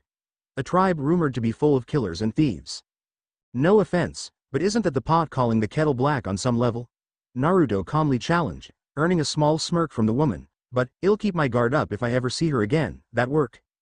That should be fine, I am not saying you can't look after yourself, but you can never be too careful. Yeah, yeah, he waved off, laying back down and settling himself to sleep. Unknown to them all, the blonde with them was merely a clone while the real Naruto had gone off to Vale in the cover of night. Red eyes stared out to the horizon from the docks of Vale, unfocused as the owner lost herself in her thoughts, that didn't mean she wasn't aware of her surroundings, like the approaching energy core that was rapidly closing in. She blinked once to break from her thoughts, turning just in time to see a familiar blonde land in front of her from atop one of the warehouses of the docks. Any reason you sought me out? Naruto rolled his ankle to get rid of a stubborn kink before he answered, yeah, there is, Ozpin knows you're here in Vale. Of course, he does, I spoke with my brother the day of initiation, he's quite suspicious of you and what I may have planned, she gave an amused smirk, as if I could have a plan concerning someone so willful. He rolled his eyes at the quip, hello pot, I am Kettle, he fired back, actually making her fight a snort, anyway, I also wanted to let you know that I am planning on meeting this leader of the Grimm. All amusement left Raven's face at that, come again? You heard me, I wish I didn't. Are you going back into your depression phase and slipping into suicidal tendencies? Not that I am aware of, he answered lightly, hoping to ease the tension. It didn't work, this isn't a game, Naruto, Salem is not to be underestimated. Salem, so, I finally have a name to match a face to. Be serious. She yelled, her hair flickering crimson briefly, I've seen enough flashes of your life to know that you're stupidly reckless, and you can't have that same mindset when you interact with Salem. She's had Ozpin opposing her for years, and he still hasn't been able to stop her. Hum, she took a breath and crossed her arms. Look, I've glimpsed at how powerful you are. But power alone is nothing without the brains to use it. You're a knucklehead, and you can't stay as one with the power you can dish it. You need to handle this carefully. Uh-huh, was his dull response. Her brow twitched. Uzumaki, she ground out dangerously. Yes, he asked back with a smile. Why are you acting so nonchalant about this? Salem is nothing to laugh at, and neither is her ability concerning the Grimm or whatever other powers she may have. Are you willing to bet your life when you've never had to deal with her in the first place? She gritted her teeth before exploding. I've seen what she can do. Naruto surprised her with an understanding smile. I know you have, Raven. Recoiling, she took an instinctive step back. W what? Don't forget that I've seen quite a few glimpses of your life, too. I know what she did to you and how that's only helped her grow stronger. He took slow steps toward her, and she reflexively gripped the handle of her sword to defend herself. I know that you were reckless like I've been my entire life, he continued, keeping his slow pace. I know that you tried to take her on with some of your tribe, and I know that it ended up a failure. Then why are you insisting on going through with this idiotic mission of yours? She raged. You saw what happened to me. That witch ripped out my own darkness and turned it into a Grimm. My idiocy and recklessness only increased the strength of the army under her control. He finally stopped right in front of her, simply giving her a confident smile while his blue eyes bored into her red ones. I am going through with it because I refuse to be afraid of something I haven't seen personally. I wasn't scared of the Akatsuki. I wasn't scared of Madara, or of Obito, Kaguya, or even Sasuke. I knew what I had to do, and I faced them head on. I refuse to do things differently just because I am not home anymore. She couldn't respond to that, slowly letting go of her sword one finger at a time. Besides, he continued, his smile becoming a grin, I can't fail when I know a friend is worried about me. She stilled at that, what? His grin turned cheeky in reply as his body was covered in golden fire, revealing a form she had only seen during his final clash with Kaguya. Absently, she noticed that the energy formed an ethereal right arm with clawed digits that flickered and twitched. I'll see ya soon, Raven, He bid before he vanished in a golden flash and a streak of light shot across the sky like a shooting star. She watched him take off with a stunned gaze, unaware that her face had a faint blush from the warmth he gave. Slowly, her lips curved into a faint smirk as she replied, Good luck, you stubborn idiot. He covered miles in just a couple minutes, passing over the oceans and smaller landmasses as before he stopped above an abandoned village. Landing down in the center, he dispelled his energy cloak and took a cursory glance at his surroundings. The town had been abandoned for years, but in its prime, it looked to have had canals, enough space for a large open-air market, and plenty of shops or homes. He spotted a sign with faded lettering, but he was able to decipher the town's name from what he could read. Kuroyuri, the Black Lily, he spoke aloud, his voice soft before he increased his volume. Do you remember the names of villages or homes you expunge, or were they so forgetful that it didn't matter? Silence greeted him, making him sigh. I know you're there, you couldn't have missed my approach since I felt you. Impressive, a refined woman's voice spoke up, the speaker stepping out of the shadows, her lips curved into an amused smirk as she walked more towards the center of the village, standing across from the whiskered blonde. So, you are the source of light that has the Grimm so confounded, I expected someone older, to be honest. And I expected something uglier for a being of darkness. No offense, if it helps, small glimpses from visions don't do you justice. Salem, he complimented. You flatter me, I aim to please, it's how I've lived most of my life. Doing right by others, even if I had to suffer for it, I was a living sacrifice, and I personified that by giving up my own happiness for others. And you still suffer, she noted, seeing his pain despite how well he hid it behind his blue eyes. Your eyes scream of loss, of betrayal, of rage. Yep, and yet, the Grimm seek to protect or avoid you, most curious. He shrugged plainly, I honestly couldn't care what makes them act like that, I was more focused on the player instead of the pieces she controls on this board. She hummed in acknowledgement, it makes sense to know who or what you're up against. Who in this case, he clarified, you're not something considering how you have a soul while the Grimm don't. And what makes you think I have a soul? Salem asked curiously. I could feel life if I wanted to, while yours seems tainted in some sense, it's still life. Her curiosity changed to amusement, you continue to interest me. Naruto, he supplied, Naruto Uzumaki, a pleasure. Likewise, so, she began, waving her hand to form a table and a couple of chairs with her power. He nodded in thanks for the offered seat, both seated across from the other. Why seek me out other than to see who the Grimm answer to? Surely, that isn't the only reason. He shrugged again, nothing much other than that, honestly, I never went in with a plan already in mind, I preferred to think on the field rather than beforehand. A rather uncommon mindset. But I can understand where you come from. Things can happen unexpectedly, and any previously laid plans can fall apart in an instant. Though, now that I am here, I do have a couple of questions, Naruto brought up. As do I, she replied, waving her arm to him. The guest has the first move. If you make Grimm, who made you? You have a soul, so it's clear that you came from life, but I can't help but wonder where you came from. She gave a smile at that, chuckling softly at the query. Believe it or not, I came from the moon after it was shattered. At least, a past version of myself.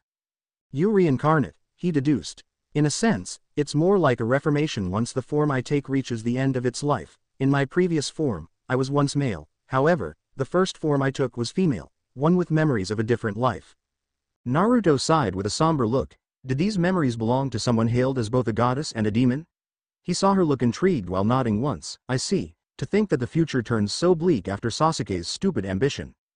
You know of the life before my own, he nodded. She was someone I fought alongside some comrades to free the world from a state of artificial happiness. They didn't suffer, but they were still dying as their minds lived a paradisiac illusion. The energy that sustained them being used to empower her.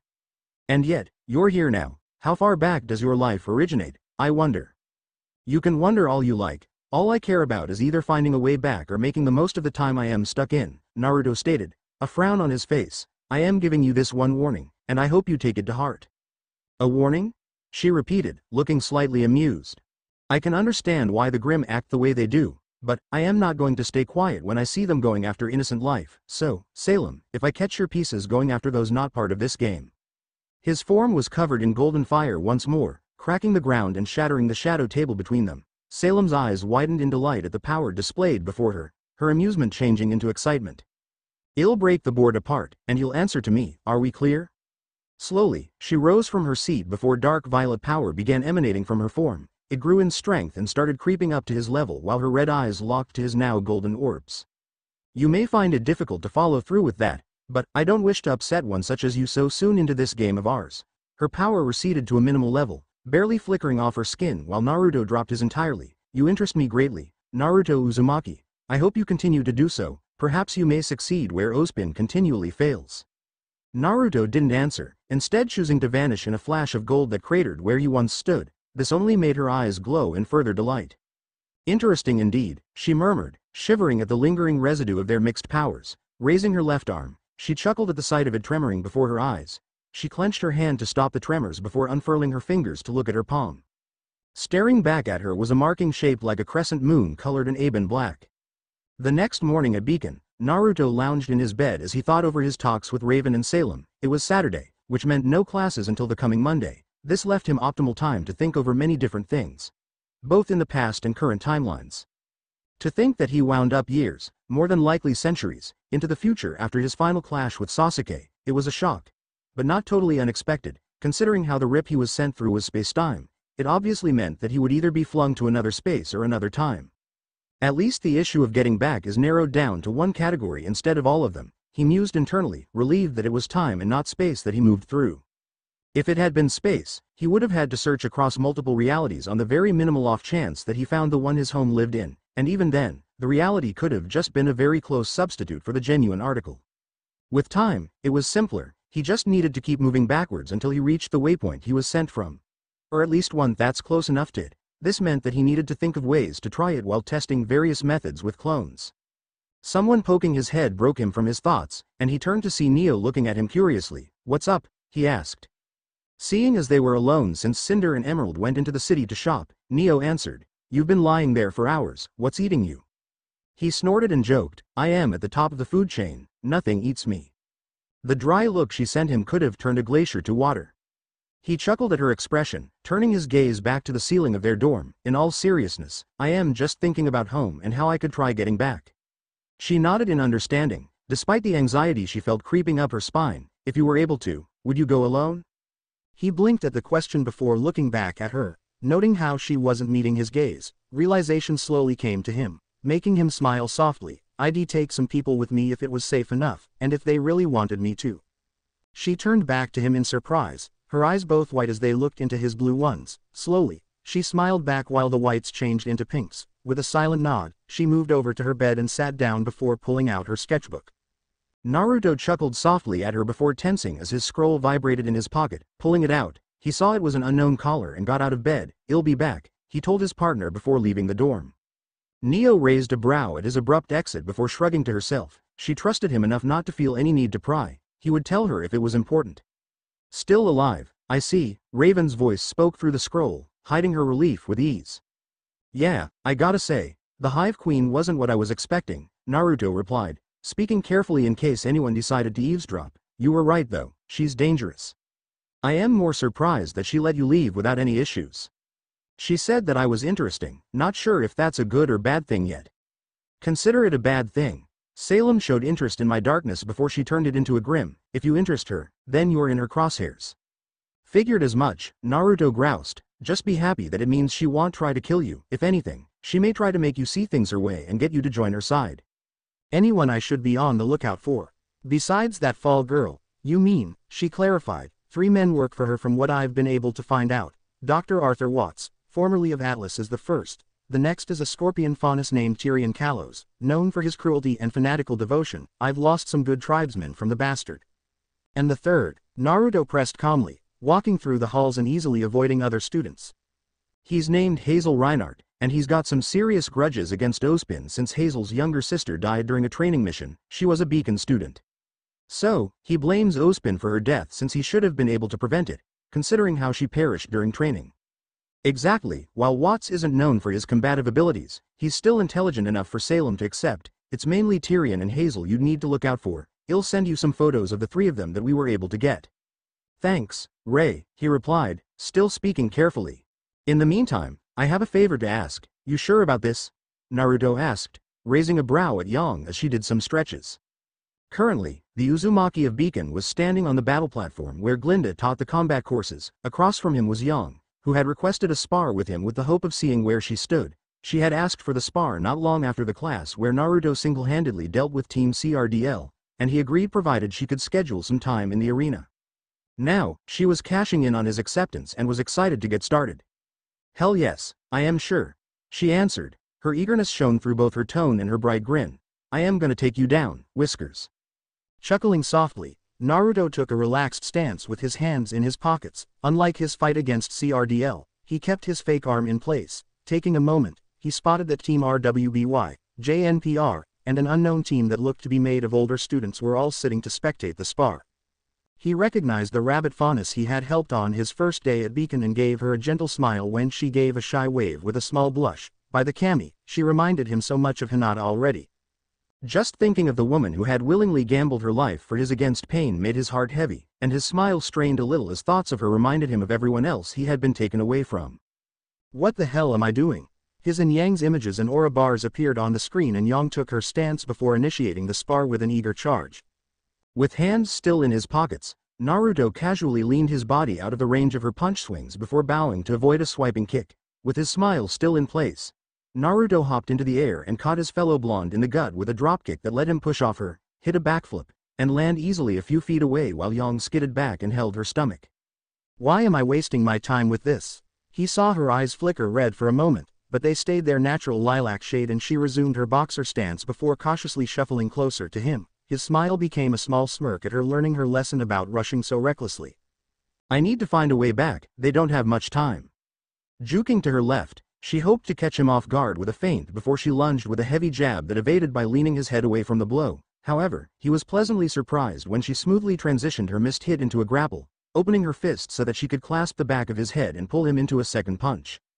Smirk changing to a grin, Naruto pulled his left hand out of his pocket and smacked her punch away before breaking her hold by knocking his arm against her inner elbow. With her attack and hold broken, he spun in place and hit her with a spin kick, planting his foot once more into her stomach and sending her flying back to a few inches away from the edge of the platform. I can't keep getting distracted, but can I really just leave? A growl from Yang was heard as she pushed herself back to her feet. Her eyes had stayed red this time, and her hair flickered with golden fire as she had a hand to her stomach. Damn it. Stop hitting me here, she ordered angrily. Then stop giving me so many openings, he taunted back, his smile becoming more genuine once again. His earlier doubts had depressed his heart, but the last question he gave himself had taken a stand against such doubts. Could he simply leave the people he had met, the same people he had so unconsciously let into his heart and befriended? No, I don't think I could. This was the problem Naruto always had. Walking away from people he had grown to care for, sure, he didn't know his classmates for long. But they had accepted him so easily, despite knowing almost nothing about him. To a man who had craved such acceptance as a lonely child, their friendship was worth more than any treasure, and he couldn't find it in him to just leave. Yang came in for a third round, her form getting more streamlined with the activation of her semblance as she used her weapon to weave her way through her attacks. Naruto had pulled out his other hand and batted away any attacks he didn't dodge, with every block. He praised Yang on the tactic she had used and offered some advice to help her improve. And by the end of the spar, Yang was smiling in triumph. Despite losing in the end, her reason? She had fun, and she had learned quite a bit from her opponent. That, and she had gotten a lucky blow against him that knocked off a small, barely notable, level of his aura, shed called that a win. As she went back to her team and listened to Ruby gushing over the fight, Naruto had a distant smile on his face. He knew he should NT give up searching for a way home, but he also knew that part of him had finally accepted that he could have a second chance here in Remnant. Sure, he and Raven had discussed it back in Mountain Glenn, but he didn't truly accept the notion back then, not nearly as much as he did now, anyway. And as the Faunus girl and her apparent teammates made their way over to him, Naruto felt as if the weight on his heart had lessened some, he wasn't over the loss, but he had taken a step forward. And someday, he believed he'd be okay. Velvet Scarlatina had watched the expressions on Naruto's face throughout his spar. Ever since he had stood up for her and threatened that Cardin boy, she had been meaning to thank him. He had taken a stand for the Faunus at the school, calling out Professor Glynda on not stepping in earlier and accepting the unjust punishment without argument. She thought he showed incredible tolerance that day, and when Ozpin himself had offered his apologies on behalf of Beacon, she knew that his actions hadn't been fruitless, he had instigated a change, and she felt inspired to follow his example. But, seeing the man who had given her such strength attempt to hide some emotional turmoil was hard to watch, before the fight, his smile was genuine, and she felt an amazing warmth from him when he aimed such a smile at her. However, it was almost as if her presence reminded Naruto of something painful from his past, the smile had become strained, and his naturally vibrant eyes had become dimmed from sadness and loss. Whatever it was he had been thinking of, it had been something, somewhere, or someone that he had lost, whether the loss was recent or still in the process of being accepted, she couldn't tell. What she could tell was, as Naruto and Yang sparred, his saddened and conflicted gaze had slowly returned to the warmth she had come to appreciate, it was almost like he had unburdened himself of a spiritual weight that had been pressing down upon him, lightening his heart. And as the spar ended, she had seen that, like herself, Yang had also become inspired by Naruto, with a smile, she stood up and walked over to him followed by her teammates. She blushed when she felt Coco nudge her side with a smirk, followed by slightly lowering her shades and waggling her brows. She fought it back down just in time for him to turn and face them, approaching the whiskered blonde with a smile. She didn't want to be shy or reserved anymore, she would face her inspiration with her back straight and her stance tall. Just like he faced his life, good fight, Blondie, Coco spoke up, kicking off the conversation, you had control of the match the whole time. Thanks, uh, he began, hoping for a name to go with her face. Ah, my bad, we're Team CVFY, led by yours truly, Coco Otto. Coco was a teenage girl with fair skin, short dark brown hair. And dark brown eyes, she had wavy locks on one side of her face. Dyed with a gradient that starts as dark brown and transitions to caramel. Her clothes consisted of a long, cocoa-colored shirt with an upturned layered frill collar and a black single-strapped waist cincher. For her legs, she wore black trousers that had golden lining around the pocket and ribbons attached to the back of a golden zipper seam around her knees. She finished off her look with a black beret with a cocoa brown trim, a black shoulder bag with gold studs, and a pair of black, wire-rimmed aviator sunglasses. With me or Fox Alistair, she continued, gesturing to the young man in question. Fox was a teenage boy with dark skin and messy dark copper hair that had a long fringe and a cowlick. He wore a sleeveless, muted orange zipper vest with black lining and a high collar, a pair of black jeans, and brown laced shoes. His eyes were pure white, showing Naruto and everyone else that he is physically blind. His arms were covered in scars, and Naruto also spotted a vertical scar on his lips. His attire was completed by a pair of long black gloves and has several pouches attached to his belt. Fox looked to Naruto and nodded with a faint smirk, sup? Naruto nearly flinched at the unfamiliar voice in his head, but the fact that Fox's smirk had grown showed that the action was done in jest, appreciating the almost prank. Naruto nodded back to Fox in greeting.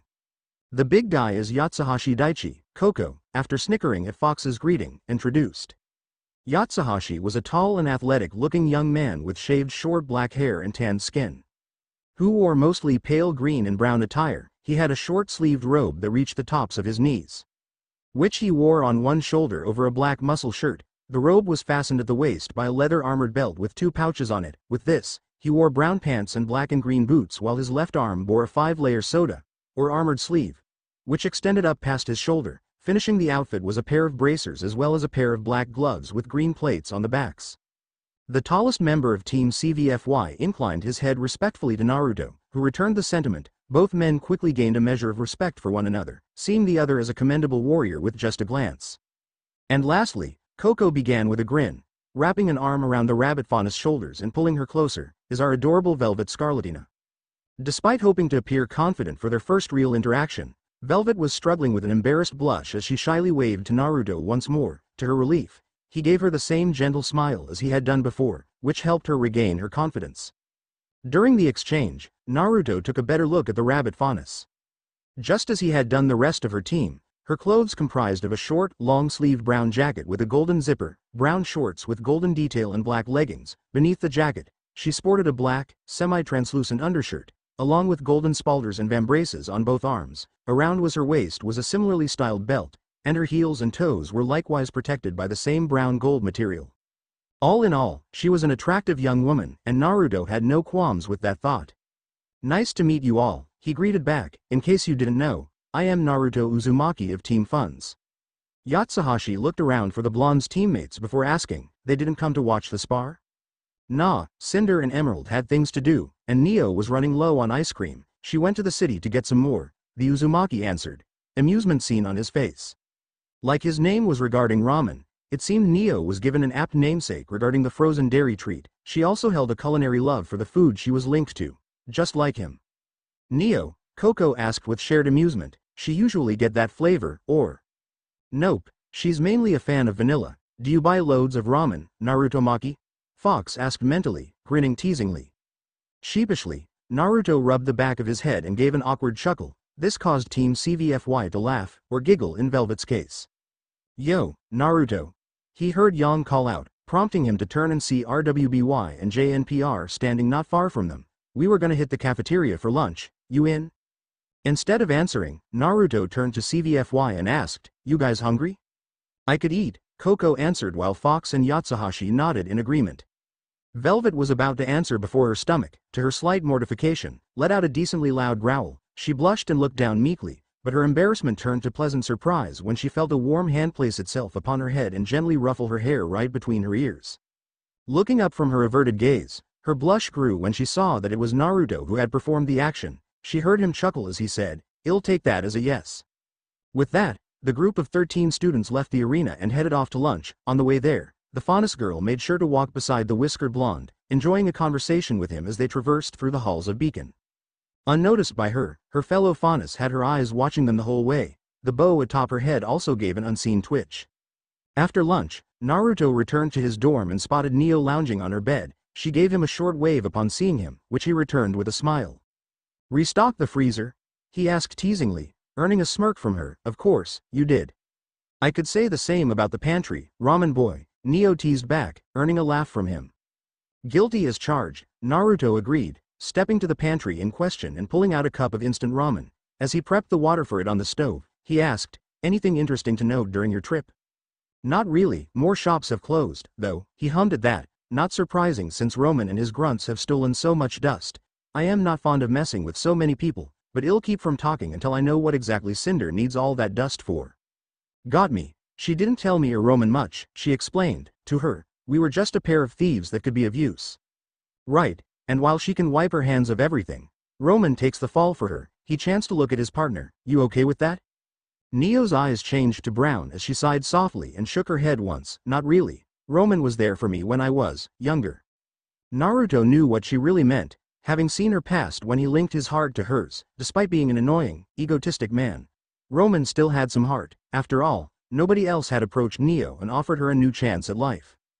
To Naruto, it was similar to when he had been acknowledged by Iruka as a leaf ninja, such a feeling was indescribable to someone who had been alone and misjudged most of their life. If he gets arrested, Neo spoke up again after a moment of silence, I'll break him out, I won't abandon my friend. Smiling as he filled the ramen cup with hot water, Naruto replied, I am sure he'd do the same if the positions were reversed, he gets on my nerves, but I can tell he cares about you. Would you help me? Naruto stopped himself as he was about to take a bite of his food, setting his utensils down to give Neo his full attention. She was staring directly at him, and he graced her with a smile. Help you rescue your friend. Sure, help you with something else that could be bothering you. Absolutely. She slowly smiled back as her eyes bled from brown to pink, she said nothing and turned away from him before pulling out her sketchpad. Naruto gave a soft chuckle as he returned to his food. Yeah, I can't leave them, not yet. Later that evening, Naruto was heading for the roof of the dorm building. He wanted to think over some things and what he was feeling about his situation and the people he had connected with. To his interest, he saw that the roof already had an occupant in the form of Blake. Her bow wasn't on her head, and one of her ears twitched upon hearing him approach. She looked over her shoulder and gave a faint smile when she saw him. Wasn't expecting anyone else to come up here, he noted as he took a seat beside her. I come up here some nights to clear my head, she confessed, I am still trying to figure out what I should do. About your team and your heritage, she nodded with a soft sigh, I know I should tell them, but I am still afraid of how they'd react. If you think they'd treat you different because you're a Faunus, I doubt you have much to worry about, except maybe Weiss, but my guess is that you're more worried about how they'll take you hiding who you were from them for so long, am I right? Yes, giving a sigh of his own, Naruto leaned back and supported himself with hand hands on the roof as he looked up to the broken moon of Remnant. I could use some advice, he turned to her, seeing that she had been staring at him hopefully, giving her a small smile. He sat up straight again and surprised her when he reached over and gently pulled her against him. She blushed at the close contact, unseen by her fellow Faunus as she reveled in the natural warmth he gave off. I am afraid I can't give you much advice about this, Blake, it's up to you if and when you tell your teammates about yourself. She looked down at that as her cat ears folded against her head sadly. However, her ears perked up again and she looked up to see him giving a supportive smile. If you want me there with you when you're ready to tell them, then I will, you're my friend, Blake, and as a friend, I promise to do what I can to help you, and if the worst happens, I'll always be willing to be an ear to listen, a shoulder for you to cry on, and a hand to help you back on your feet. Her eyes glistened beneath the moonlight as her cheeks flushed, feeling both incredible gratitude and relief at his words. She hugged his side and sobbed softly. Thank you, he said nothing and just smiled while his hand rubbed the top of her head just like he had done earlier with Velvet, letting her vent. He sat in silence and kept rubbing her head in support. She'd be okay, he truly believed that, after helping her recompose herself, and putting her ribbon back on her head, Naruto accompanied Blake back to her dorm room and stood behind her as she opened the door, when she saw that her friends were looking to her with concern, she swallowed the lump in her throat before she felt the supportive weight of Naruto's hand upon her shoulder. She gave him a quick smile in thanks before turning back to her team. I have something I need to tell you. I know that I am usually against talking about myself, but I hope that we can still be friends once I tell you the truth. Ruby, Weiss, and Yang were obviously more concerned about what she meant, but they respectfully kept quiet and waited for her to speak again. Ruby even walked up to her and grasped her hand with a supportive smile. Smiling back, Blake took a breath before reaching up and pulling her ribbon loose. With her cat ears visible once more, she stood up straighter and spoke. My name is Blake Belladonna, I am a cat faunus from Menagerie and an ex-member of the White Fang. As Blake and her team crossed this hurdle, Naruto stood behind her in silent support, the whole time. He kept a hand on her shoulder to let her know he was still there, and when he watched her finish, he was proud to see that Ruby was the first to act and pull her friend into a gentle hug while saying something so simple, but incredibly meaningful. Thank you, Blake. The floodgates opened, and the faunus gave a teary laugh as she hugged Ruby back. Yang soon joined in and offered her own words of support to her partner and friend. As for Weiss, she looked conflicted for a moment, which was understandable since she had been a target of the White Fang for years. In fact, she still was a target of them, however, she knew that what Blake had confessed to them took an incredible amount of courage, and the heiress doubted that the black-themed member of RWBY would have had the fortitude to tell them if it hadn't been for the silent support of the whiskered blonde behind her. Chancing a look, Weiss looked to Naruto and saw him looking to her blankly, there was no judgment or expectancy in his blue eyes. Simply patient blankness as he waited for her to make her own decision. Looking back to her team still hugging one another, she reached her decision and stood up before approaching Blake, Ruby and Yang. Understanding the weight of the situation, stepped away from Blake so that she and Weiss could speak uninterrupted. I still hate the White Fang for what they've done to my family and to others, Weiss began, earning a slight wince from Blake, but I hold no hatred or judgment for you. Blake, you're a valued member of Team RWBY, and someone I would gladly call my friend. Stunned at first, Blake quickly regained her smile as the two shared a hug, Ruby and Yang joined back in, and Team RWBY stood together in content silence. Seeing that his part was done, Naruto turned to leave. Naruto, he looked over his shoulder at the sound of Blake's voice, seeing her smile beautifully at him. Thank you, he smirked and resumed his departure, waving over his shoulder and saying nothing else, and once again, he was left unaware of just what kind of impact he had on the faunus of Beacon. For the first time since he had slept at Beacon, Naruto wasn't plagued by bad dreams of his time in the 4th great ninja war, instead, he dreamed of something many people took for granted, a regular day with his friends. He was leaning against a large tree, watching as Ruby went over battle formations with her teammates and giving them monikers that he thought fit, though it was also pretty adorable. Ruby was all smiles as she went over the different formations while Yang, ever supportive, listened with interest. Weiss looked like she wasn't interested, but he could tell she was also paying attention and mentally assessing each formation. Even Blake was listening with a beautifully faint smile on her face. He was pleased to see that she had abandoned her ribbon and was proudly showing her faunus features. JNPR was also training, with Pyrrha going over stances with Jaune with that kind smile she always wore and unflinching patience. The aspiring leader of the team was coming into his own, which Naruto was pleased to see. As for Ren and Nora, the two were lazing around at their own tree with Ren lounging on a branch with a book while easily answering Nora's rapid-fire questions and comments. He chuckled at that, knowing that many would comment on Ren's tolerance, however, he could tell that Ren genuinely cared for his friend. Those two had a bond that had been strong for many years, stronger than many other teams at Beacon. Team CVFY was also there, though they were all resting against another tree. Coco, being the fashionista that she was, was reading a magazine with designs he couldn't really see. Fox and Yatsuhashi were seen conversing, despite the silent member not speaking. As for Velvet, she was seen napping while leaning against her much larger teammate with a peaceful look on her face. The girls of Team Funds were seen sitting on the grass not far from him, looking over a map of Vale and discussing strategies that, despite their close vicinity, he couldn't hear. Mercury was also seen standing behind Emerald while Roman was seated on a larger rock behind Neo. And finally, sitting beside him was Raven. He looked to her from the corner of his eye and saw that she looked more relaxed than he had ever seen her before, watching her daughter from a distance with a small smile on her face. Pride was seen in her crimson eyes before she turned to him. Take care of her, that's what he heard her say before she and everyone else faded away like dust in the wind. His gaze was to the ground which had changed from vibrant grassland to scorched earth. A hand with soft features entered his vision, prompting him to look up and spot Hinata being the one to offer it to him, her face holding that same, ever-loving smile. His eyes watered at the sight of her, as well as the rest of his old friends and comrades, every one of them was seen giving him a supportive smile that held no accusation, no signs of blaming him for anything. He turned back to the gentle visage of Hinata before shamefully averting his eyes, the same hand she had offered him reached forward to softly turn his face back to her, she pulled away from his face and kept her hand offered to him. Shakily, he raised his cybernetic arm and grasped hers, the metal fading away into flecks of light as his arm was restored to skin and bone. Her smile grew as she firmly grasped his hand, pulling him to his feet before embracing him with the touch of an angel.